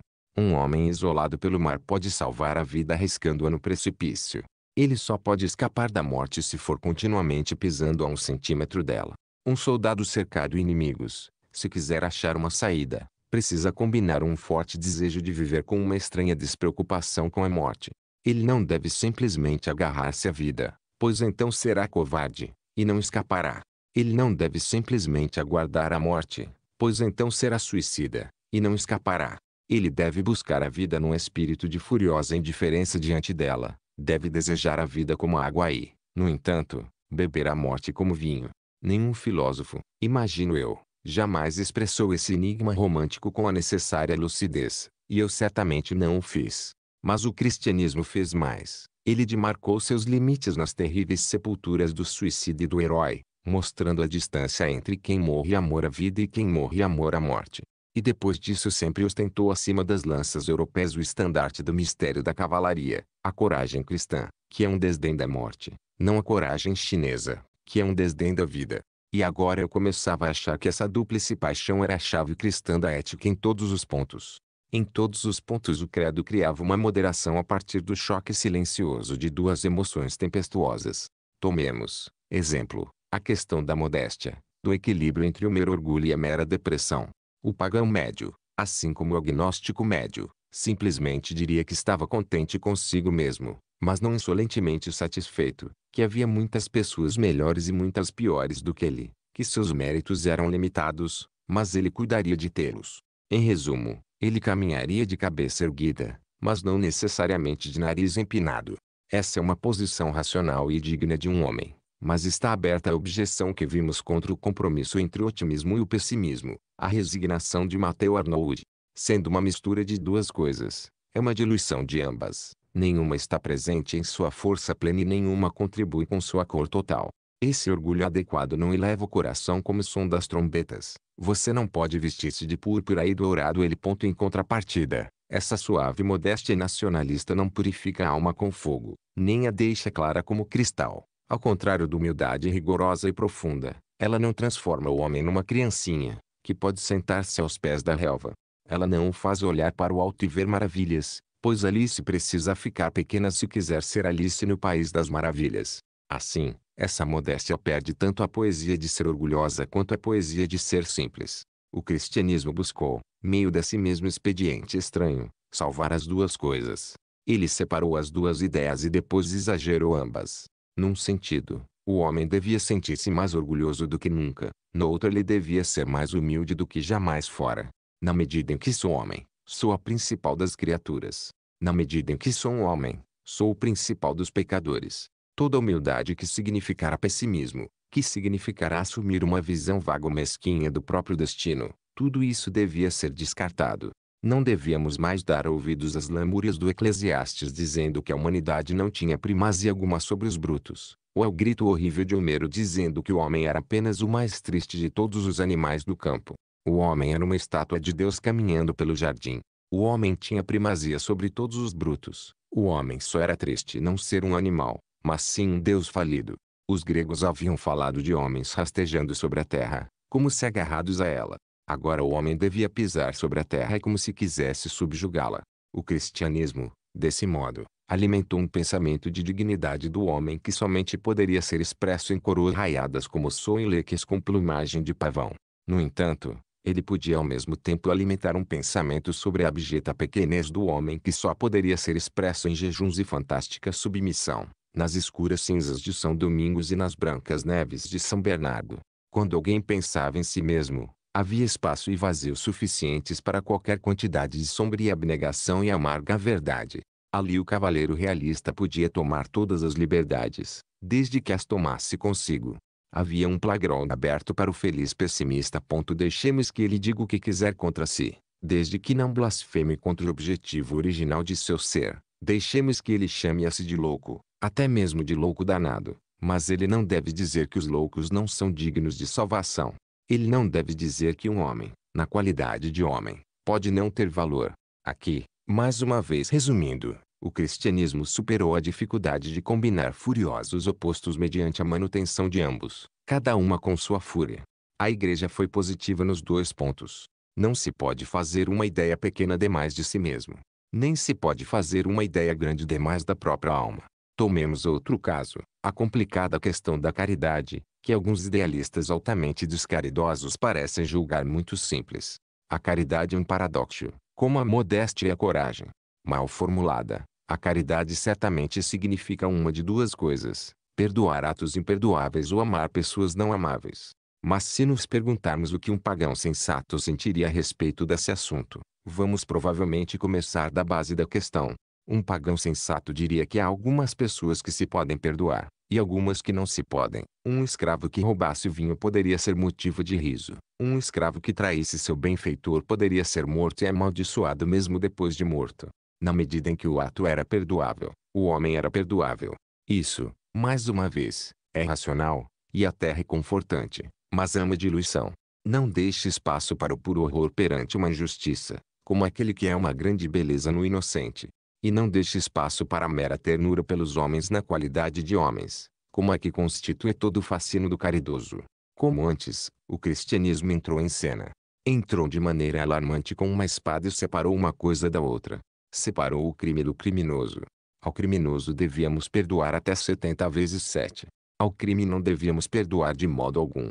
Não bastava que os escravos que roubassem vinho inspirassem em parte e em parte bondade. Nós devíamos nos irar muito mais como furto do que antes, e, no entanto, devíamos ser muito mais bondosos com os ladrões do que antes. Havia espaço para ir para o amor sem limites. E quanto mais eu contemplava o cristianismo, tanto mais percebia que, embora ele houvesse estabelecido uma regra e uma ordem, o objetivo principal dessa ordem era permitir espaço para coisas boas sem limites. A liberdade mental e emocional não é tão simples como parece. Na realidade ela exige um equilíbrio de leis e condições tão meticuloso como acontece com a liberdade social e política. O anarquista estético comum que se dispõe a sentir tudo livremente no fim se enreda num paradoxo que simplesmente o impede de sentir. Ele foge dos limites familiares para seguir a poesia. Mas, cessando de sentir os limites familiares, ele deixa de sentir a odisseia. Está livre de preconceitos nacionais e do patriotismo exterior. Mas estando fora do patriotismo, ele está fora de Henrique V.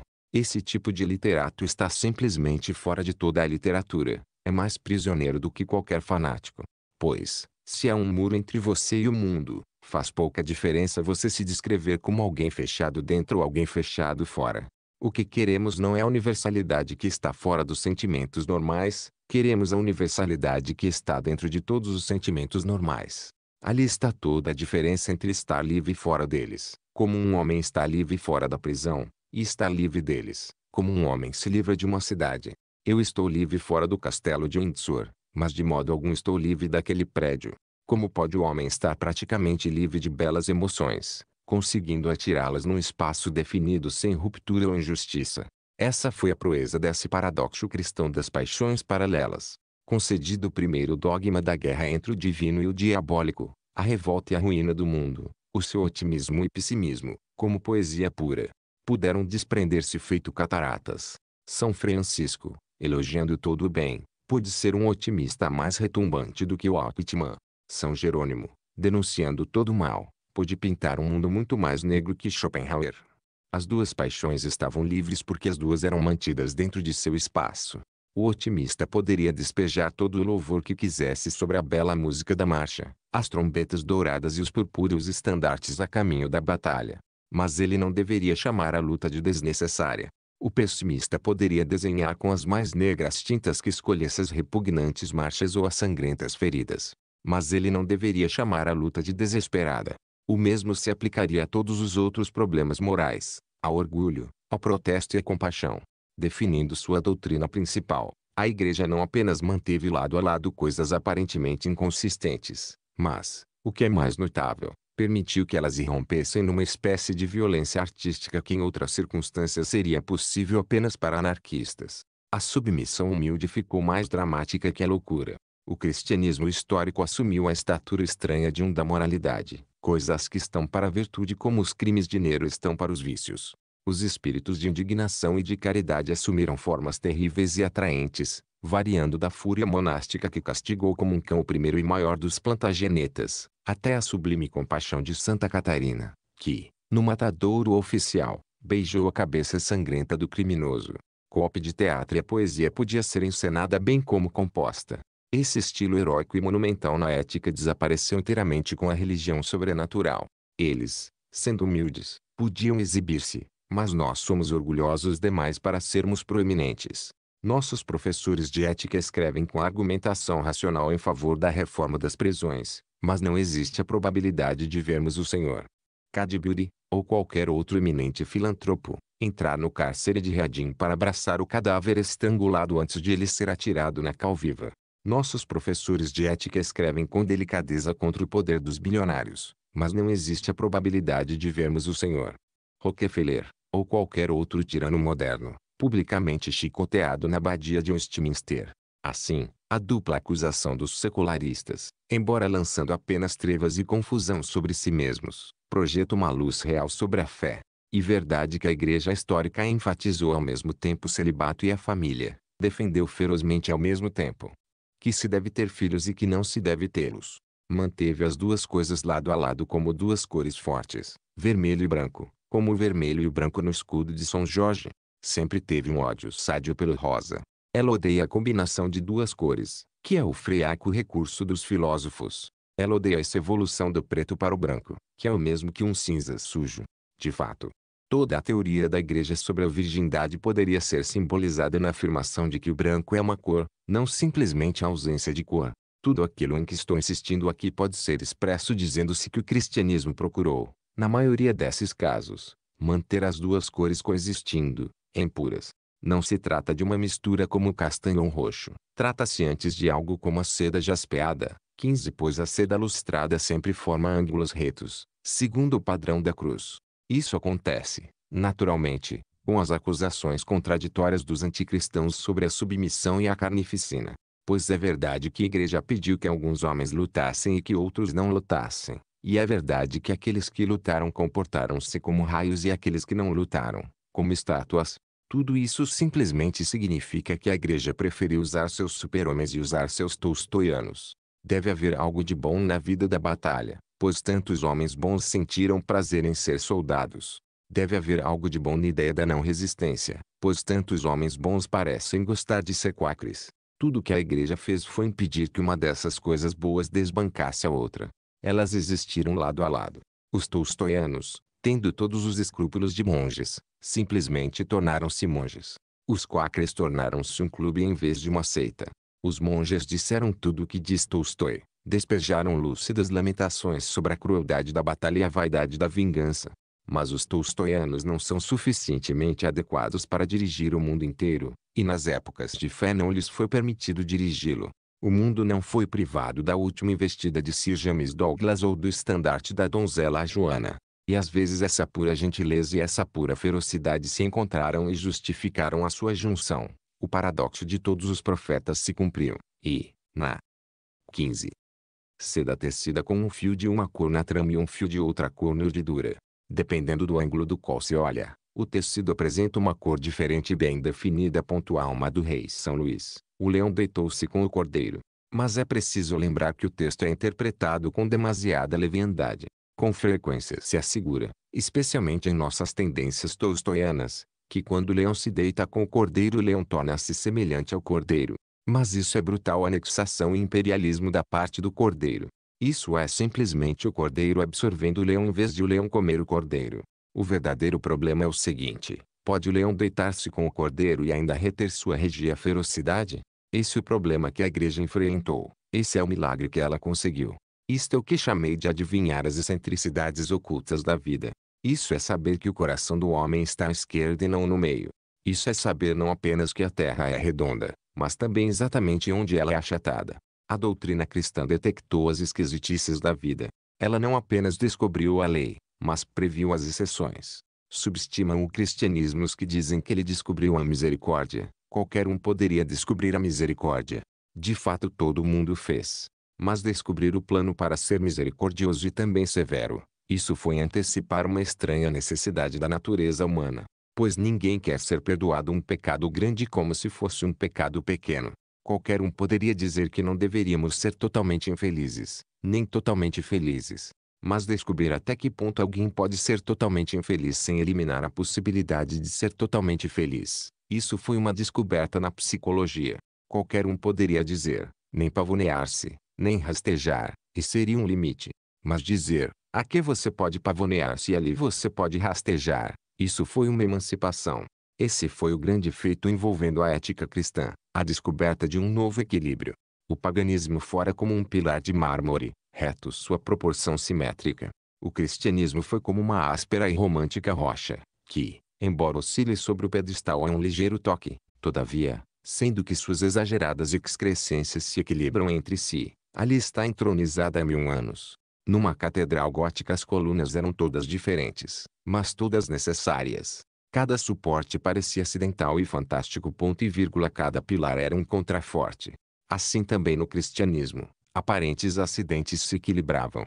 Beckett usava um silício sob suas vestes de ouro e púrpura, e há muito a dizer em defesa dessa combinação, pois Beckett se beneficiava com o silício enquanto as pessoas na rua se beneficiavam vendo o ouro e a púrpura. Trata-se no mínimo de um estilo melhor que o do milionário moderno, que fora exibe o preto e o desbotado para os outros e esconde o ouro junto ao seu coração. Mas o equilíbrio não estava sempre no corpo físico como no caso de Beckett. O equilíbrio muitas vezes se distribuía todo o corpo da cristandade. Pelo fato de um homem rezar e jejuar nas neves do norte, flores poderiam ser arremessadas em seus festivais nas cidades do sul. E pelo fato de fanáticos beberem água nas areias da Síria, outros homens ainda poderiam beber cidra nos pomares da Inglaterra. Isso é o que torna o cristianismo ao mesmo tempo muito mais intrigante e interessante do que o império pagão. Exatamente como a Catedral de Amiens não é melhor, mas é mais interessante do que o Partenon. Se alguém quer uma prova moderna de tudo isso, que considere o curioso fato seguinte, sob o cristianismo, a Europa dividiu-se em nações individuais. O patriotismo é um exemplo perfeito desse deliberado equilíbrio de uma qualidade enfática contra a outra. O instinto do império pagão teria dito, vocês todos serão cidadãos romanos e se tornarão semelhantes entre si. Que os alemães sejam menos lentos e reverentes. Que os franceses sejam menos experimentais e rápidos. Mas o instinto da Europa cristã diz que os alemães permaneçam lentos e reverentes, para que os franceses possam, em maior segurança, ser rápidos e experimentais. Vamos criar um equilíbrio a partir desses excessos. O absurdo chamado Alemanha deverá corrigir a insensatez chamada França. Último e mais importante, é exatamente isso que explica o que é tão inexplicável para todos os críticos modernos da história do cristianismo. Refiro-me às monstruosas guerras sob pequenos pontos de teologia, Os terremotos de emoção envolvendo um gesto ou uma palavra. Era apenas uma questão de um centímetro, mas um centímetro é tudo quando você está equilibrando. A igreja não poderia se dar ao luxo de oscilar um milímetro em alguns pontos, se quisesse continuar seu grande e ousado experimento do equilíbrio irregular. Assim que se permitisse que uma ideia perdesse um pouco de sua força, alguma outra ideia ganharia força demais. O que o pastor cristão conduzia não era um rebanho de ovelhas, mas sim uma manada de touros e tigres, de terríveis ideais e vorazes doutrinas, cada uma delas forte o suficiente para transformar-se numa falsa religião e devastar o mundo. Lembre-se de que a igreja abraçou especificamente ideias perigosas. Ela foi uma domadora de leões. A ideia do nascimento meio do Espírito Santo, da morte de um ser divino, do perdão dos pecados ou do cumprimento das profecias, qualquer um pode ver que são ideias que precisam apenas de um toque para transformar-se em algo blasfemo ou feroz. Os artífices do Mediterrâneo deixaram que o menor elo se partisse, e o leão do pessimismo ancestral rompeu sua cadeia nas esquecidas florestas do norte. Dessas compensações teológicas devo falar mais adiante. Aqui basta observar que se algum pequeno erro fosse cometido na doutrina, enormes disparates poderiam ser cometidos na felicidade humana. Uma frase formulada erroneamente acerca da natureza do simbolismo teria quebrado todas as melhores estátuas da Europa. Um deslize nas definições poderia parar todas as danças, poderia secar todas as árvores de Natal ou quebrar todos os ovos de Páscoa. As doutrinas tinham de ser definidas dentro de rigorosos limites, até mesmo para que o homem pudesse desfreutar de liberdades humanas gerais. A igreja precisou ser cuidadosa, se não outro motivo para que o mundo pudesse ficar despreocupado. Essa é a emocionante aventura da ortodoxia. As pessoas adquiriram o tolo costume de falar de ortodoxia como algo pesado, enfadonho e seguro. Nunca houve nada tão perigoso ou tão estimulante como a ortodoxia. Ela foi a sensatez, e ser sensato é mais dramático que ser louco. Ela foi o equilíbrio de um homem traz de cavalos em louca disparada, parecendo abaixar-se para este lado, depois para aquele, mas em cada atitude mantendo a graça de uma escultura e a precisão da aritmética. A igreja em seus primeiros dias correu violenta e velozmente com qualquer cavala de batalha. No entanto, é totalmente anti-histórico dizer que ela apenas cometeu loucuras apegando-se a uma única ideia, como um fanatismo vulgar. Ela curvou-se para a esquerda e para a direita, na medida exata a fim de evitar enormes obstáculos. Num dado momento ela abandonou o enorme vulto do arianismo, apoiado todos os poderes deste mundo para fazer o cristianismo mundano demais.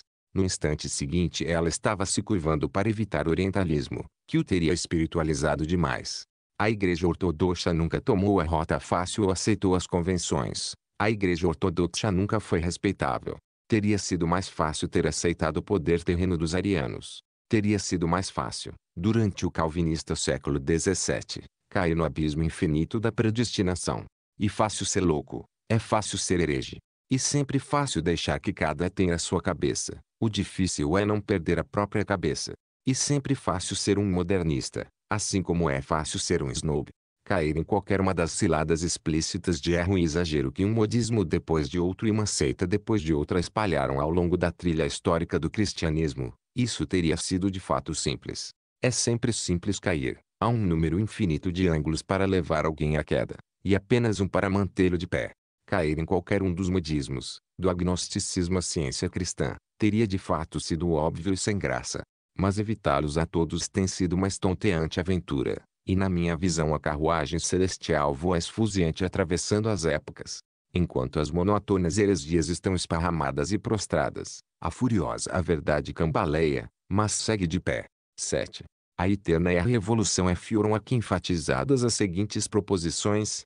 Primeiro, que algum tipo de fé é necessário em nossa vida até mesmo para melhorá-la. Segundo, que algum tipo de insatisfação com as coisas como elas se apresentam é necessária até mesmo para sentir-se satisfeito. Terceiro, que para se ter esse contentamento e descontentamento, ambos necessários, não basta ter o equilíbrio óbvio do estoico, pois a mera resignação não tem a gigantesca leveza do prazer, nem a orgulhosa intolerância da dor.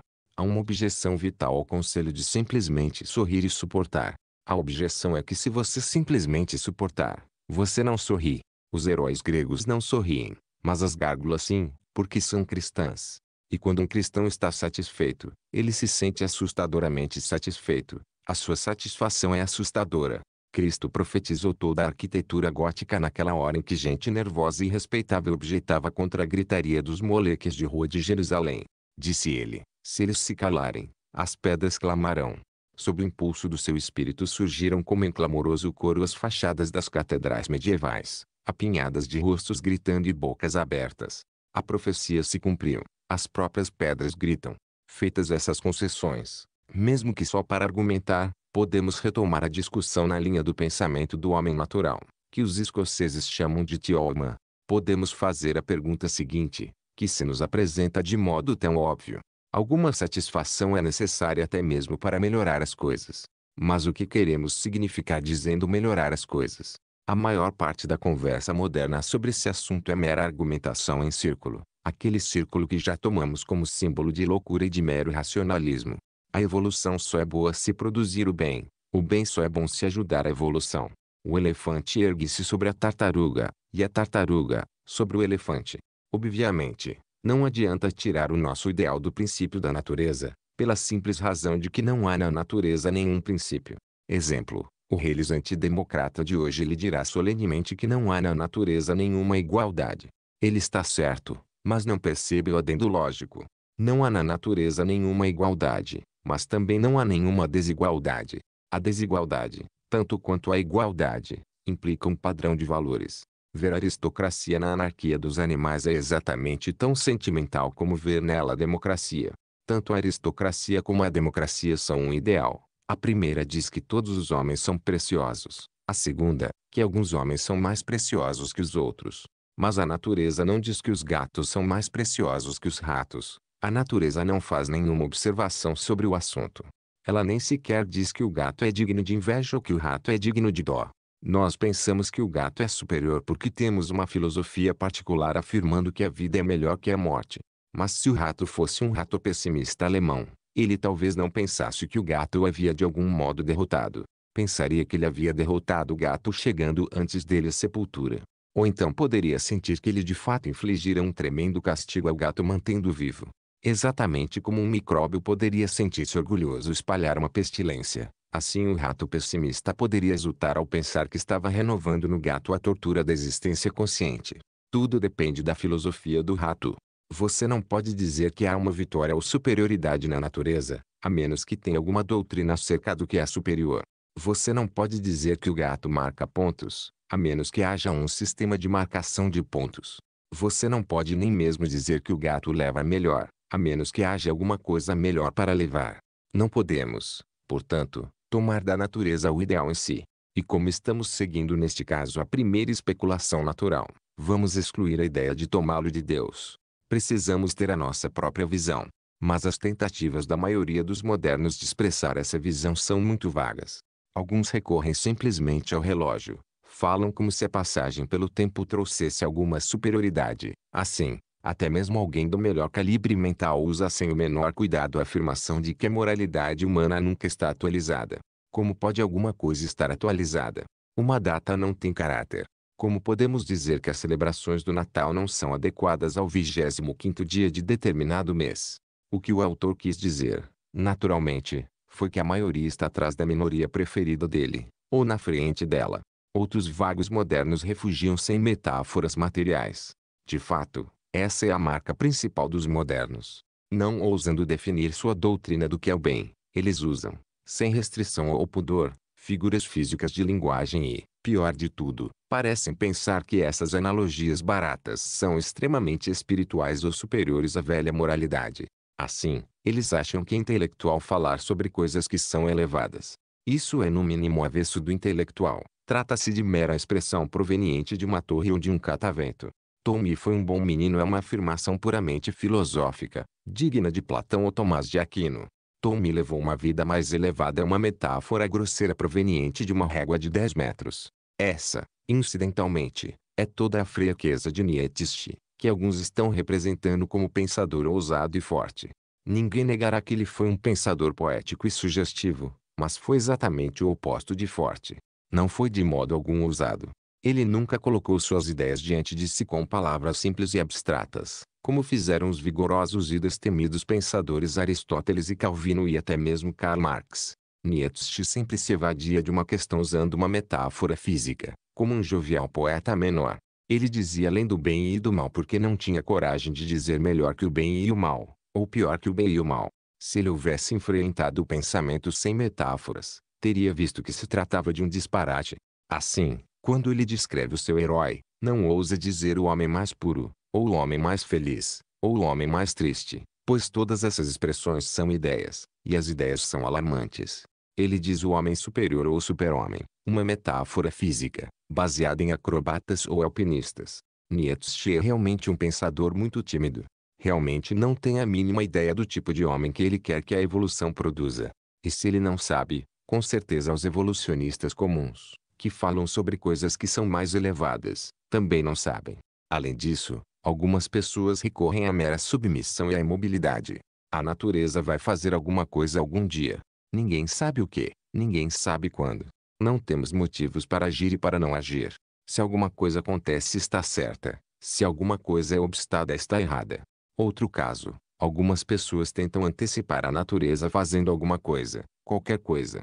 Pelo fato de podermos talvez criar asas, eles cortam as próprias pernas. No entanto, eles não sabem de nada. A natureza poderia estar tentando transformá-los em centopeias. Último, há uma quarta classe de pessoas que tomam uma coisa qualquer que queiram e dizem que ela é o objetivo supremo da evolução. Essas são as únicas pessoas sensatas. Essa é realmente a única maneira sadia de usar a palavra evolução, trabalhar aquilo que se quer, e chamar isso de evolução. O único sentido inteligível que progresso ou avanço pode ter entre os homens é que temos uma visão definida e desejamos fazer o mundo inteiro conformar-se a essa visão. Se você quiser expressar-se assim, a essência da doutrina é que aquilo que nos rodeia é o mero método e a preparação para algo que temos de criar. Este não é um mundo, mas sim o material para um mundo. Deus não nos deu exatamente as cores de um quadro, mas sim as cores de uma paleta. Mas ele também nos deu um tema, um modelo, uma visão fixa. Devemos ter claro diante de nós o que queremos pintar. Isso acrescenta mais um item à nossa lista anterior de princípios. Dissemos que precisamos gostar do mundo, até mesmo para mudá-lo. Acrescentamos agora que precisamos gostar de outro mundo para ter algo definido em que possamos transformar este mundo. Não precisamos debater sobre as meras palavras evolução ou progresso. Pessoalmente prefiro chamar isso de reforma. Pois reforma implica forma. Implica que estamos tentando conformar o mundo a uma imagem particular, transformá-lo em algo que mentalmente já enxergamos. Evolução é uma metáfora que se origina na ideia de um desenvolvimento automático. Progresso é uma metáfora para um simples caminhar ao longo de uma estrada, muito provavelmente a estrada errada. Mas reforma é uma metáfora para homens racionais e determinados. Significa que vemos determinada coisa fora de forma e queremos colocá-la em forma. E sabemos qual é a forma. Agora entra aqui em cena todo o fracasso e enorme disparate do nosso tempo. Nós misturamos duas coisas diferentes, duas coisas opostas. Progresso deveria significar que estamos sempre mudando o mundo para adaptá-lo à visão. Progresso realmente significa que estamos sempre mudando a visão. Deveria significar que agimos com lentidão, mas com certeza, na implantação da justiça e misericórdia entre os homens, realmente significa que rapidamente pomos em dúvida a conveniência da justiça e misericórdia. Uma página insensata de qualquer sofista prussiano faz os homens duvidarem disso. Progresso deveria significar que estamos sempre caminhando para a Nova Jerusalém. Realmente significa que a Nova Jerusalém está sempre se afastando de nós. Não estamos alterando o real para que se adapte ao ideal. Estamos alterando o ideal. É mais fácil. Exemplos bobos são sempre mais simples. Suponhamos que um homem quisesse um tipo particular de mundo, um mundo azul. Exemplo. Ele não teria motivo para queixar-se da leveza ou rapidez de sua tarefa. Poderia labutar um longo tempo na transformação. Poderia ir trabalhando até que tudo fosse azul. Poderia ter aventuras heróicas. Aplicação dos últimos retoques num tigre azul. Poderia ter sonhos mágicos. O surgimento de uma lua azul. Mas se ele trabalhasse com afinco, esse reformador idealista certamente deixaria o mundo melhor e mais azul do que o encontrara. Se alterasse uma folha de capim dia para sua cor preferida, ele avançaria lentamente. Mas se todos os dias alterasse a cor preferida, não poderia avançar absolutamente nada. Se, depois de ler um novo filósofo, ele começasse a pintar tudo de amarelo ou vermelho, seu trabalho seria jogado fora. Não haveria nada para mostrar, exceto alguns tigres azuis andando aí, espécimes de seu mau estilo da fase inicial. Essa é exatamente a posição do típico pensador moderno. Alguém dirá que isso é claramente um exemplo absurdo. Mas é literalmente um fato da história recente. As grandes e graves mudanças na nossa civilização política pertencem todas ao início do século XIX, não ao final. Pertencem à de branco e preto, quando os homens acreditavam invariavelmente no conservadorismo dos Tories, no protestantismo, no calvinismo, na reforma e, com frequência, na revolução. E tudo aquilo em que cada um acreditava, ele o martelava continuamente, sem ceticismo. Houve um tempo em que a igreja estabelecida poderia ter caído e a casa dos lordes quase caiu. Foi porque os radicais eram suficientemente sábios e constantes e consistentes. Foi porque os radicais eram suficientemente sábios a ponto de serem conservadores. Mas na atmosfera atual não há tempo e tradição suficientes no radicalismo para derrubar o que quer que seja. Há muita verdade na sugestão de Lord Hugh Cecil de que a era da mudança acabou e de que a nossa era é de conservação e repouso. Mas provavelmente Lord Hugh Cecil ficaria muito magoado se percebesse que a nossa é de conservação porque é uma é de completa descrença. Deixe que as crenças desapareçam com rapidez e frequência, se você quer que as instituições permaneçam as mesmas. Quanto mais perturbada for a vida da mente, tanto mais o mecanismo da matéria poderá agir conta própria.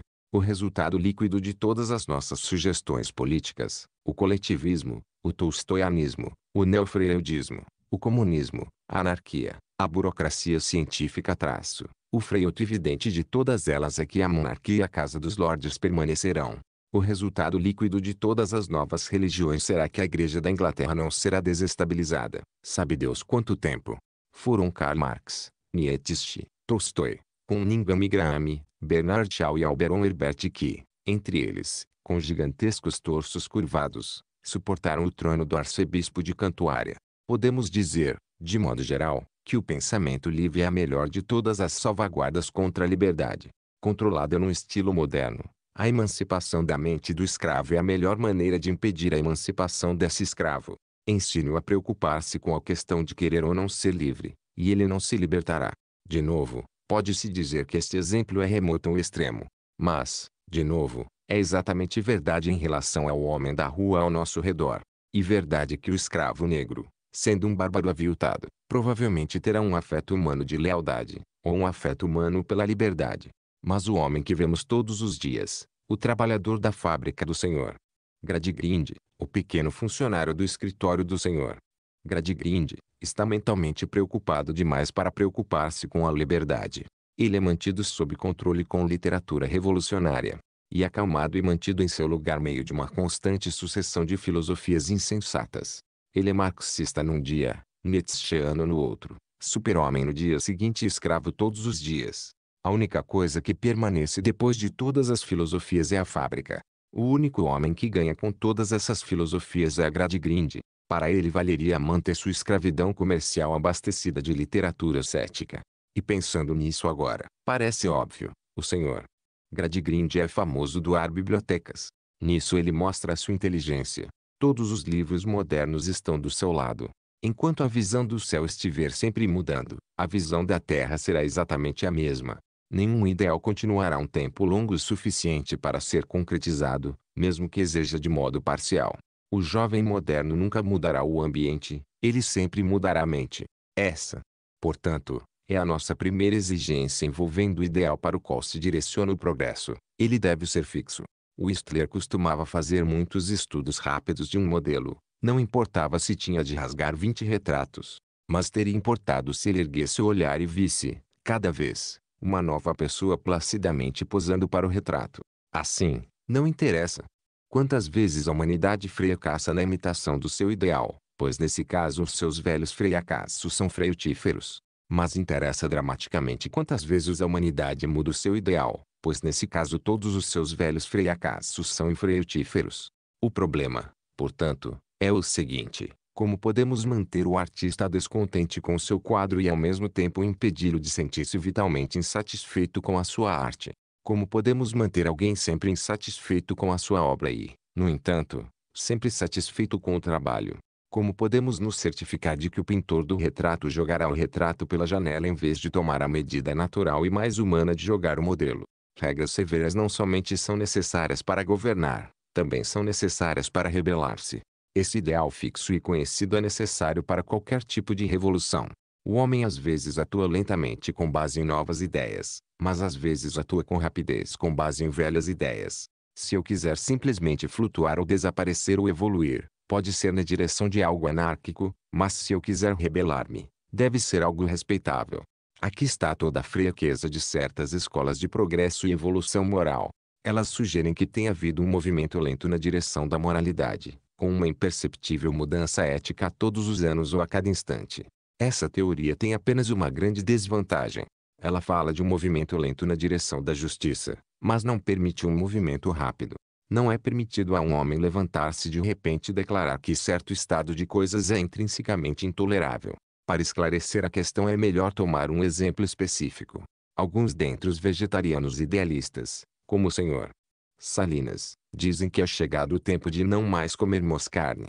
Implicação. Eles dão a entender que houve um tempo em que era certo comer carne e sugerem que algum dia poderá ser errado consumir leite e ovos. Não discuto aqui a questão do que é justiça para com os animais. Digo apenas que, seja o que for a justiça, ela deveria, em dadas condições, ser justiça rápida. Se um animal sofrer uma injustiça, nós deveríamos ser capazes de correr em seu socorro. Mas como podemos correr se estamos, talvez, à frente do nosso tempo? Como podemos correr para pegar um trem que talvez não chegue antes que se passem alguns séculos?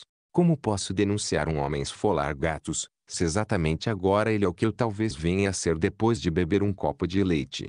Uma esplêndida e insana seita russa corria aí desatrelando animais de todas as carroças. Como posso eu criar coragem para desatrelar o cavalo do meu Tilbury, quando não sei se meu relógio evolucionário está um pouco adiantado ou se o do cocheiro está um pouco atrasado? Suponhamos que eu diga ao patrão que explora empregados, a escravidão era adequada num dado estágio da evolução. E suponhamos que ele me responda, e o trabalho exaustivo é adequado neste estágio da evolução. Como posso eu responder-lhe se não houver um padrão eterno? Se os patrões exploradores podem estar atrasados em relação à moralidade corrente, que não deveriam os filantropos estar à frente dela. O que é afinal a moralidade corrente, a não ser no seu sentido literal, a moralidade que está sempre correndo em fuga? Assim, podemos dizer que um ideal permanente é tão necessário para o inovador como para o conservador. E necessário quer desejemos que as ordens do rei sejam prontamente executadas, quer desejemos apenas que seja prontamente executado o próprio rei. A guilhotina tem muitos pecados, mas, fazendo-lhe justiça, nela não há nada de evolucionário. O argumento evolucionário preferido encontra a sua melhor resposta no machado. O evolucionista diz, onde você traça a linha do limite. O revolucionista responde, eu a traço aqui, exatamente entre a sua cabeça e o seu corpo. Deve existir, num determinado momento, um certo e um errado abstratos para que o golpe possa ser desferido. Deve existir algo eterno para que possa haver alguma coisa repentina. Portanto, para todos os propósitos humanos, para alterar as coisas ou para mantê-las como são, para dar um acabamento definitivo, como na China, ou para alterá-lo todos os meses, como no início da Revolução Francesa, é igualmente necessário que a visão seja uma visão fixa. Essa é a nossa primeira exigência. Depois de ter escrito isso, eu senti mais uma vez a presença de algo mais na discussão, como quem ouve o sino de uma igreja em meio ao som da rua. Algo parecia estar dizendo: o meu ideal pelo menos está fixo, pois foi fixado antes das fundações do mundo. A minha visão de perfeição indubitavelmente não pode ser alterada, pois se chama Éden. Você pode alterar o lugar para o qual se dirige, mas não pode alterar o lugar do qual saiu. Para o ortodoxo sempre deve haver um argumento em favor da revolução, pois no coração dos homens Deus foi posto sob os pés de Satã. No mundo superior o inferno uma vez se rebelou contra o céu. Mas neste mundo o céu está se rebelando contra o inferno. Para o ortodoxo sempre pode haver uma revolução, pois a revolução é uma restauração. Em qualquer momento você pode desferir um golpe em favor da perfeição que o homem nenhum viu desde Adão.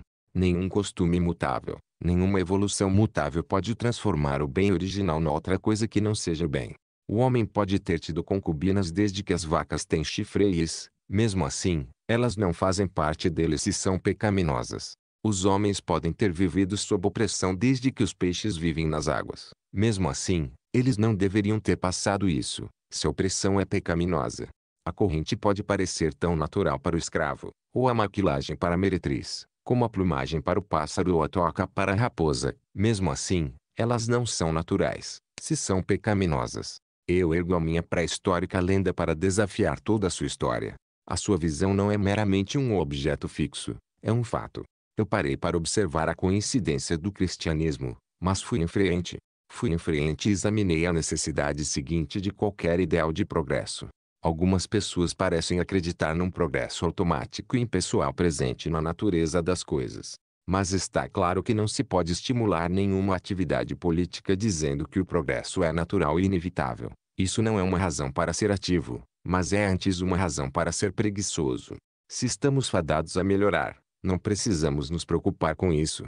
A doutrina pura do progresso é a melhor de todas as razões para não ser progressista.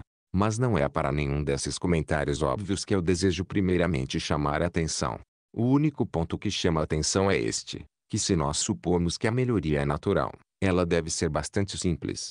O mundo poderia supostamente estar trabalhando para uma consumação, mas não para uma harmonização particular de muitas qualidades. Tomemos a nossa comparação original. A natureza se só pode estar ficando mais azul, isto é, um processo tão simples que poderia ser impessoal.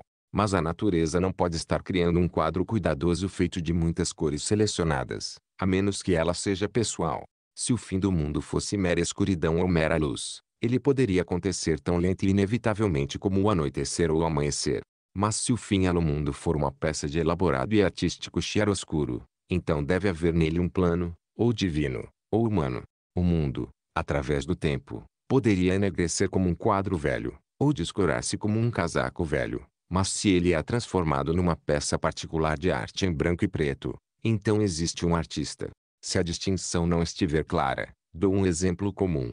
Ouvimos constantemente dos humanitários modernos uma crença cósmica particular, Uso a palavra humanitários no sentido comum, significando pessoas que defendem as reivindicações de todas as criaturas contra as reivindicações da humanidade. Eles sugerem que, através dos tempos, ficamos cada vez mais humanos, isto é, que um depois do outro, grupos e segmentos de seres, escravos, crianças, mulheres, vacas, ou seja lá o que for, foram gradativamente sendo contemplados pela misericórdia ou pela justiça, Dizem que outrora julgávamos certo comer seres humanos, o que não é verdade, mas não estou aqui preocupado com a história dessas pessoas, que é altamente anti-histórica. De fato, a antropofagia é com certeza uma coisa decadente, não uma coisa primitiva. E muito mais provável que o homem moderno coma carne humana afetação do que o homem primitivo tenha comido ignorância. Estou aqui apenas seguindo as linhas gerais de sua argumentação, que consiste em defender que o homem tornou-se progressivamente mais clemente, primeiro como os cidadãos, depois com os escravos, depois com os animais e depois com as plantas. Acho errado sentar-me em cima de um homem. Em breve, vou achar errado sentar-me sobre um cavalo. No fim vou achar errado sentar-me numa cadeira. Essa é a tendência da argumentação. E a seu favor pode-se dizer que é possível falar dela em termos de evolução ou progresso inevitável. Uma tendência constante de tocar cada vez menos coisas poderia, a gente sente, ser uma simples tendência inconsciente básica, como a tendência de uma espécie a ter cada vez menos filhos. O impulso pode realmente ser evolucionário, porque é estúpido. O darwinismo pode ser usado para apoiar duas moralidades insanas, mas não pode ser usado para apoiar uma que seja sadia. O parentesco e a competição de todas as criaturas vivas podem ser utilizados como motivos para alguém ser insanamente caído ou insanamente sentimental, mas não para alimentar um amor sádio pelos animais. Com base na evolução, você pode ser desumano ou absurdamente humano, mas não pode ser um ser humano. O fato de você e um tigre serem a mesma coisa pode ser motivo para ser gentil com o tigre. Ou então pode ser motivo para ser tão cruel como o tigre. Um jeito é treinar o tigre a imitar você. Outro jeito mais rápido é você imitar o tigre. Mas em nenhum desses casos a evolução lhe diz como tratar o tigre racionalmente, isto é, admirando-lhe as listras e evitando-lhe as garras. Se você quer tratar um tigre racionalmente, precisa retroceder ao jardim do Éden. Pois o obstinado lembrete continuava a repetir-se. Apenas o sobrenatural pode assumir uma visão sadia da natureza. A essência de todo panteísmo, evolucionismo e religião cósmica moderna está realmente nesta proposição, que a natureza é nossa mãe. Infelizmente, se você considerar a natureza como mãe, vai descobrir que ela é madrasta. O ponto principal do cristianismo era este, que a natureza não é a nossa mãe, a natureza é nossa irmã. Podemos sentir orgulho de sua beleza, uma vez que temos o mesmo Pai, mas ela não tem autoridade sobre nós, temos de admirá-la, não de imitá-la. Isso confere ao prazer tipicamente cristão neste mundo um estranho toque de leveza que é quase frivolidade. A natureza foi mãe solene para os adoradores de Ziz e Cibele. Foi mãe solene para Ortson ou para Emerson. Mas a natureza não é solene para Francisco de Assis ou para George Herbert. Para São Francisco de Assis ela é irmã, até mesmo uma irmã menor, uma irmãzinha que dança, de quem se ri é quem se ama. Entretanto, esse está longe de ser o nosso ponto principal neste momento. Entrei no assunto apenas para mostrar de que forma constante e, assim dizer, acidental a chave se encaixa nas menores portas. Nosso ponto principal é que aqui, se há uma simples tendência de melhora impessoal na natureza, é de presumir que seja uma tendência para algum triunfo simples. Pode-se imaginar que alguma tendência automática na biologia possa agir para nos proporcionar um nariz cada vez mais comprido. Mas a questão é a seguinte: nós queremos ter um nariz cada vez mais comprido. Imagino que não. Imagino que a maioria de nós deseja dizer ao nariz, até aqui, e não mais. Aqui a tua orgulhosa ponta será detida. Exigimos um nariz de tal tamanho que possa nos assegurar um rosto interessante. Mas não podemos imaginar uma simples tendência biológica visando a produzir rostos interessantes, pois um rosto assim é uma disposição particular de olhos, nariz e boca, numa relação extremamente complexa entre si. A proporção não pode ser uma tendência, ou é um acidente ou é um plano. O mesmo acontece com o ideal da moralidade humana e sua relação com os humanitários e anti-humanitários. É concebível que o nosso contato manual com as coisas venha a diminuir cada vez mais. Deixaremos de conduzir cavalos e de apanhar flores. Talvez um dia sejamos obrigados a não perturbar a mente humana nem sequer com uma discussão, a não perturbar o sono dos pássaros nem sequer tossindo. Essa apoteose final aparentemente mostrará um homem sentado totalmente imóvel, sem ousar mexer-se para não perturbar uma mosca, nem comer para não incomodar um micróbio. Para uma consumação tão cruel como essa poderíamos, talvez inconscientemente, caminhar. Mas realmente queremos uma consumação tão cruel. De modo semelhante, poderíamos inconscientemente evoluir seguindo a linha de desenvolvimento oposta ao Nietzscheana, um super-homem esmagando super-homens numa torre de tiranos até que o universo fosse destruído de versão. Mas queremos o universo destruído de versão? Não está perfeitamente claro que aquilo que realmente esperamos é um gerenciamento particular é uma proposição destas duas coisas, uma certa dose de restrição e respeito, uma certa dose de energia e de mistério. Se nossa vida realmente quiser ser bela como um conto de fadas, devemos nos lembrar de que toda a beleza de um conto de fadas está no seguinte, que o príncipe tem um espanto que quase chega a ser medo. Se ele temer o gigante, será o seu fim. Mas também se ele não se sentir atônito diante do gigante, será o fim do conto de fadas. A questão toda depende de ele ser ao mesmo tempo suficientemente humilde para espantar-se e suficientemente orgulhoso para desafiar. Assim, nossa atitude como gigante do mundo não deve simplesmente ser de crescente delicadeza ou de crescente desprezo. Deve haver uma determinada proporção das duas coisas, que esteja exatamente certa. Devemos ter em nós reverência suficiente todas as coisas fora de nós a ponto de pisar a grama com cuidado. Devemos também ter desprezo suficiente todas as coisas fora de nós a ponto de, na ocasião devida, cuspir nas estrelas. Mas, essas duas coisas devem ser combinadas, não de qualquer modo, mas numa determinada combinação. A perfeita felicidade dos homens sobre a terra não será uma coisa plana e sólida, como a satisfação dos animais, Será um equilíbrio exato e perigoso, como o equilíbrio de um romance desesperado. O homem precisa ter a medida exata e suficiente de fé em si mesmo para ter aventuras, e ter a medida exata e suficiente de dúvida de si mesmo para desfreitá-las. Esta é, portanto, a nossa segunda exigência para o ideal do progresso. Primeiro, ele deve ser fixo. Segundo, ele deve ser composto. Não deve ser a mera vitória de alguma coisa engolindo tudo mais amor ou compaixão ou paz ou aventura. Deve ser um quadro composto desses elementos em sua melhor proporção e relação. Não estou preocupado neste momento em negar que, pela constituição das coisas, possa existir alguma culminação boa assim reservada para a raça humana. Apenas ressalto que, se essa felicidade composta está fixada para nós, ela deve ter sido fixada a alguma mente, pois apenas uma mente pode dosar as proporções exatas de uma felicidade composta. Se a beatificação do mundo for mera obra da natureza, então ela deve ser tão simples como o congelamento do mundo, ou como a consumação do mundo pelo fogo. em Se a beatificação do mundo não for obra da natureza, mas sim uma obra de arte, então ela envolve um artista. E aqui mais uma vez a minha contemplação foi fendida pela antiga voz que dizia, eu poderia ter lhe dito isso muito tempo atrás.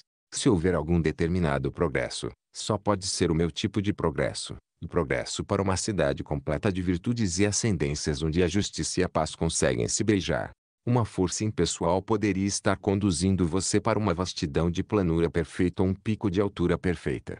Mas apenas um Deus pessoal pode estar conduzindo você para uma cidade com ruas e proporções arquitetônicas exatas, uma cidade em que cada um pode contribuir na medida exata com sua própria cor para o manto multicolorido de José.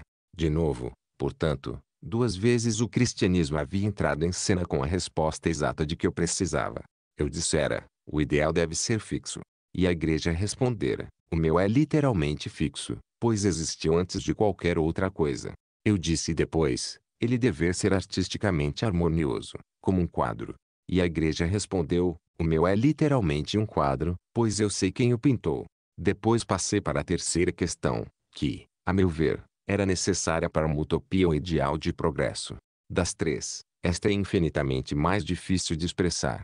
Talvez se possa apresentá-la assim. Nós precisamos de vigilância até mesmo na utopia, para não cairmos fora da utopia como caímos do Éden. Observamos que uma razão apresentada para ser progressista é que as coisas tendem naturalmente a melhorar.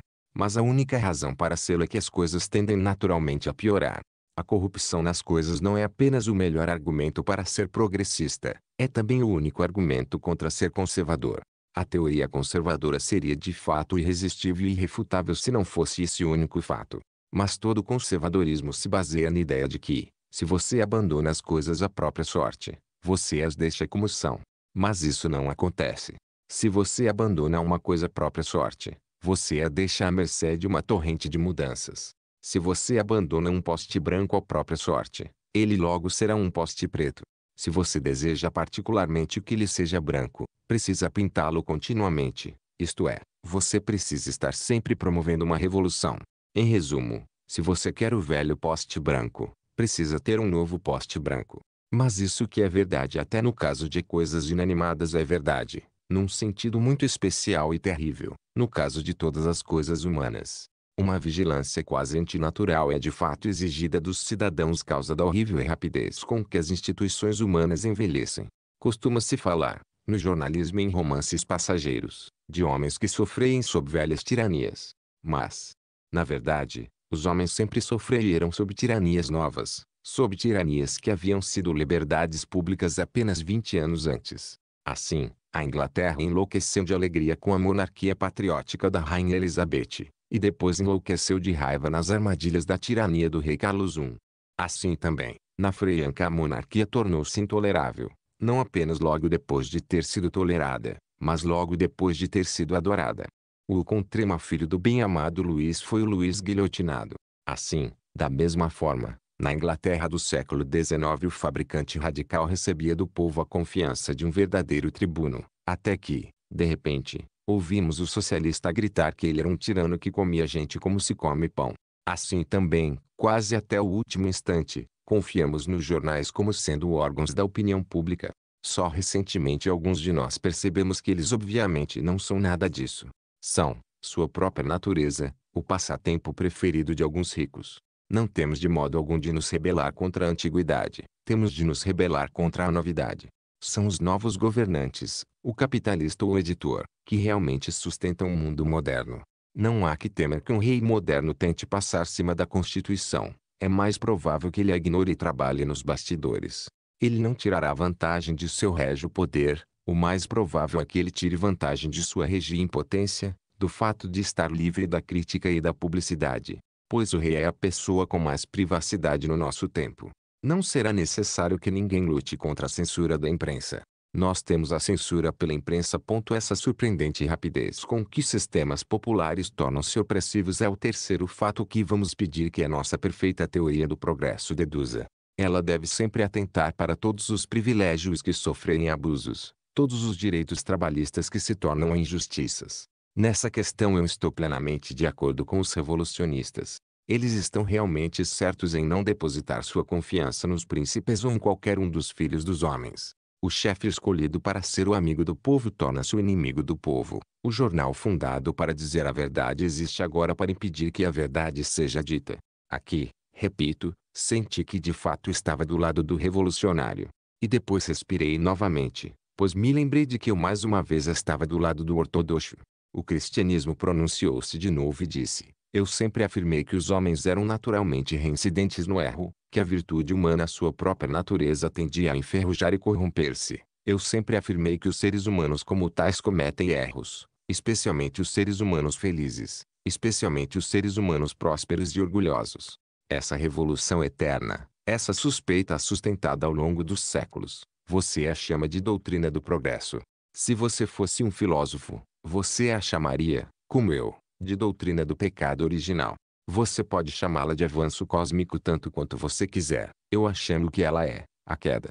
Falei da ortodoxia apresentando-se como uma espada, confesso que aquela se apresentou como uma acha de armas. Pois de fato, o cristianismo é a única coisa remanescente que tem algum direito real de questionar o poder dos bem-nascidos e bem-criados. Ouvi muitas vezes os socialistas, e até mesmo os democratas, dizendo que as condições físicas dos pobres devem necessariamente torná-los mental e moralmente aviltados. Ouvi cientistas dizendo que, se dermos aos pobres condições mais sadias, o vício e a injustiça desaparecerão. Eu os escutei com horrível atenção, com tremenda fascinação, pois era como observar alguém serrando vigorosamente o galho da árvore em que está sentado. Se esses democratas felizes pudessem provar sua tese, eles desfeririam um golpe mortal na democracia.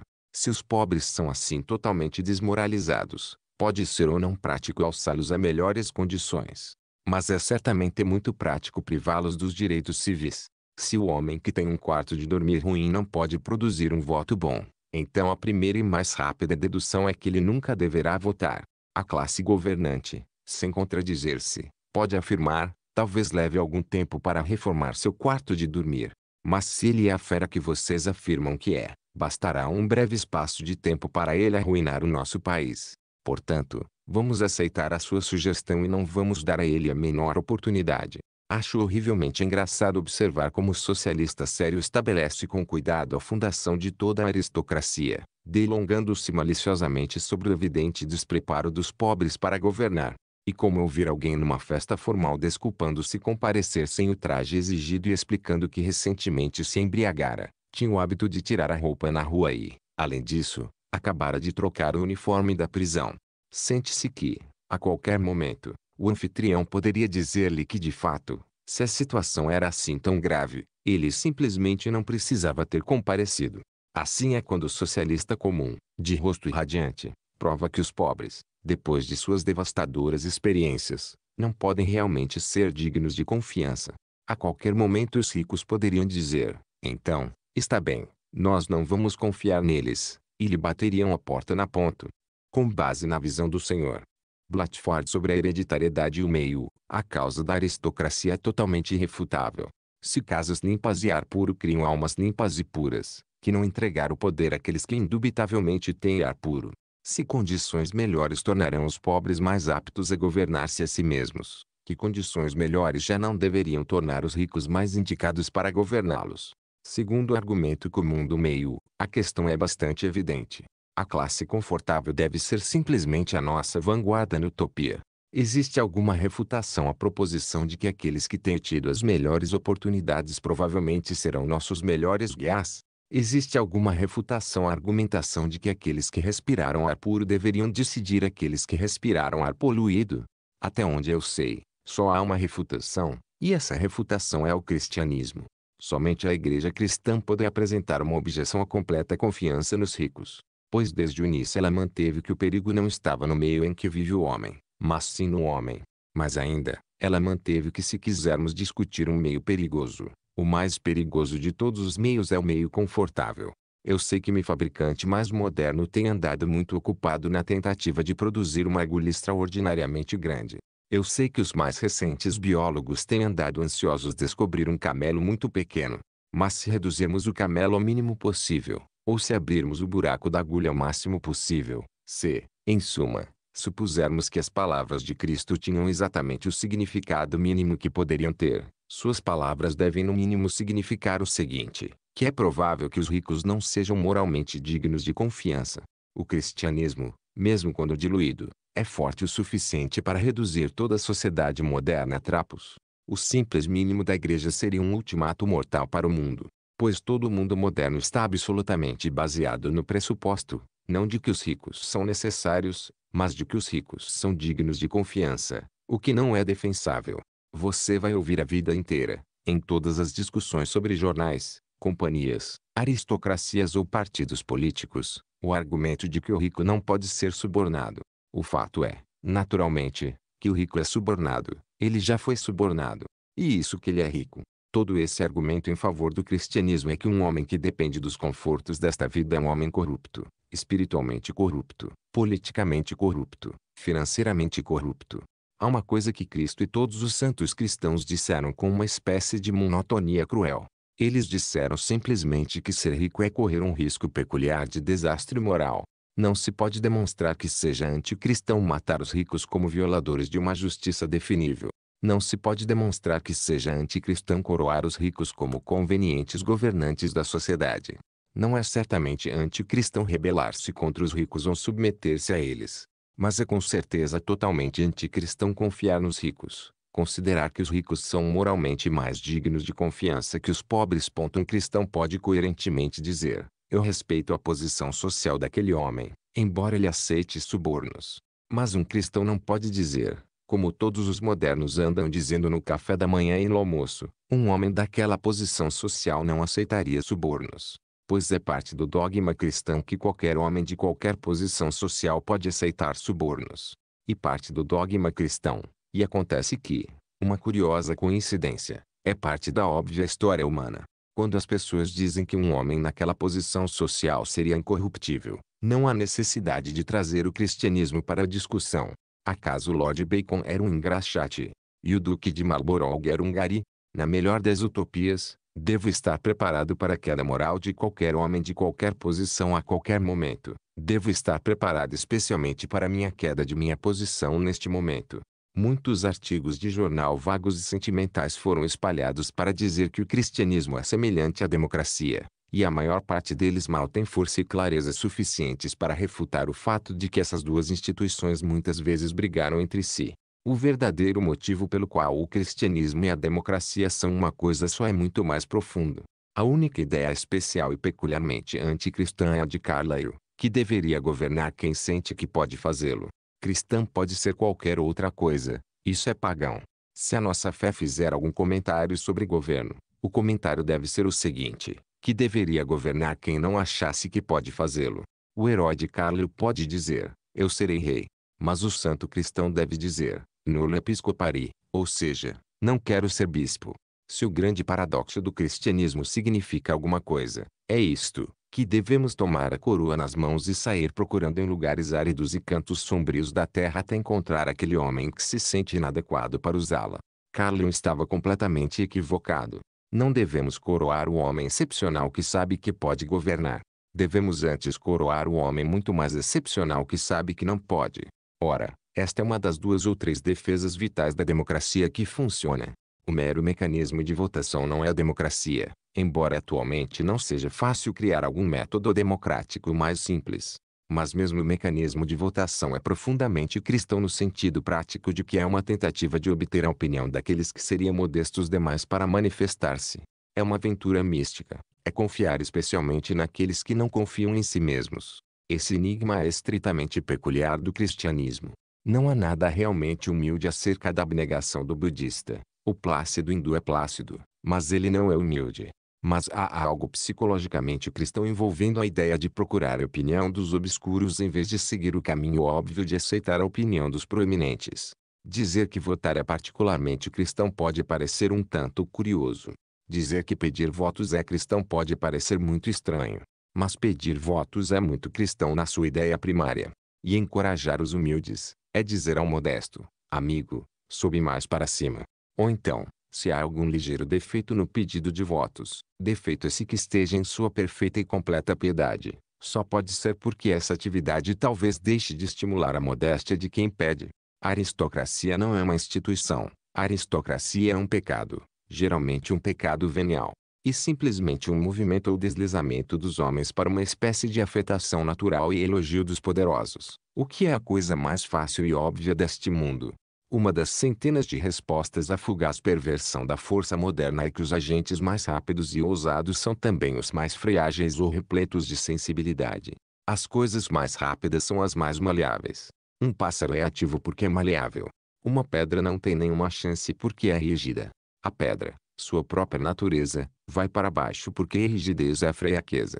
O pássaro pode, sua própria natureza, ir para cima, porque fragilidade é força.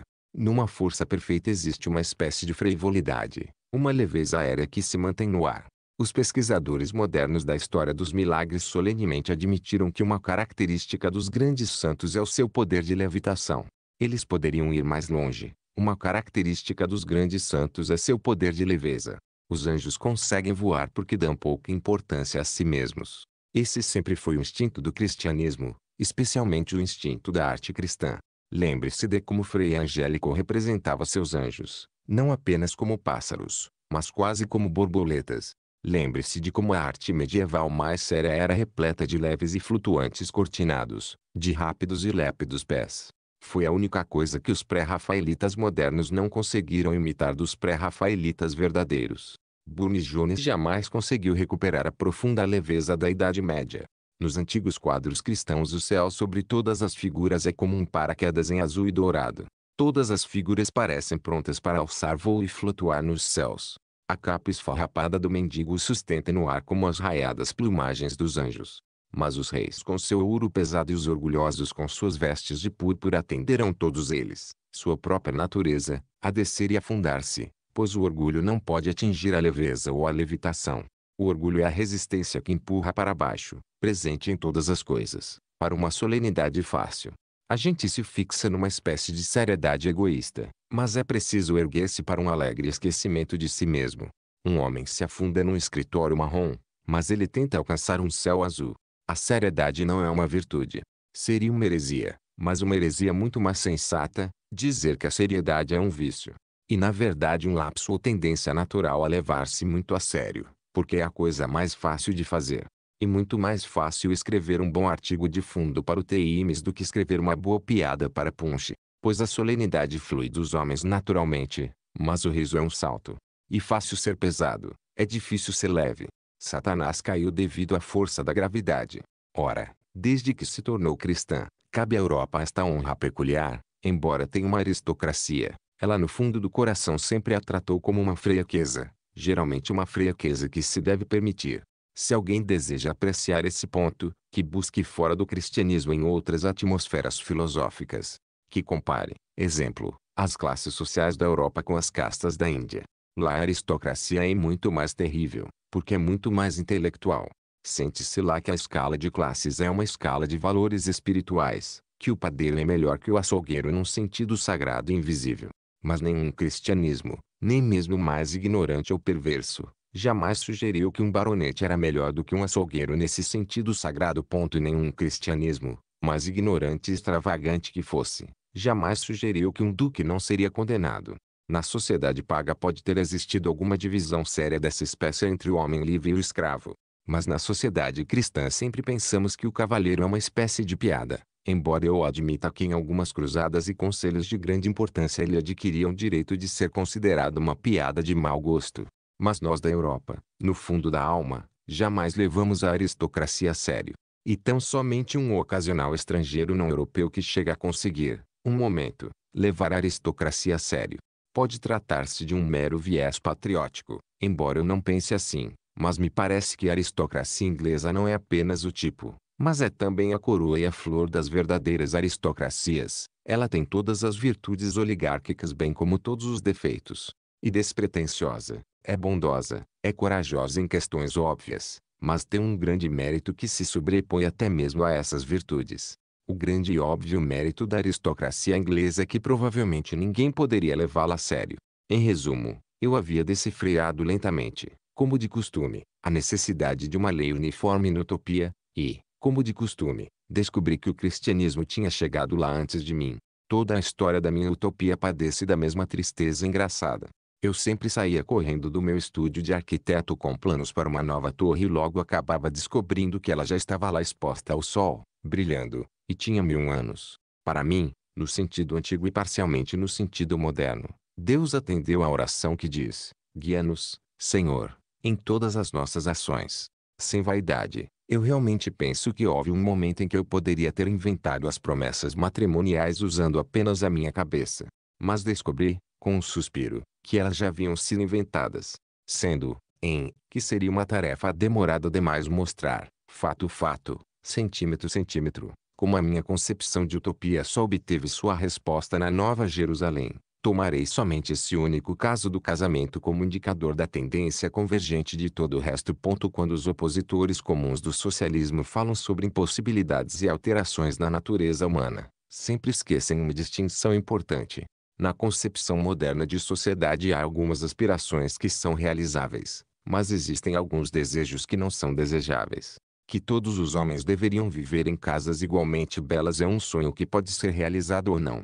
Mas que todos os homens deveriam viver na mesma bela casa não é de modo algum um sonho, é um pesadelo.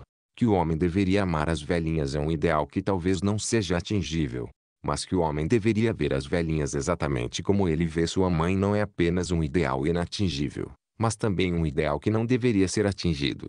Não sei se o leitor concorda comigo nesses exemplos, mas vou acrescentar outro que sempre me afetou sobremaneira. Eu jamais poderia conceber ou tolerar nenhuma utopia que não me deixasse a liberdade que mais preso, a liberdade de me obrigar, a anarquia completa não apenas impossibilitaria a existência de qualquer disciplina ou fidelidade, também impossibilitaria qualquer divertimento. Para dar um exemplo óbvio, não valeria apostar se a aposta não criasse obrigações. A dissolução de todos os contratos não só destruiria a moralidade, mas também acabaria com as apostas. Ora, apostas e jogos dessa natureza são apenas formas atrofiadas e distorcidas do instinto original do homem-aventura e romance coisas de que tanto falei nestas páginas. E perigos, recompensas, punições e realizações de uma aventura precisam ser reais. Caso contrário a aventura é apenas um pesadelo incerto e cruel. Se eu aposto, devo ser obrigado a pagar, ou então não existe poesia na aposta. Se eu desafio, devo ser obrigado a lutar, ou não haveria poesia no desafio. Se eu prometo fidelidade, devo ser amaldiçoado quando sou infiel, caso contrário não há graça na promessa. Não se poderia criar nenhum conto de fadas a partir das experiências de um homem que, quando fosse engolido uma baleia, pudesse ir parar no alto da Torre Eiffel, ou quando fosse transformado num sapo, pudesse comportar-se como um flamingo. Até mesmo para os propósitos do romance mais maluco os resultados precisam ser reais, os resultados precisam ser irrevogáveis. O casamento cristão é o grande exemplo de um resultado real e irrevogável, e é isso que ele é o principal assunto e centro de todos os textos românticos. E este é o meu último exemplo das coisas que eu exigiria, e exigiria de modo imperativo, de qualquer paraíso social. Eu exigiria ser obrigado a cumprir o meu contrato, a levar a sério os meus juramentos e compromissos. Eu exigiria que a utopia vingasse a minha honra contra mim mesmo. Todos os meus amigos utopistas modernos entreolham-se com certa dúvida, pois sua esperança suprema é a dissolução de todos os vínculos especiais, mas novamente eu tenho a impressão de estar ouvindo, como uma espécie de eco, uma resposta de além do mundo. Você terá obrigações reais e, portanto, aventuras reais quando chegar à minha utopia. Mas a obrigação mais difícil e a aventura mais extraordinária consistem em chegar lá. 8. O R. romance da ortodoxia existe o costume de nos queixarmos da correria e do ar do trabalho da nossa é. Mas na verdade a marca principal da nossa é uma profunda preguiça e fadiga. O fato é que a verdadeira preguiça é a causa da aparente correria. Tomemos um caso totalmente externo. As rias são barulhentas, cheias de táxis e carros. Mas isso não se deve à atividade humana, mas sim ao repouso. Haveria menos correria se houvesse maior atividade, se as pessoas simplesmente andassem a pé. O mundo seria mais silencioso se houvesse mais trabalho. E isso que se aplica à aparente correria física também se aplica à aparente correria intelectual. A maior parte do mecanismo da linguagem moderna visa poupar trabalho, e poupa muito mais trabalho mental do que deveria. Freases científicas são usadas como rodas e pistões científicos para tornar ainda mais rápido e mais suave o caminho do conforto. Palavras compridas passam nós chacoalhando como longos trens ferroviários. Sabemos que carregam milhares de pessoas que se sentem demasiado cansadas ou indolentes para caminhar e pensar conta própria. É um bom exercício tentar, de vez em quando, expressar as próprias opiniões com palavras de uma ou duas sílabas. Se você disser, a utilidade social da friagem indeterminada é reconhecida por todos os criminologistas como parte de nossa evolução social buscando uma visão mais humana e científica da punição. Você pode continuar falando assim horas sem que haja nenhum movimento da massa cinzenta no interior do seu cérebro. Mas se você começar dizendo, eu queria que Jonas fosse para a cadeia que Brown dissesse quando Jonas vai sair de lá, você vai descobrir, com um calafreio de horror, que você é obrigado a pensar. As palavras compridas não são palavras difíceis. Difíceis são as palavras curtas. Há muito mais sutileza metafísica na palavra dane-se do que na palavra degeneração. Mas essas longas e confortáveis palavras que poupam aos modernos o trabalho do raciocínio têm um aspecto particular em que elas são especialmente desastrosas e confundem. Essa dificuldade ocorre quando a mesma palavra comprida é usada em contextos diferentes para significar coisas totalmente diversas.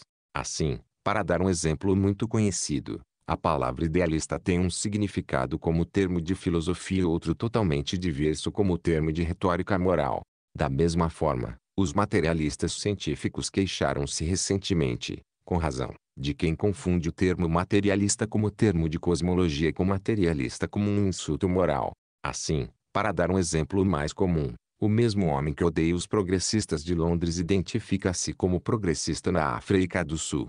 Uma confusão totalmente sem sentido como essa surgiu em relação à palavra liberal como se aplica à religião e como se aplica à política e à sociedade. Sugere-se com frequência que todos os liberais deveriam ser livres pensadores, porque deveriam amar tudo o que é livre. Poder-se igualmente dizer que todos os idealistas deveriam ser membros da Igreja Alta, porque deveriam amar tudo o que é alto. Poder-se igualmente dizer que todos os membros da Igreja Baixa deveriam gostar da missa baixa, ou que os membros da Igreja Tolerante deveriam gostar de piadas tolerantes. Trata-se de mera coincidência de palavras. Na Europa moderna real o termo livre pensador não se refere a alguém que pensa a si mesmo. Refere-se a alguém que, tendo pensado si mesmo, chegou a uma classe particular de conclusões, a origem material dos fenômenos, a impossibilidade de milagres, a improbabilidade da imortalidade pessoal e assim por diante. E nenhuma dessas ideias é particularmente liberal. Não, quase todas essas ideias são de fato definitivamente liberais, como tensionamos demonstrar neste capítulo. Nas poucas páginas seguintes pretendo mostrar, o mais rápido possível, que em relação a cada uma das questões mais enfatizadas pelos liberalizadores da teologia o efeito delas na prática social seria definitivamente liberal. Quase todas as propostas contemporâneas de trazer liberdade para a igreja são simplesmente propostas de trazer a tirania para o mundo. Pois libertar a igreja agora não significa sequer libertá-la em todas as direções. Significa libertar aquele conjunto particular de dogmas vagamente chamados de científicos, dogmas do monismo, do panteísmo, ou do arianismo, ou da necessidade. Podemos demonstrar que cada um deles é um aliado natural da opressão. De fato, é uma circunstância digna de nota que as coisas na sua maioria sejam aliadas da opressão. Existe apenas uma coisa que nunca pode ultrapassar determinado ponto em sua aliança com a opressão, e trata-se da ortodoxia. Eu posso, é verdade, distorcer a ortodoxia para justificar em parte um tirano.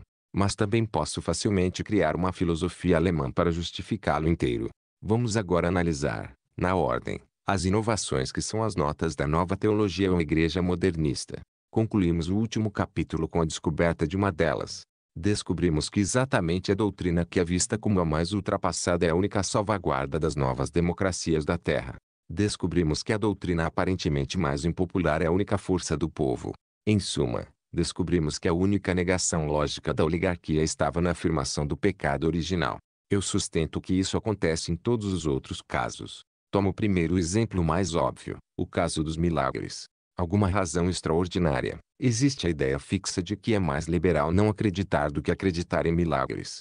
O motivo não consigo imaginar, e ninguém consegue me dizer. Alguma causa inconcebível um membro do clero que seja liberal ou tolerante sempre significa um homem que deseja no mínimo diminuir o número de milagres, nunca significa um homem que deseja aumentar esse número sempre significa um homem que está livre para não acreditar que Cristo saiu de sua tumba, nunca significa um homem que está livre para acreditar que sua própria tia saiu de sua cova. É comum haver problemas numa determinada paróquia porque o seu vigário não consegue admitir que Pedro caminhou sobre as águas. No entanto, como é raro descobrirmos problemas numa determinada paróquia porque o vigário diz que seu pai caminhou sobre o lago Serpentine. E isso não acontece porque não se pode acreditar em milagres como parte da nossa experiência. Não é porque milagres não acontecem, como no dogma que Mateo Arnold citava com ingênua fé. Alega-se que mais coisas sobrenaturais têm acontecido em nossa era do que teriam sido possíveis 80 anos atrás. Os cientistas acreditam nesses portentos muito mais do que costumavam. Os mais intrigantes e até mesmo os mais horríveis prodígios da mente e do espírito estão continuamente sendo revelados na psicologia moderna. Coisas que a velha ciência no mínimo rejeitaria sinceramente rotulando-as de milagres e cada hora vão sendo afirmadas pela nova ciência. A única coisa que é ainda suficientemente antiquada para rejeitar os milagres é a nova teologia. Mas na verdade essa ideia de que somos livres para negar milagres nada tem a ver com as provas em favor deles ou contra eles. É um preconceito verbal cristalizado cuja origem e cujo princípio não estavam na liberdade de pensamento do materialismo, mas simplesmente em seu dogma. O homem do século XIX não desacreditava da ressurreição porque o seu cristianismo liberal lhe permitia essa dúvida. Ele desacreditava dela porque o seu materialismo muito rigoroso não lhe permitia acreditar. Tennyson, um homem bem típico do século XIX, expressou um dos truísmos instintivos dos seus contemporâneos quando disse que havia fé na honesta dúvida deles. Havia mesmo. As palavras de Tennyson contêm uma verdade profunda e até mesmo horrível. Na sua dúvida sobre milagres havia uma fé num destino fixo sem Deus, uma profunda e sincera fé na incurável rotina do cosmos. As dúvidas do agnóstico eram simplesmente os dogmas do monista. Sobre a realidade e a comprovação do sobrenatural falaremos mais adiante. Aqui estamos apenas preocupados com este ponto claro, na medida em que se pode dizer que a ideia liberal de liberdade está num dos dois lados da discussão, sobre os milagres ela obviamente está do lado deles. Reforma ou progresso significa simplesmente o controle gradual da matéria pela mente. Um milagre simplesmente significa o rápido controle da matéria pela mente. Se você deseja alimentar o povo, pode pensar que alimentá-lo milagrosamente no deserto é impossível, mas não pode pensar que isso seja liberal. Se você realmente deseja que crianças pobres vão à praia, não pode pensar que é iliberal que elas sejam levadas para lá no dorso de dragões voadores. Você só pode pensar que isso é improvável. Um feriado, assim como o liberalismo, significa apenas a liberdade do homem. Um milagre significa apenas a liberdade de Deus. Você pode, seguindo a consciência, negar qualquer uma das duas, mas não pode chamar a sua negação de triunfo da ideia liberal. A Igreja Católica acreditava que o homem e Deus tinham ambos uma espécie de liberdade espiritual. O calvinismo tirou a liberdade do homem, mas preservou a de Deus. O materialismo científico amarra o próprio Criador, Acorrenta Deus como o Apocalipse acorrentou o diabo. Não deixa nada livre no universo. E os que promovem esse processo são chamados de teólogos liberais. Este, na minha opinião, é o caso mais leve e mais evidente. A presunção de que no duvidar dos milagres haja algo semelhante à liberalidade ou à reforma é literalmente o oposto da verdade. Se um homem não consegue acreditar em milagres, temos o fim da questão. Ele não é particularmente liberal, mas é perfeitamente honrado e lógico. E essas são coisas muito melhores. Mas se um homem consegue acreditar em milagres, ele certamente é muito mais liberal, porque os milagres significam, primeiro, a liberdade da alma e, segundo, o controle dela sobre a tirania das circunstâncias. Às vezes essa verdade é ignorada de um modo singularmente ingênuo, até mesmo pelos homens mais competentes. Exemplo, o Senhor. Bernard Shaw fala com desprezo veemente e antiquado sobre a ideia de milagres, como se eles fossem uma espécie de falta de fé da parte da natureza. Estranhamente ele parece não ter consciência de que os milagres são apenas as flores que arrematam a própria árvore favorita, a doutrina da onipotência da vontade. Exatamente da mesma forma ele chama o desejo de imortalidade de egoísmo mesquinho, esquecendo-se de que ele mal acabou de chamar o desejo de vida de egoísmo heróico e sádio. Como pode ser nobre desejar tornar a vida pessoal infinita e, no entanto, mesquinho desejar torná-la imortal. Não, se é desejável que o homem triunfe sobre a crueldade da natureza ou do costume, então os milagres são certamente desejáveis. Discutiremos mais adiante se eles são possíveis. Mas preciso passar a examinar os casos mais abrangentes desse curioso erro, a ideia de que a liberalização da religião de algum modo ajuda a libertação do mundo. Pode-se encontrar o segundo exemplo disso na questão do panteísmo, ou melhor, de uma certa atitude moderna que muitas vezes é chamada de imanentismo e frequentemente é budismo. Mas essa é uma questão tão mais difícil que eu quero abordar com um pouco mais de preparação. O que pessoas modernas dizem com a maior convicção dirigindo-se a plateias apinhadas geralmente vai contra os fatos. Na verdade, são nossos truísmos que são falsos. Aqui está um exemplo. Há uma frase de liberalidade fácil que é proferida muitas e muitas vezes em sociedades éticas e em parlamentos da religião. As religiões da Terra diferem em ritos e formas, mas são a mesma coisa naquilo que ensinam. Isso é falso, é o contrário dos fatos. As religiões da Terra não diferem muito em ritos e formas, elas diferem muito naquilo que ensinam.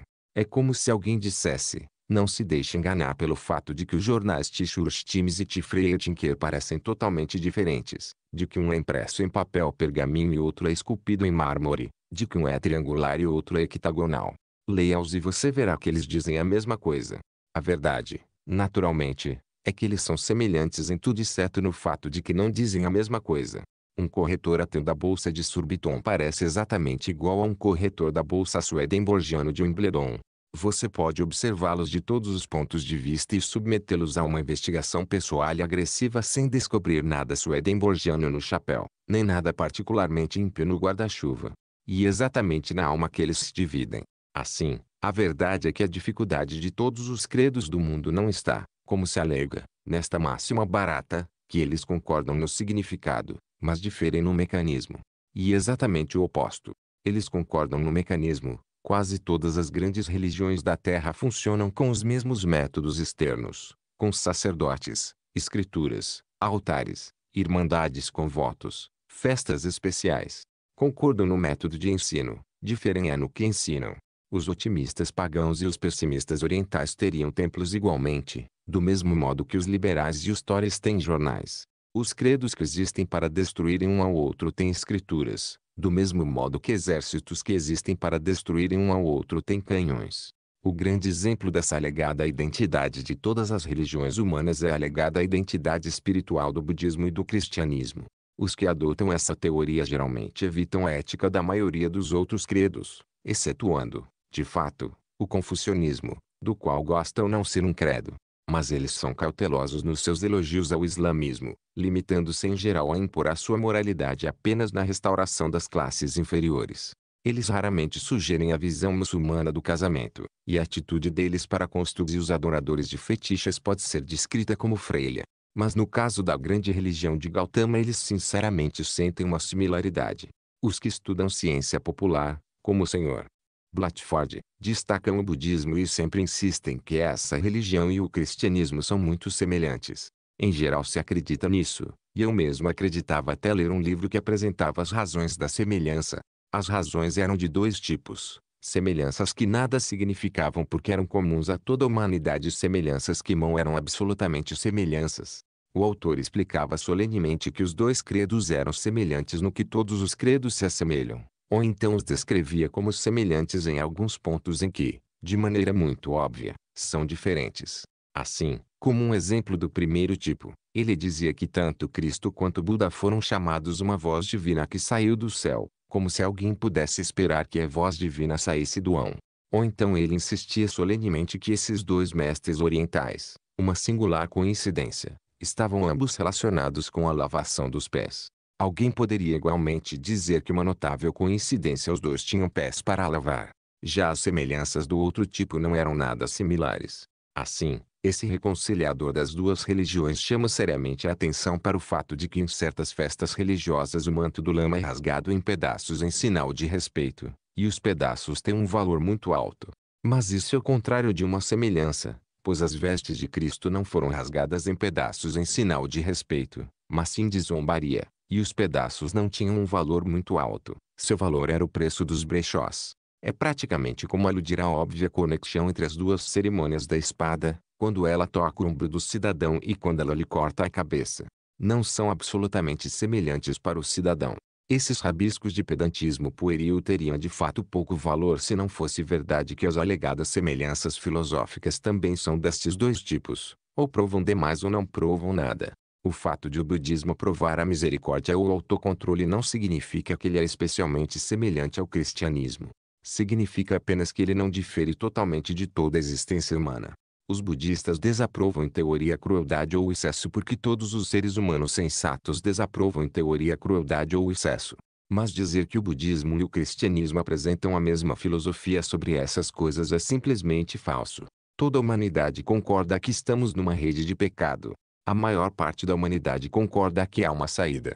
Mas sobre qual seja essa saída, não acho que existam duas instituições no universo que contradizem uma outra tão diametralmente como o budismo e o cristianismo. Mesmo quando eu pensava, assim como muitíssimas outras pessoas bem informadas, embora não eruditas, que o budismo e o cristianismo eram semelhantes, sempre via nessas religiões um pormenor que me intrigava. Refiro-me à chocante diferença no tipo de arte dessas duas correntes. Não estou falando de estilos técnicos de representação, mas de coisas que evidentemente se quiseram representar. Não há dois ideais que se oponham mais do que um santo cristão numa catedral gótica e um santo budista num templo chinês. A oposição existe em cada ponto, mas talvez a mais concentrada demonstração disso seja o fato de o santo budista ter um corpo harmonioso e luzídio, mas olhos pesados e cerrados pelo sono. O corpo do santo medieval é desgastado e exibe seus estranhos ossos, mas os olhos estão assustadoramente vivos. Não pode haver nenhuma real comunhão de espírito entre as forças que produziram símbolos assim tão diferentes. Concebendo-se que as duas imagens são extravagâncias, perversões do credo puro, a divergência capaz de produzir extravagâncias tão opostas deve ser real. O budista está olhando com uma atenção peculiar para dentro. O cristão fixa os olhos com desvairada atenção para fora. Se seguirmos essa indicação com firmeza, vamos descobrir algumas coisas interessantes. Pouco tempo atrás, a senhora Besante anunciou, num artigo interessante, que só havia uma religião no mundo, que todas as fés eram apenas versões ou perversões dessa religião, e ela estava totalmente preparada para dizer qual era. Segundo a senhora Besante, essa Igreja Universal é simplesmente o eu universal, e a doutrina de que todos nós somos realmente uma só pessoa, de que não há muros reais de individualidade entre um ser humano e outro. Se assim posso dizer, ela não nos diz para amar o próximo, ela nos diz para sermos o nosso próximo. Essa é a ponderada e sugestiva descrição da religião da senhora. Besante na qual todos os homens devem estar de acordo. Nunca ouvi em minha vida uma sugestão da qual eu discorde com mais veemência. Quero amar o próximo não ele ser eu, mas precisamente ele não ser eu. Quero adorar o mundo, não como quem gosta de um espelho, ele ser de quem vê, mas como quem ama uma mulher, ela ser inteiramente diferente. Se as almas estão separadas, o amor é possível. Se as almas estão unidas, o amor é obviamente impossível. Pode-se dizer que alguém ama vagamente a si mesmo, mas não se pode dizer que alguém possa apaixonar-se a si mesmo. Ou então, se isso vier a acontecer, só pode ser um namoro monótono. Se o mundo está cheio de els reais, pode haver els que realmente não sejam egoístas. Mas, segundo o princípio da senhora Besante, todo o cosmos é apenas uma enorme pessoa egoísta. E exatamente nesse ponto que o budismo fica do lado do panteísmo e da imanência modernos.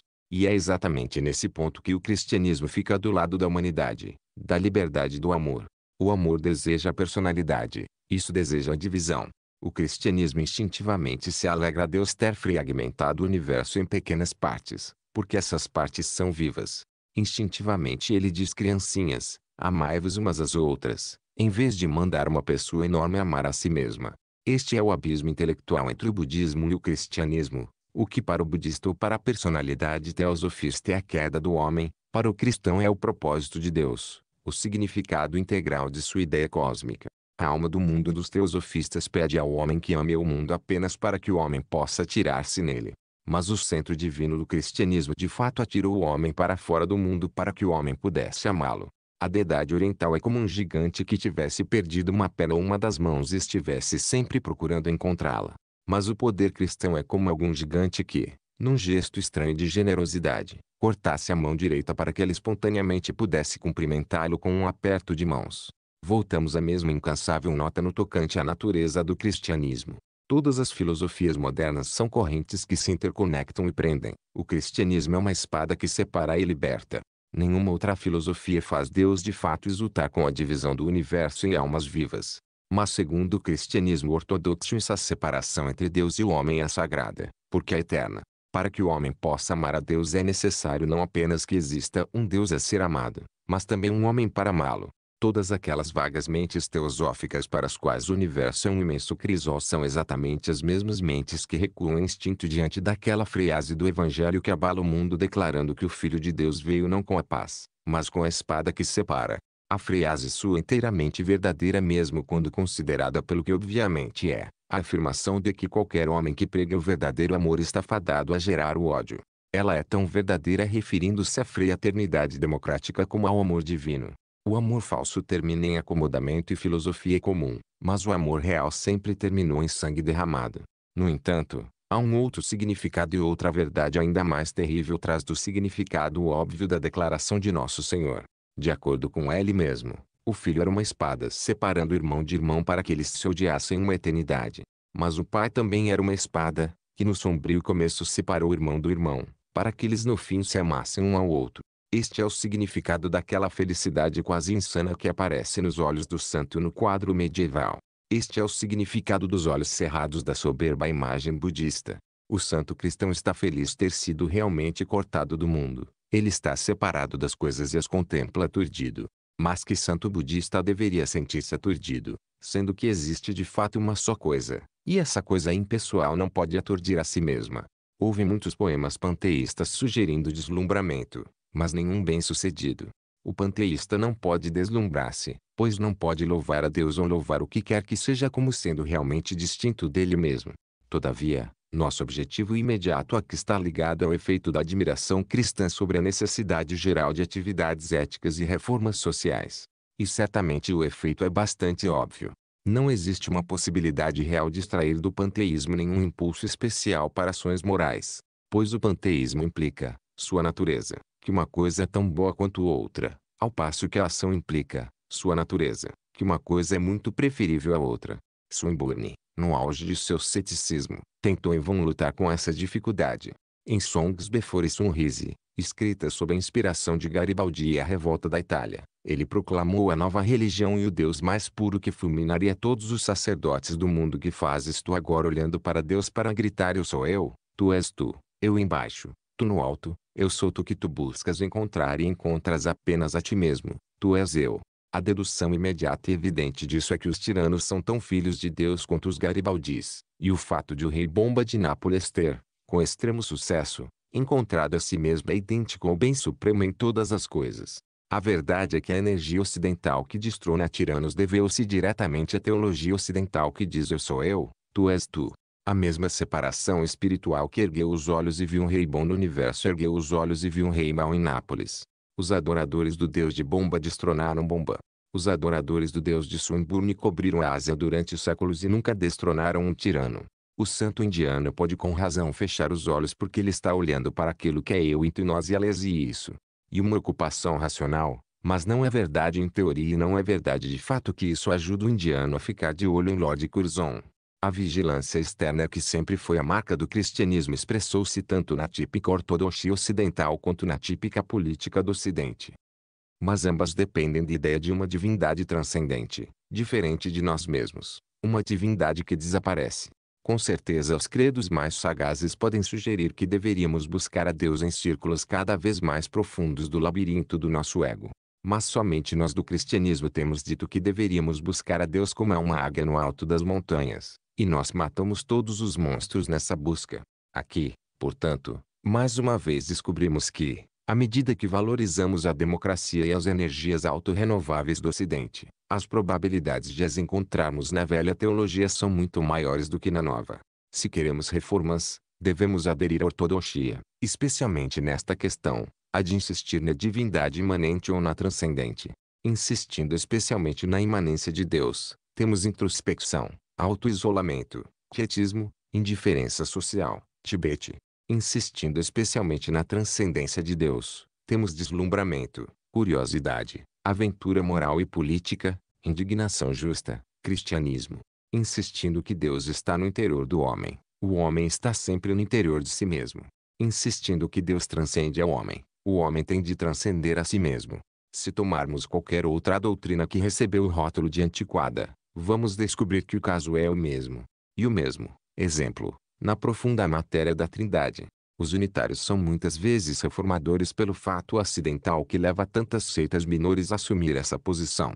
Mas não há absolutamente nada liberal ou semelhantes a uma reforma na substituição da Trindade pelo puro monoteísmo. O Deus complexo do símbolo atanasiano talvez seja um enigma para o intelecto.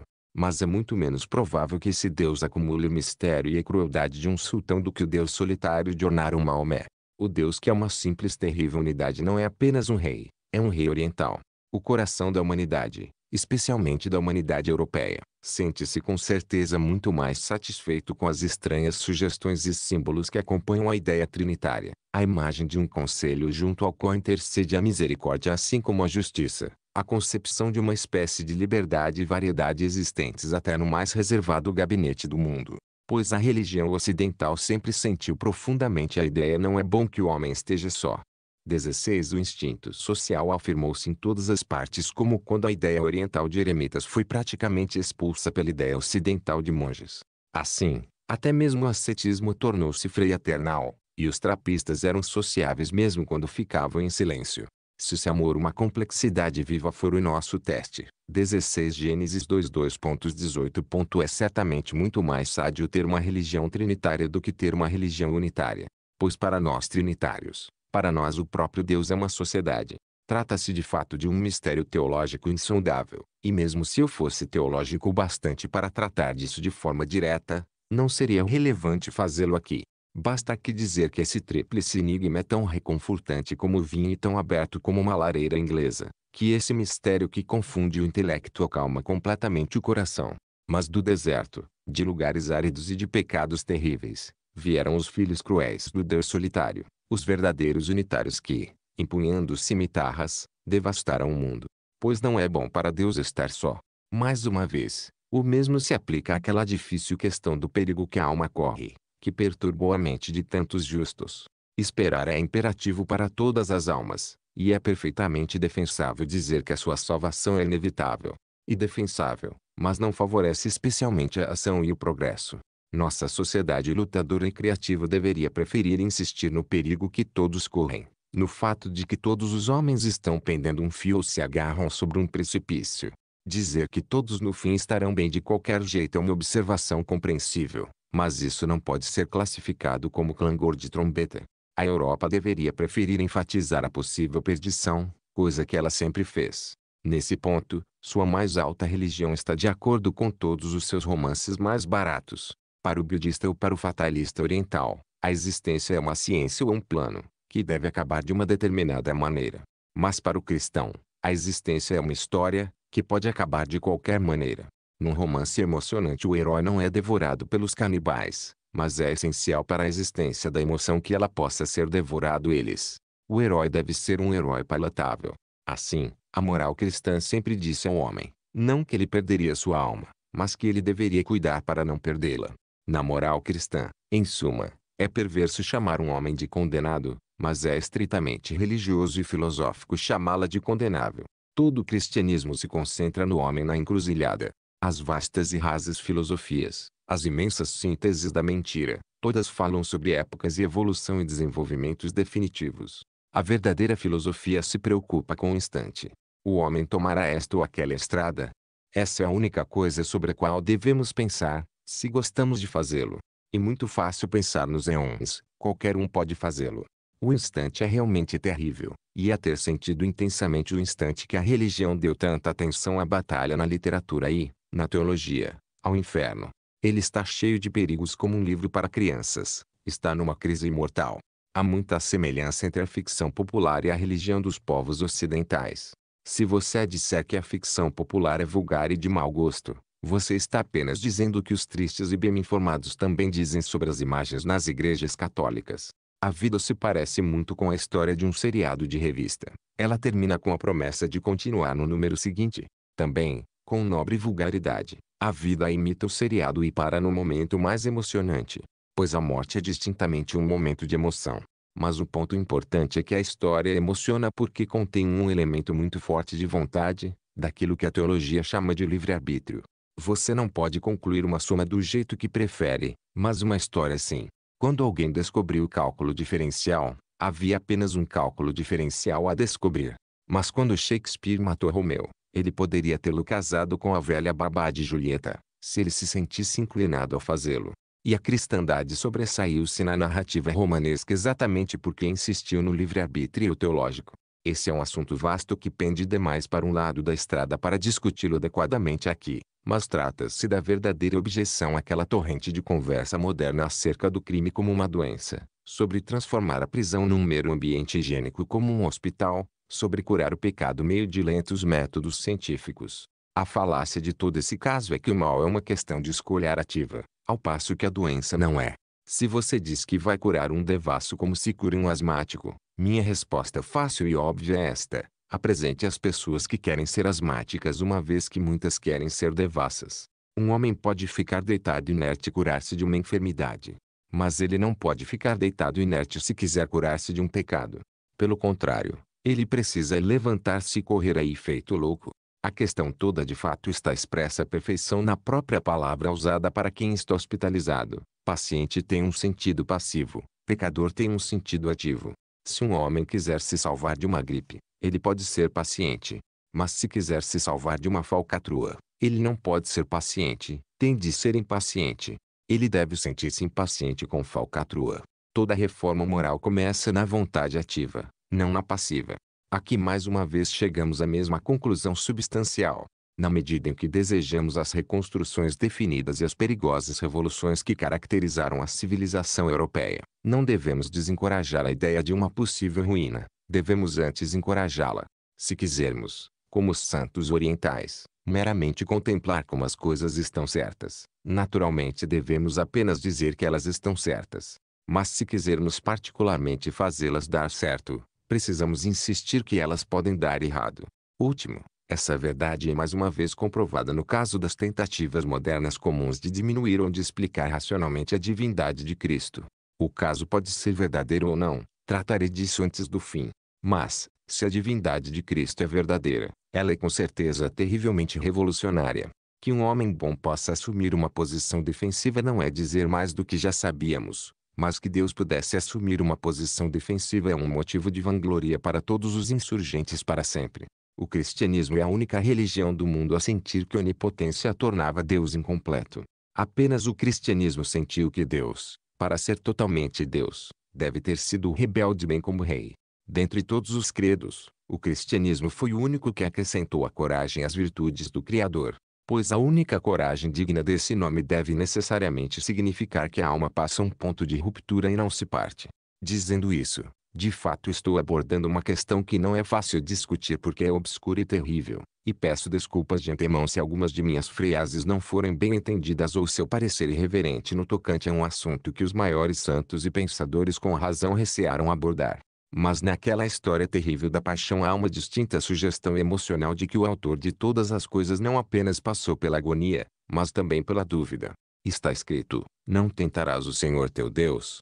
Não, mas o Senhor teu Deus pode tentar-se a si mesmo, e tem-se a impressão de que foi isso que aconteceu no Getsemane. Num jardim Satanás tentou o homem, e num jardim Deus tentou Deus. De alguma forma sobre-humana ele passou pelo horror humano do pessimismo, o mundo foi abalado e o sol desapareceu do céu não no momento da crucificação, mas no momento do grito do alto da cruz, o grito que confessou que Deus foi abandonado Deus. E agora deixemos que os revolucionários escolham um credo dentre todos os credos e um Deus dentre todos os deuses do mundo, ponderando com cuidado todos os deuses de inevitável recorrência e poder inalterável. Eles não encontrarão um outro Deus que tenha ele mesmo passado pela revolta. Não, mas deixemos que os próprios ateus escolham um Deus. Eles encontrarão apenas uma divindade que chegou a expressar a desolação deles, apenas uma religião em que Deus um instante deixou a impressão de ser ateu. Esses podem ser chamados de pontos essenciais da velha ortodoxia, cujo mérito principal é o de ser a fonte natural de revoluções e reformas, cujo defeito principal é o de obviamente consistir apenas em afirmações abstratas. Sua principal vantagem é a de ser a mais corajosa e viril de todas as teologias. Sua principal desvantagem é simplesmente a de ser uma teologia. Sempre se pode insistir que ela, sua natureza, é arbitrária e fica no ar. Mas não fica tão alto no ar para impedir que grandes arqueiros passem toda a vida desferindo flechas contra ela. Isso mesmo, e até suas últimas flechas. Há homens que destroem a si mesmos e destroem a própria civilização se também puderem destruir essa fantástica história. Esse é o fato supremo e mais aterrador envolvendo a fé, que seus inimigos usarão qualquer arma contra ela. As espadas que cortam os próprios dedos e as achas que queimam as próprias casas. Homens que começam a combater a igreja em benefício da liberdade da humanidade e terminam jogando fora a liberdade e a humanidade só para poderem com isso combater a igreja. Não é exagero. Eu poderia encher um livro com exemplos disso. O Sr. Blatford iniciou, como um demolidor bíblico comum, querendo provar que Adão não teve culpa em seu pecado contra Deus, manobrando para defender essa ideia. Ele admitiu, como mera questão secundária, que todos os tiranos, de Nero ao rei Leopoldo, não tiveram culpa em nenhum de seus pecados contra a humanidade. Conheço um homem que tem tal paixão provar que ele não terá uma existência pessoal depois da morte que recorre à tese de que ele não tem uma existência pessoal agora. Invoca o budismo e diz que todas as almas desaparecem uma na outra. Para provar que não pode ir para o céu ele prova que não pode ir para a cidade de Atlipol. Conheci pessoas que protestavam contra a educação religiosa com argumentos contra qualquer tipo de educação, dizendo que a mente da criança deve crescer livre o que os mais velhos não devem ensinar aos jovens. Conheci pessoas que demonstraram que não poderia existir nenhum julgamento divino mostrando que não pode haver nenhum julgamento humano, nem mesmo em prol de objetivos práticos. Elas queimaram o próprio trigo para atear fogo à igreja, destruíram as próprias ferramentas para destruí-la. Qualquer pedaço de pau era bom para bater nela, mesmo que fosse o último pedaço de sua mobília desmantelada. Não admiramos, mal desculpamos o fanático que destroça este mundo pelo amor do outro. Mas que devemos dizer do fanático que destroça este mundo causa do ódio pelo outro? Ele sacrifica a própria existência da humanidade à não existência de Deus. Oferece suas vítimas não para o altar, mas simplesmente para afirmar a inutilidade do altar e o vazio do trono. Ele está disposto a destruir até mesmo aquela ética primária pela qual todas as coisas vivem, em prol de sua estranha e eterna vingança contra alguém que jamais sequer viveu. E, no entanto, a coisa pende dos céus, incólume. Seus opositores só conseguem destruir tudo aquilo a que eles mesmos com justiça dão valor. Não destroem a ortodoxia, destroem apenas o sentido comum e político de coragem. Não provam que Adão não foi responsável perante Deus, como poderiam fazê-lo. Provam apenas que o czar não é responsável perante a Rússia. Não provam que Adão não deveria ter sido punido Deus. Provam apenas que o patrão explorador mais próximo não deveria ser punido pelos homens com suas dúvidas orientais sobre a personalidade, não nos dão certeza de que não teremos uma vida pessoal depois da morte, apenas nos dão certeza de que não teremos uma vida muito divertida ou completa aqui. Com suas sugestões paralisantes de que todas as conclusões saem erradas, não rasgam o livro do anjo do registro, apenas tornam um pouco mais difícil fazer a contabilidade de Marçal e Snellgrove. Não é apenas verdade que a fé é a mãe de todas as energias deste mundo, mas é também verdade que os inimigos dela são os pais de toda a confusão do mundo.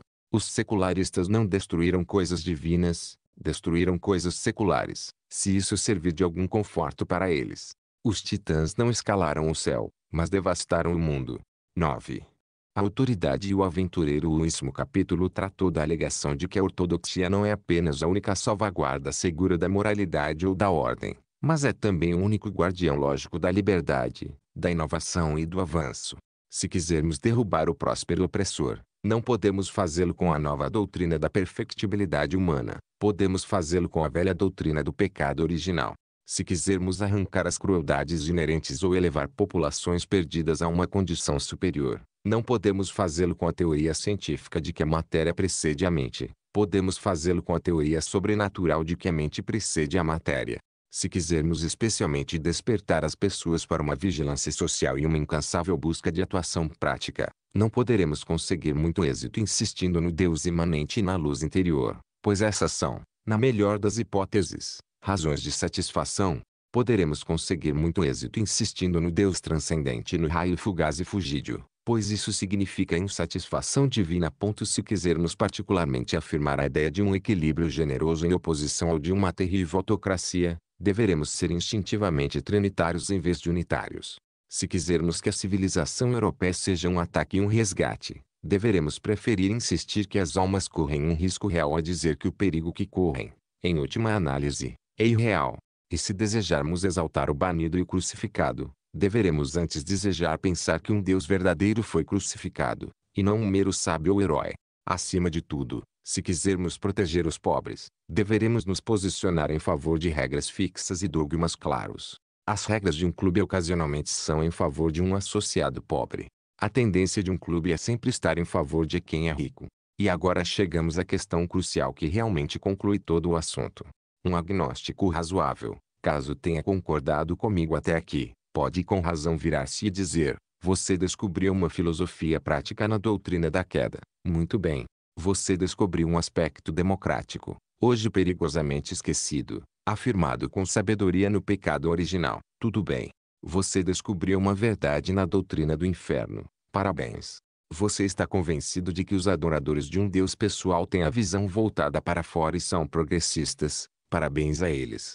Mas, mesmo supondo que essas doutrinas de fato incluam essas verdades, que você não pode tomar as verdades e deixar as doutrinas, admitindo-se que toda sociedade moderna confia demais nos ricos porque ela não leva em consideração a fraqueza humana, admitindo-se que as épocas ortodoxas tiveram grandes vantagens porque elas levavam em consideração a fraqueza humana, que não pode simplesmente aceitar a fraqueza humana sem acreditar na queda. Se você descobriu que a ideia da condenação representa uma ideia sadia de perigo, que não pode simplesmente tomar a ideia do perigo e deixar a da condenação, se você enxerga com clareza a amêndoa do bom senso na velã da ortodoxia cristã, que não pode simplesmente tomar a amêndoa e deixar a velã, que você não pode, que você simplesmente não toma o que é bom no cristianismo, o que você define como valioso, o que se pode compreender, e deixa todo o resto, todos os dogmas absolutos que sua natureza são incompreensíveis. Essa é a verdadeira questão, essa é a última questão, e é um prazer tentar responder-lhe. A primeira resposta é simplesmente dizer que sou racionalista. Gosto de ter alguma justificativa intelectual para minhas intuições. Quando estou tratando do homem como um ser decaído, é para mim uma conveniência intelectual acreditar que ele caiu, e eu acho, alguma estranha razão psicológica, que posso lidar melhor com o exercício humano do livre-arbítrio acreditando que o homem dispõe dele. Mas nessa questão sou ainda mais racionalista. Eu não me proponho transformar este livro numa apologética cristã comum. Gostaria de me encontrar em qualquer outra ocasião com os inimigos do cristianismo nessa arena mais óbvia. Aqui estou apenas dando uma explicação do meu crescimento na certeza espiritual. Mas posso fazer uma pausa para observar que quanto mais eu entendi os argumentos meramente abstratos contra a cosmologia cristã, tanto menos eu os admirava. Quero dizer que, depois de descobrir que a atmosfera moral da encarnação era senso comum, passei a analisar os argumentos intelectuais estabelecidos contra a encarnação e descobri que eram disparates comuns. Caso se venha a pensar que a argumentação padece com a ausência da apologética comum, vou agora, muito brevemente, resumir os meus argumentos e conclusões sobre a verdade puramente objetiva ou científica da questão. Se me perguntarem, num sentido puramente intelectual, que acredito no cristianismo, só posso responder assim, pela mesma razão que faz um agnóstico inteligente não acreditar nele. Acredito no cristianismo de modo totalmente racional, com base na evidência. Mas a evidência no meu caso, como no caso do agnóstico inteligente, não está nesta ou naquela alegada demonstração, está num enorme acúmulo de fatos pequenos, mas unânimes, não se deve culpar o secularista porque suas objeções ao cristianismo são heterogêneas e desconexas, pois são precisamente essas provas desconexas que de fato convencem a mente. Quero dizer que alguém pode sentir-se menos convencido acerca de uma filosofia causa de quatro livros do que causa de um livro, uma batalha, uma paisagem e um velho amigo. Exatamente serem coisas de espécies diferentes, pesa mais o fato de todos apontarem para uma única conclusão. Ora, para fazer justiça, Deve-se dizer que o não cristianismo da média das pessoas escolarizadas de hoje quase sempre consiste nessas experiências avulsas, mas vivas. Só posso dizer que as minhas provas em favor do cristianismo são da mesma vivida mais variada espécie das provas contra ele. Pois quando considero essas diversas verdades anticristãs, simplesmente descubro que nenhuma delas é verdadeira. Descubro que a verdadeira correnteza e força de todos os fatos flui na direção contrária. Tomemos alguns casos. Muitos homens modernos sensatos devem ter abandonado o cristianismo pela pressão de três convicções convergentes como estas. Primeiro, a convicção de que os homens, com sua forma, estrutura e sexualidade, são no fim das contas muito semelhantes às feras, uma simples variedade do reino animal. Segundo, que a religião primitiva surgiu da ignorância e do medo. Terceiro, que os sacerdotes imprimiram na sociedade as marcas da amargura e da melancolia. Esses três argumentos anticristãos são muito diferentes, mas são todos muito lógicos e legítimos, são todos convergentes. Percebo que a única objeção a eles é que são todos falsos. Se você parar de olhar para livros sobre os animais e os homens e começar a olhar diretamente para os animais e os homens, você observará que o que assusta não é quanto o homem se assemelha aos animais, mas quanto ele difere deles. É a monstruosa escala de sua divergência que exige explicação. Que o homem e os animais são iguais é, num certo sentido, um truísmo, mas que, sendo tão iguais, eles sejam tão disparatadamente desiguais. Esse é o choque e o enigma. O fato de um macaco ter mãos é muito menos interessante para o filósofo do que o fato de que, tendo mãos, ele não faz quase nada com elas, não estala os dedos, nem toca violino, não entalha o mármore, nem trincha costeletas de carneiro. Fala-se de arquitetura bárbara e de arte inferior. Mas os elefantes não constroem colossais templos de marfim nem mesmo no estilo rococó. Os camelos não pintam nem mesmo quadros ruins embora estejam equipados com o material de muitos pincéis de pelo de camelo. Certos sonhadores modernos dizem que as formigas têm uma organização social superior à nossa. Elas têm de fato uma civilização, mas exatamente essa verdade só nos fez lembrar de que é uma civilização inferior. Quem jamais descobriu um formigueiro decorado com as estátuas de formigas famosas? Quem já viu uma colmeia na qual estivessem esculpidas as imagens de esplêndidas rainhas de outrora? Não, o abismo entre o homem e as outras criaturas pode ter uma explicação natural, mas é um abismo. Falamos de animais selvagens, mas o único animal selvagem é o homem. Foi o homem que se evadiu. Todos os outros animais são domésticos e seguem a inflexível respeitabilidade de sua tribo ou espécie. Todos os outros animais são domésticos. Apenas o homem é sempre indômito, seja ele um devasso, seja ele um monge. Assim, essa primeira razão superficial do materialismo é, na melhor das hipóteses, um bom motivo para acreditar-se no contrário. É exatamente onde a biologia para que a religião começa. Constataríamos a mesma coisa se examinássemos o segundo dos três argumentos racionalistas escolhidos aleatoriamente, o argumento de que tudo o que chamamos de divino começou em alguma espécie de escuridão e terror.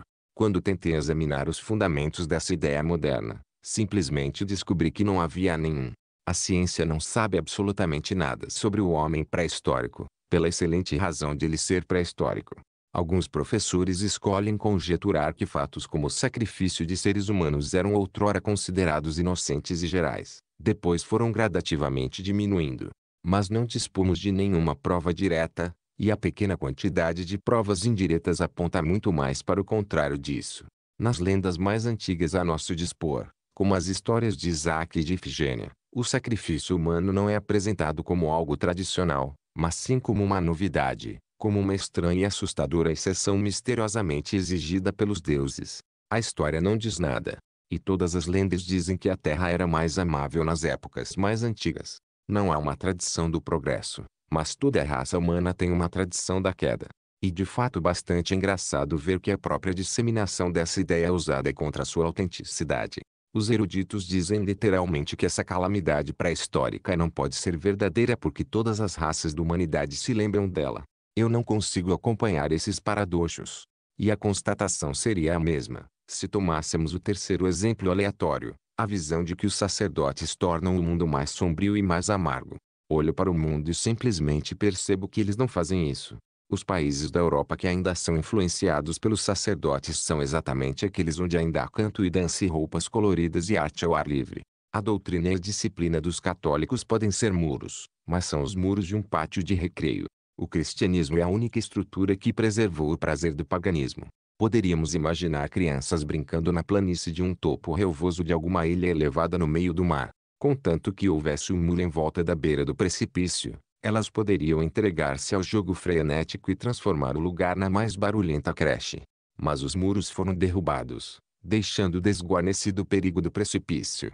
As crianças não caíram, mas quando seus amigos voltaram, elas estavam todas amontoadas cheias de terror no centro da ilha, e sua canção já havia cessado. Assim os três fatos da experiência, fatos esses que servem para fazer um agnóstico, são, segundo esta visão, totalmente virados ao contrário. Resta-me dizer, traga-me uma explicação. Primeiro, da altaneira excentricidade do homem entre os animais. Segundo, da vasta tradição de uma certa felicidade antiga. Terceiro, da perpetuação parcial dessa alegria pagã nos países da Igreja Católica. Uma explicação, de qualquer modo, cobre os três casos. A teoria de que duas vezes a ordem natural foi interrompida alguma dessas explosões ou revelações que hoje são chamadas de psíquicas. Uma vez o céu desceu sobre a terra com um poder ou selo chamado imagem de Deus, mediante a qual o homem assumiu o comando da natureza. E mais uma vez o céu veio salvar a humanidade na forma terrível de um homem. Isso explicaria que a massa dos homens sempre olha para trás, e que o único lugar onde eles, em todos os sentidos, olham para diante é o pequeno continente onde Cristo tem a sua igreja. Eu sei que se dirá que o Japão se tornou progressista. Mas como isso pode ser uma resposta quando, mesmo dizendo que o Japão se tornou progressista, nós de fato só queremos dizer que o Japão se tornou europeu. Todavia, mais do que insistir na minha explicação, desejo aqui ressaltar a minha observação original. Concordo com o descrente comum da rua em me deixar guiar esses três ou quatro fatos, todos eles apontando para alguma coisa, só que, quando passei a examinar os fatos, sempre constatei que eles apontavam para alguma outra coisa diferente. Apresentei uma tríade imaginária desses argumentos anticristãos comuns. Caso isso constitua uma base muito estreita, sob o impulso do momento, Vou apresentar mais uma. Estes são os pensamentos que, combinados, criam a impressão de que o cristianismo é algo friaco e doente. Primeiro, exemplo, que Jesus foi uma criatura gentil, acanhada e espiritual, exercendo sobre o mundo um mero apelo ineficaz. Segundo, que o cristianismo surgiu e prosperou nas épocas sombrias da ignorância, e que de volta para tais épocas a igreja nos arrastaria. Terceiro, que os povos ainda fortemente religiosos ou supersticiosos, como, exemplo, os irlandeses, são friacos, pouco práticos e atrasados. Só menciono essas ideias para afirmar a mesma coisa, que, quando as examinei separadamente, descobri, não que as conclusões eram antifilosóficas, mas simplesmente que os fatos não eram fatos. Em vez de examinar livros e quadros sobre o Novo Testamento, examinei o próprio Novo Testamento. Ali descobri um relato que absolutamente não mostrava uma pessoa de cabeleira partida ao meio de mãos entrelaçadas num gesto de súplica, mas mostrava um ser extraordinário com lábios de trovão e atos terrivelmente decididos, que derrubava mesas, expulsava demônios, passava com o bravio sigilo do vento do isolamento da montanha para uma espécie de medonha demagogia, um ser que muitas vezes agia como um deus irado, e sempre como um deus. Cristo tinha até um estilo literário próprio, que, na minha opinião, não encontramos em nenhuma outra parte, consiste no uso quase furioso do a fortiori. Seus quanto mais acumulam-se um sobre o outro como um sobre o outro se acumulam os castelos nas nuvens. As palavras usadas a respeito de Cristo têm sido, talvez sabiamente, doce e submissas. Mas as palavras usadas por Cristo são curiosamente gigantescas, cheias de camelos passando buracos de agulhas e montanhas arremessadas ao mar. Do ponto de vista moral, elas são igualmente tremendas. Ele chamou a si mesmo de espada da matança e pediu aos homens que comprassem espadas, mesmo que para isso tivessem de vender suas vestes.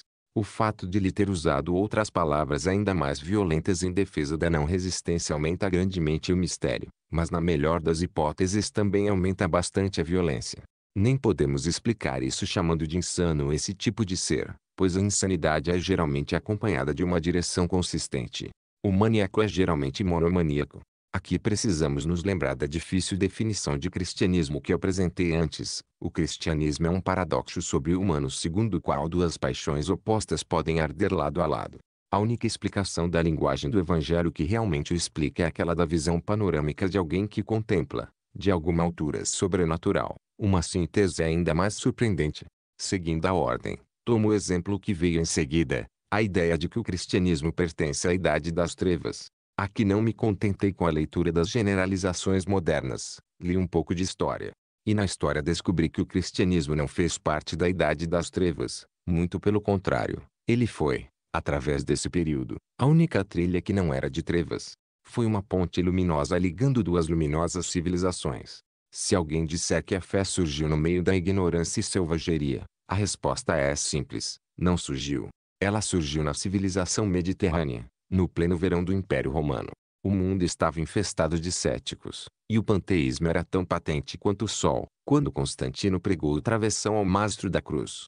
E absolutamente verdade que em seguida o navio afundou, mas é muito mais extraordinário que o navio voltou novamente à tona, com pintura nova e cintilante, com a cruz ainda lá no alto. Esse é o feito maravilhoso que a religião realizou. Ela transformou um navio afundado num submarino. A arca viveu sob o peso das águas. Depois de ficarmos enterrados sob o entulho de dinastias e clãs, nós nos levantamos e nos lembramos de Roma.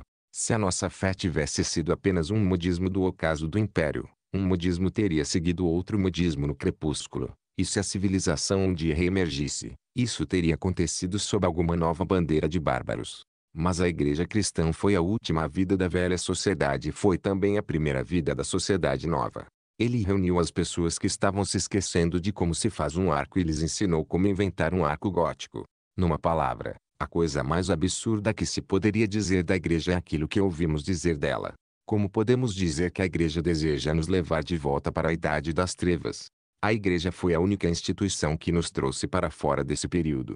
Nessa segunda tríade de objeções incluí mais um exemplo sem nenhum fundamento proporcionado àqueles que acham que gente como os irlandeses foi enfraquecida ou estagnada pela superstição. Eu só incluí neste ponto porque se trata de um caso peculiar de uma afirmação de fato que se revela a afirmação de uma falsidade. Sempre se diz que os irlandeses não são práticos. Mas se deixarmos um momento de olhar para o que se afirma a respeito deles e olharmos para o que se faz com eles, veremos que os irlandeses não apenas são práticos, mas, a duras penas, muito bem-sucedidos. A pobreza do seu país, a minoria de seus membros representam simplesmente as condições sob as quais eles têm de trabalhar mas nenhum outro grupo no Império Britânico fez tanto em tais condições. Os nacionalistas foram a única minoria que jamais foi capaz de forçar todo o parlamento britânico a sair totalmente dos trilhos. Os camponeses irlandeses são os únicos pobres destas ilhas que fizeram seus patrões retroceder. Essas pessoas, que descrevemos como dominadas padres, são os únicos bretões que não serão dominados fidalgos rurais. E quando passei a examinar o caráter real dos irlandeses, o caso mostrou-se o mesmo. Os irlandeses são os melhores em profissões especialmente difíceis, a do soldado, do advogado e do comerciante de ferro. Em todos esses casos, portanto, cheguei à mesma conclusão. O cético estava muito certo em pautar-se pelos fatos, só que ele não havia analisado os fatos. O cético é crédulo demais, acredita em jornais ou até mesmo em enciclopédias. Mais uma vez as três questões me deixaram com outras três questões muito antagônicas. O cético mediano queria saber como eu explicava o cunho piegas do texto evangélico, a conexão do credo com as trevas medievais e a inviabilidade política dos celtas cristãos. Mas eu queria perguntar, e perguntar com uma seriedade que chega a ser urgência, o que é essa incomparável energia, que aparece primeiro em alguém que percorre a Terra como um julgamento vivo, e essa energia que pode morrer com uma civilização moribunda e, no entanto, a força a ressuscitar dos mortos. Essa energia que no fim de tudo pode inflamar um campesinato falido com uma fé tão fervorosa na justiça que os campesinos conseguem o que pedem, ao passo que outros saem de mãos vazias, de modo que a mais desamparada ilha do império consegue de fato ajudar-se a si mesma. Há uma resposta. Ela serve para dizer que a energia vem realmente de fora do mundo, é psíquica ou, no mínimo, é um dos resultados de uma perturbação psíquica real. Deve-se o maior respeito e gratidão às grandes civilizações humanas tais como a antiga civilização egípcia e a atual civilização chinesa. Todavia, não se comete nenhuma injustiça contra elas dizendo que a Europa moderna sempre exibiu um poder de autorrenovação que muitas vezes recorre a pequenos intervalos e desce aos menores detalhes de sua arquitetura ou tradição. Todas as outras civilizações no fim morrem e morrem com dignidade. Nós morremos todos os dias. Estamos sempre renascendo com uma obstetrícia quase indecente. Não chega a ser um exagero dizer que há na cristandade histórica uma espécie de vida não natural. Ela poderia ser explicada como uma vida sobrenatural. Poderia ser explicada como uma terrível vida galvânica agindo no que teria sido um cadáver. Pois a nossa civilização deveria ter morrido. Todos os paralelos, todas as probabilidades sociológicas, na Ragnarok 17 do fim de Roma. Essa é a estranha inspiração de nosso Estado. Você e eu não temos nenhuma razão de estarmos aqui. Somos todos espectros. Todos os cristãos viventes são pagãos que morreram e andam aí. Exatamente quando a Europa estava para recolher-se ao silêncio diante da Síria e da Babilônia, algo tomou conta de seu 17 morte dos deuses. Corpo.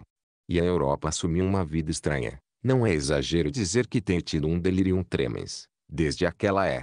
Tratei demoradamente dessa típica tríade de dúvidas a fim de transmitir o argumento mais importante, que a minha tese pessoal em defesa do cristianismo é racional, mas não é simples. Trata-se de um acúmulo de vários fatos, como no caso da atitude do agnóstico. Mas o agnóstico comum entendeu seus fatos de modo totalmente errado. Ele é um descrente inúmeras razões, mas são razões falsas. Ele duvida porque a Idade Média foi de bárbaros, mas não foi, porque o darwinismo está demonstrado, mas não está, porque os milagres não acontecem, mas acontecem, porque os monges eram preguiçosos, mas eles eram muito ativos, porque as freiras são infelizes, mas elas são particularmente alegres, porque a arte cristã era triste e pálida, mas ela era representada com cores peculiarmente vivas e com o brilho do ouro, porque a ciência moderna está se afastando do sobrenatural, mas ela não está, está se movendo na direção do sobrenatural com a rapidez de um trem. Mas entre esses milhões de fatos fluindo todos numa mesma direção há, naturalmente, uma questão bastante sólida e separada para ser vista brevemente, mas em destaque. Refiro-me à ocorrência objetiva do sobrenatural. Em outro capítulo já mostrei a falácia da suposição comum de que o mundo é impessoal ser ordenado. Alguém tanto pode desejar uma coisa ordenada quanto uma coisa desordenada. Mas a minha convicção de que a criação pessoal é mais aceitável do que a fatalidade material é, num certo sentido, eu admito, indiscutível. Não a chamarei de fé ou de intuição, pois essas palavras se confundem com a mera emoção. Trata-se de uma convicção estritamente intelectual, mas é primeiramente uma convicção intelectual com a certeza que o eu tem de que a vida é boa. Quem preferir pode, portanto, chamar minha crença em Deus de meramente mística. Não vale abrigar essa frase. Mas a minha crença de que milagres têm acontecido na história humana não é de modo algum mística. Eu acredito com base em provas humanas assim como acredito no descobrimento da América. Nesse ponto há um simples fato lógico que é preciso apenas declarar e esclarecer. Ponto surgiu de algum modo a ideia extraordinária de que os descrentes de milagres os analisam com frieza e justiça, ao passo que os crentes em milagres os aceitam apenas em conexão com algum dogma. O fato é totalmente o contrário. Os que creem em milagres os aceitam porque têm provas deles. Os que não creem neles os negam porque têm uma doutrina contra eles. A atitude óbvia, democrática, é acreditar numa velhinha que vende maçãs quando ela dá testemunho de um milagre, exatamente como se acredita numa velhinha que vende maçãs quando ela dá testemunho de um crime. A tendência popular pura e simples é confiar na palavra de um camponês sobre um fantasma exatamente na mesma medida em que se confia na palavra dele acerca do seu senhorio. Sendo um camponês, ele provavelmente terá uma boa dose de saudável agnosticismo acerca das duas coisas. Mesmo assim, seria possível encher o Museu Britânico com testemunhos proferidos camponeses e oferecidos em favor do fantasma. Quando se trata de testemunho humano, há uma sufocante enxurrada de testemunhos em favor do sobrenatural.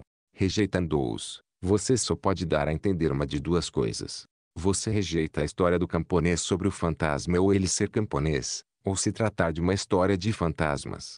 Isto é, ou você nega o princípio fundamental da democracia, ou afirma o princípio fundamental do materialismo, a impossibilidade abstrata de milagres. Você tem todo o direito de agir assim, mas neste caso você é que é dogmatista. Somos nós, os cristãos, que aceitamos todas as provas reais. São vocês, os nacionalistas, que refutam as provas reais e são obrigados a fazê-lo pelo seu credo. Mas não sou forçado nenhum credo nessa questão e examinando imparcialmente certos milagres dos tempos medievais e modernos cheguei à conclusão de que eles aconteceram. Toda argumentação contra esses fatos evidentes é sempre uma argumentação em círculo.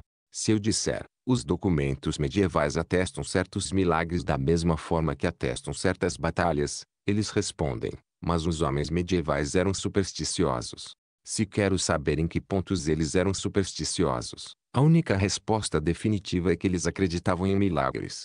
Se eu disser que um camponês viu um fantasma, eles me dizem que os camponeses são muito crédulos. Se eu perguntar que são crédulos, a única resposta é que eles veem fantasmas. A Islândia não pode existir porque apenas alguns marinheiros idiotas já viram. E os marinheiros só são idiotas dizerem que viram a Islândia. E simplesmente justo acrescentar que há um outro argumento que o descrente pode usar racionalmente contra os milagres, embora ele geralmente se esqueça de usá-lo. Ele pode dizer que houve, em muitas histórias de milagres, uma noção de preparação e aceitação espirituais, em suma, que o milagre só podia acontecer para quem acreditava nele. Isso pode ser verdade, E se for verdade, como devemos testá-lo? Se estamos indagando se certos resultados acompanham a fé, é inútil repetir até a exaustão que, se acontecem, eles acompanham a fé. Se uma das condições é a fé, o sem fé tem o mais saudável direito de rir, mas não tem o direito de julgar. Ser crente pode ser, se você quiser, tão ruim quanto ser bêbado. Mesmo assim, se você estivesse extraindo fatos psicológicos de bêbados, seria absurdo continuamente zombar deles estarem bêbados.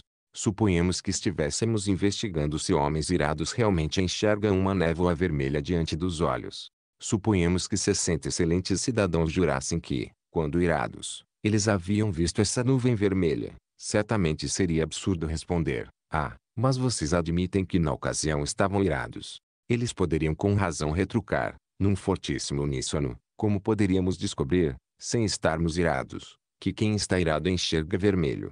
Assim, os santos e os ascetas poderiam racionalmente replicar, suponhamos que indagação seja saber se quem tem fé pode ter visões. Mesmo nesse caso, se você está interessado em visões não faz nenhum sentido objetar aos que têm fé. Você está sempre argumentando em círculo, aquele velho círculo da loucura com o qual iniciamos este livro. A indagação sobre a ocorrência de milagres é uma pergunta de senso comum e de imaginação histórica ordinária, não de algum experimento físico conclusivo.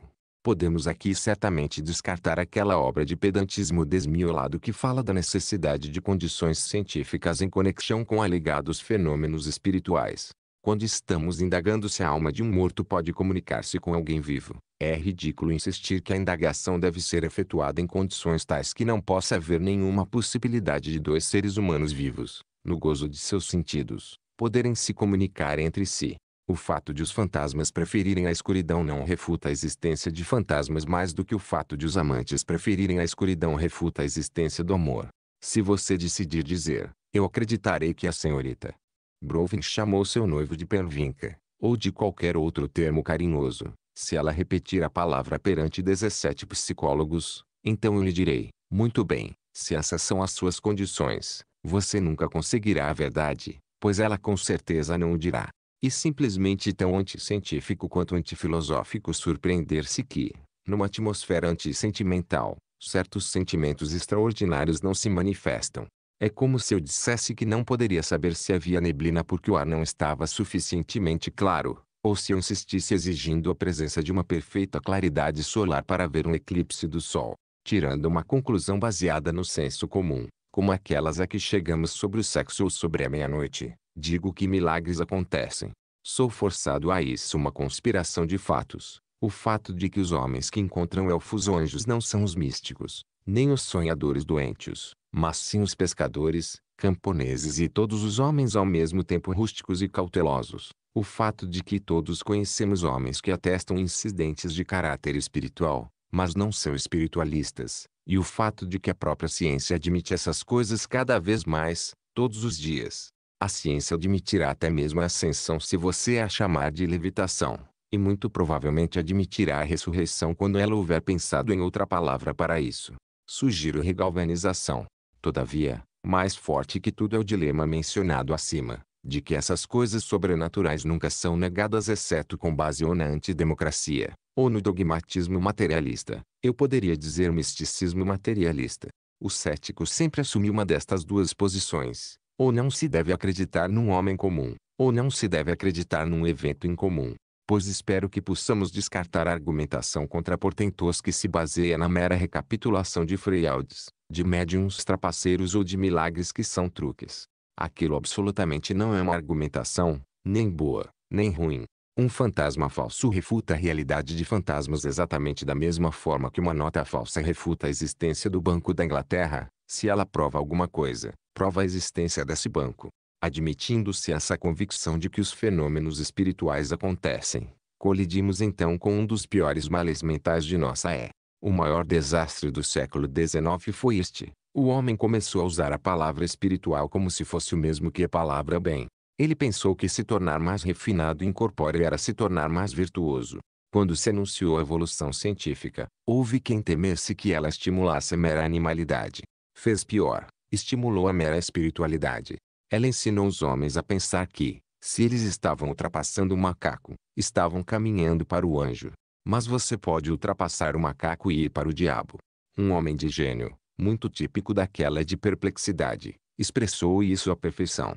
Benjamin de Israeli acertou quando disse que estava do lado dos anjos. Estava mesmo, estava do lado dos anjos decaídos. Ele não estava do lado de algum mero apetite ou da brutalidade animal, mas estava também do lado do imperialismo dos príncipes do abismo. Estava do lado da arrogância e do mistério e do desprezo todo bem óbvio.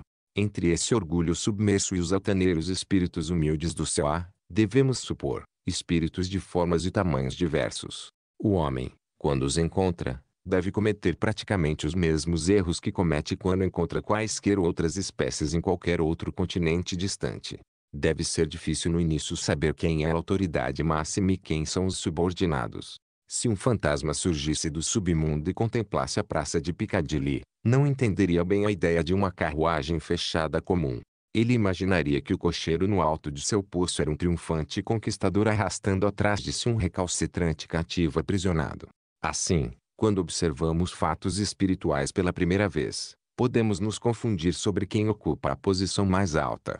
Não basta descobrir os deuses, eles são óbvios. Precisamos descobrir a Deus, o verdadeiro chefe dos deuses. Precisamos ter uma longa experiência histórica em fenômenos sobrenaturais, para descobrir quais são de fato naturais. À luz disso percebo que a história do cristianismo, e até mesmo de suas origens judaicas, é muito prática e clara. Não vejo problema se me disserem que o Deus hebreu era um entre muitos. Eu sei que era, sem precisar que nenhuma pesquisa me mostre isso.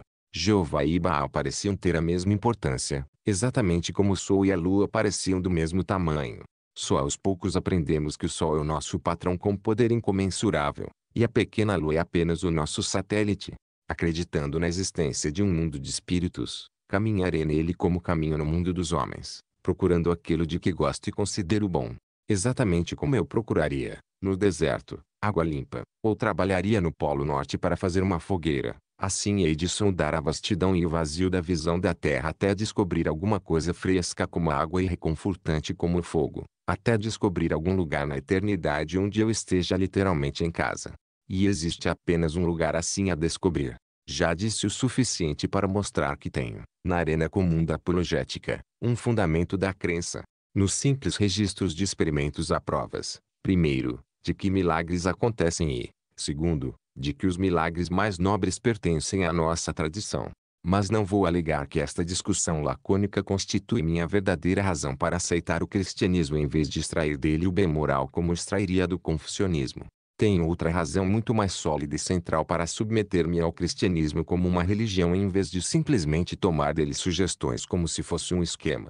E é a seguinte, a igreja cristã em sua relação prática com a minha alma é mestra viva, não mestra morta. Ela não apenas me ensinou com certeza ontem, mas quase com certeza me ensinará amanhã. Certa vez de repente seis o significado da forma da cruz. Algum dia de repente poderei ver o significado da forma da mitra. Certa manhã livre entendi que as janelas são pontiagudas. Uma bela manhã poderei ver que os padres são tonsurados. Platão lhe disse uma verdade, mas Platão está morto. Shakespeare o assustou com uma imagem, mas Shakespeare já não o assustará mais. Mas imagine o que seria conviver com esses homens, saber que Platão poderia aparecer amanhã com uma aula original, ou que Shakespeare a qualquer momento poderia estilhaçar tudo com uma única canção. Quem vive em contato com o que acredita ser uma igreja viva é alguém que sempre espera encontrar-se com Platão e Shakespeare no café da manhã. E alguém que sempre espera descobrir uma verdade nunca vista antes. Existe apenas outro paralelo dessa posição, e é o paralelo da vida em que todos fomos iniciados. Quando seu pai lhe disse, caminhando pelo jardim, que as abelhas picam, ou que as rosas têm cheiro agradável, vocês não conversavam sobre extrair o melhor de sua filosofia. Quando as abelhas o picaram, você não considerou o fato uma coincidência engraçada. Quando a rosa exalou seu perfume agradável, você não disse, meu pai é um rude símbolo bárbaro, que guarda como num relicário as profundas e delicadas verdades de que as flores têm cheiro. Não, você acreditou em seu pai porque já tinha descoberto que ele era uma fonte viva de fatos, alguém que realmente sabia mais que você, alguém que lhe diria a verdade amanhã assim como a dizia hoje.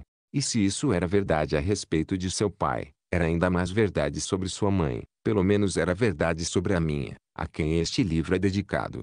Ora, quando a sociedade está fazendo um estardalhaço fútil acerca da sujeição das mulheres, será que ninguém dirá como cada homem está endividado à tirania e ao privilégio das mulheres, ao fato de que somente elas dominam a educação até que a educação se torne fútil? Pois um menino só é enviado à escola quando já é tarde demais para lhe ensinar alguma coisa. A verdadeira educação já está pronta, e graças a Deus ela é quase sempre feita a mulheres. Todos os homens tornam-se femininos, simplesmente nascerem fala-se da mulher masculina, mas todos os homens são feminizados. E se um dia os homens se dirigirem para Westminster a fim de protestar contra esse privilégio feminino, eu não entrarei na procissão deles, pois me lembro com certeza deste fato psicológico. Exatamente né em que eu estava mais sujeito à autoridade da mulher estava mais repleto de fogo e aventura. Exatamente porque, quando minha mãe dizia que as formigas picavam, elas de fato picavam, e porque a neve chegava no inverno, Portanto, para mim todo mundo era um país de conto de fadas de feitos maravilhosos, e era como viver em alguma hebraica, quando uma profecia após outra se concretizava. Saí como criança para o jardim, que era para mim um lugar terrível, precisamente porque eu tinha informações sobre ele. Se eu não tivesse nenhuma informação, ele não teria sido terrível, mas sim doméstico. Uma simples vastidão sem significado nem sequer impressiona. Mas o jardim da minha infância era fascinante justamente porque tudo tinha um significado fixo que podia ser descoberto no seu tempo devido. Centímetro centímetro, eu poderia descobrir o que era aquele objeto de formato feio chamado ancinho, ou formar alguma vaga hipótese sobre a razão de meus pais terem um gato. Assim, desde que aceitei o cristianismo como uma mãe e não apenas como um exemplo aleatório, percebi que a Europa e o mundo mais uma vez são como o pequeno jardim onde fixei os olhos nas formas simbólicas do gato e do ancinho.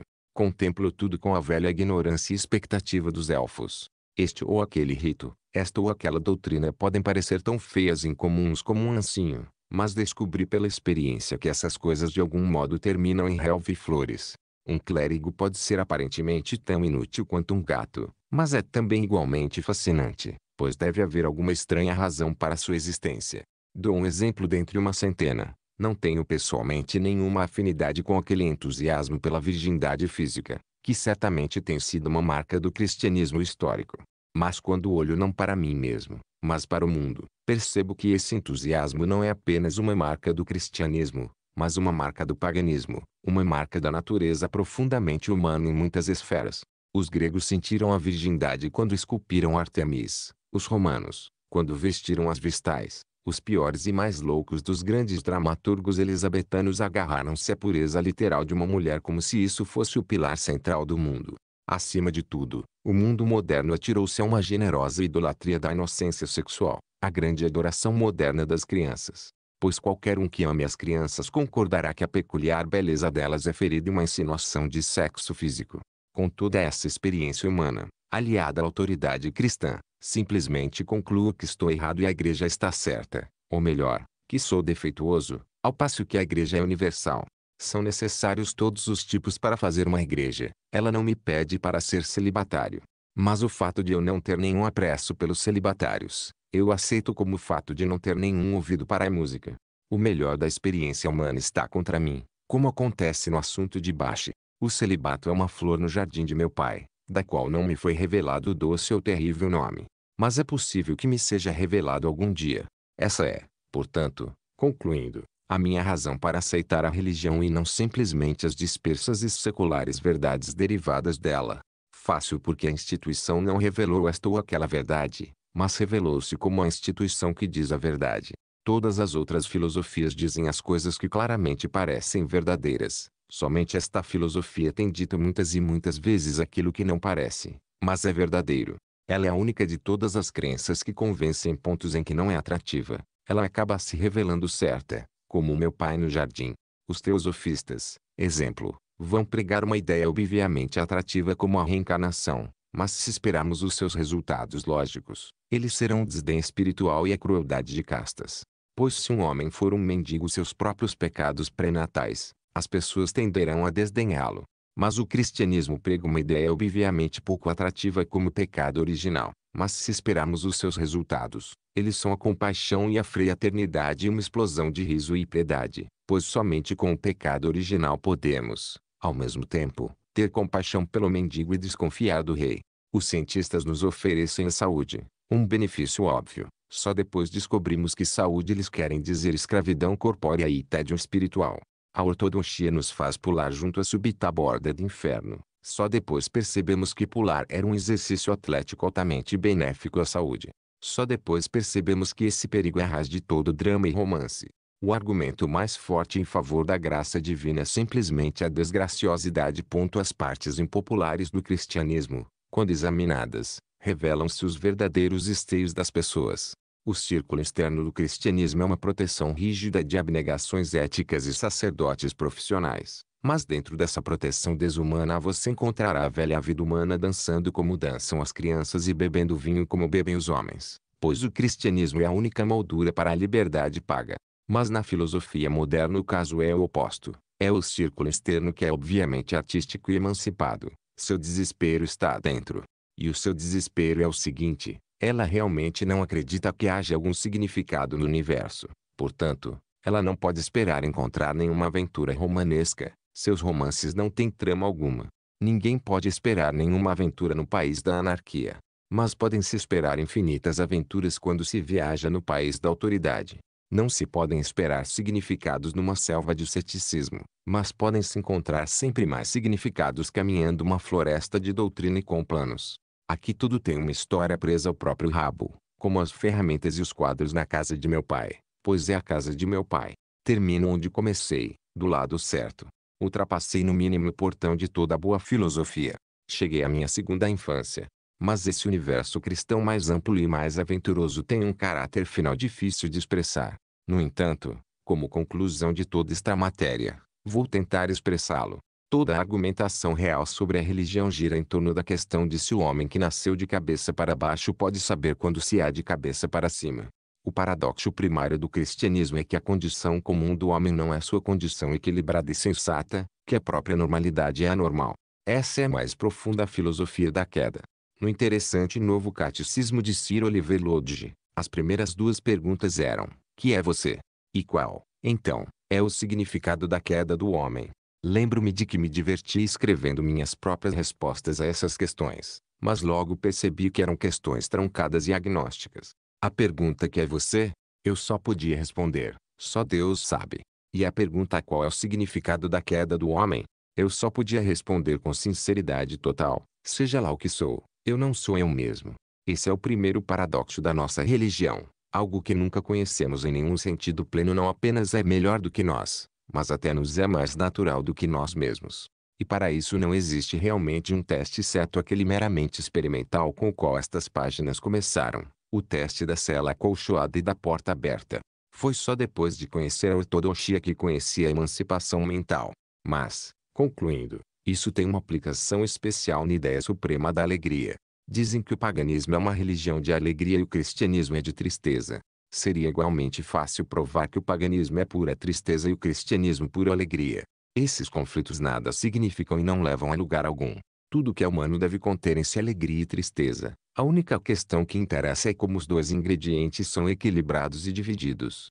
E a coisa realmente interessante é a seguinte, que o pagão sentia-se em geral cada vez mais feliz à medida que se aproximava da terra, mas cada vez mais triste à medida que se aproximava dos céus. Alegria do melhor paganismo, como na jocosidade de Catulo ou Teócrito, é, de fato, uma alegria eterna que nunca deve ser esquecida uma humanidade grata. Mas é uma alegria totalmente voltada para os fatos da vida, não envolvendo a origem dela. Para o pagão, as menores coisas são doces como os menores riachos que rompem da montanha, mas as coisas maiores são amargas como o mar. Quando o pagão olha para o verdadeiro âmago do cosmos, ele de súbito se sente gelado. Traz dos deuses, que são meramente despóticos, sentam-se as parcas, que são mortais. Melhor dizendo, as parcas são piores que mortais, elas estão mortas. E quando os racionalistas dizem que o mundo antigo era mais esclarecido que o mundo cristão, do seu ponto de vista eles estão certos. Pois quando dizem esclarecido querem dizer obscurecido um incurável desespero.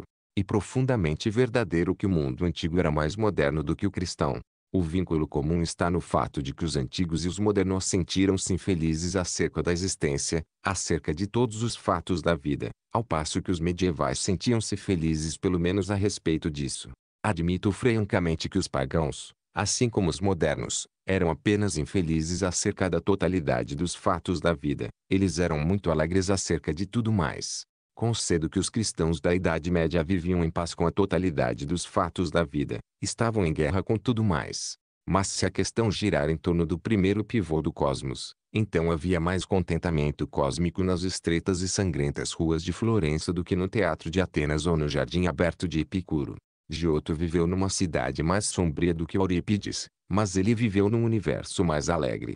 A massa humana tem sido forçada a sentir-se alegre acerca de coisas pequenas, mas a entristecer-se acerca de coisas grandes. Apesar disso, não é natural para o homem ser assim.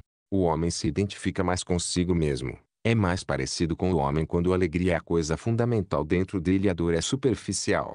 A melancolia deveria ser um inocente interlúdio, um estado de espírito delicado e fugaz. A pulsação permanente da alma deveria ser o louvor. O pessimismo é, na melhor das hipóteses, um meio feriado emocional. Alegria é a ruidosa labuta pela qual vivem todas as coisas. No entanto, de acordo com a aparente condição do homem na ótica do pagão ou do agnóstico, essa primeira necessidade da natureza humana nunca pode ser satisfeita. A alegria deveria ser expansiva, mas, para o agnóstico, ela deve ser contraída, deve restringir-se a alguém bem-sucedido neste mundo. A dor deveria ser uma concentração, mas, para o agnóstico, a desolação dela se espalha uma eternidade inimaginável. Isto é o que chamo de nascer de cabeça para baixo. Pode-se na verdade dizer que o cético está de pernas para o ar, pois seus pés vão dançando virados para cima em vãos frenesis, enquanto o cérebro está no abismo. Para o homem moderno, os seus estão realmente embaixo da terra. A explicação é simples. Ele está de ponta cabeça, o que constitui um pedestal pouco resistente para apoiar-se. Mas quando ele houver novamente descoberto os próprios pés, saberá disso. O cristianismo satisfaz de repente a perfeição instinto ancestral do homem de estar virado para cima, e o satisfaz plenamente neste sentido. Com seu credo a alegria se torna algo gigantesco e a tristeza algo especial e pequeno. A abóbada acima de nós não é surda porque o universo é um idiota. Seu silêncio não é o silêncio sem piedade de um mundo sem fim e sem destino. O silêncio que nos cerca é antes uma pequena e compassiva quietude como a súbita quietude no quarto de um enfermo. Talvez a tragédia nos seja permitida como uma espécie de comédia benigna, porque a frenética energia das coisas divinas nos derrubaria como uma farsa de bêbados. Podemos aceitar as próprias lágrimas mais facilmente do que poderíamos aceitar a tremenda leveza dos anjos. Assim ficamos sentados talvez num quarto estrelado e silencioso, enquanto a risada dos seus é forte demais para os nossos ouvidos. A alegria, que foi a pequena publicidade do pagão, é o gigantesco segredo do cristão. E no fechamento deste caótico volume torno a abrir o estranho livrinho do qual proveio o cristianismo, e novamente sinto-me assombramento uma espécie de confirmação. A tremenda figura que enche os evangelhos ergue-se altaneira nesse respeito, como em todos os outros, acima de todos os pensadores que jamais se consideraram elevados. A compaixão dele era natural, quase casual. Os estoicos, antigos e modernos, orgulhavam-se de ocultar as próprias lágrimas. Ele nunca ocultou as suas, mostrou-as claramente no rosto aberto ante qualquer visão do dia a dia, como a visão distante de sua cidade natal. No entanto, alguma coisa ele ocultou. Solenes super-homens e diplomatas imperiais orgulham-se de conter a própria ira, ele nunca conteve. Arremessou móveis pela escadaria frontal do templo e perguntou aos homens como eles esperavam escapar da danação do inferno. No entanto, alguma coisa ele ocultou. Digo com reverência, havia naquela chocante personalidade um fio que deve ser chamado de timidez. Havia algo que ele encobria constantemente em meio de um abrupto silêncio ou um súbito isolamento. Havia uma certa coisa que era demasiado grande para Deus nos mostrar quando ele pisou sobre esta nossa terra. Às vezes imagino que era sua alegria,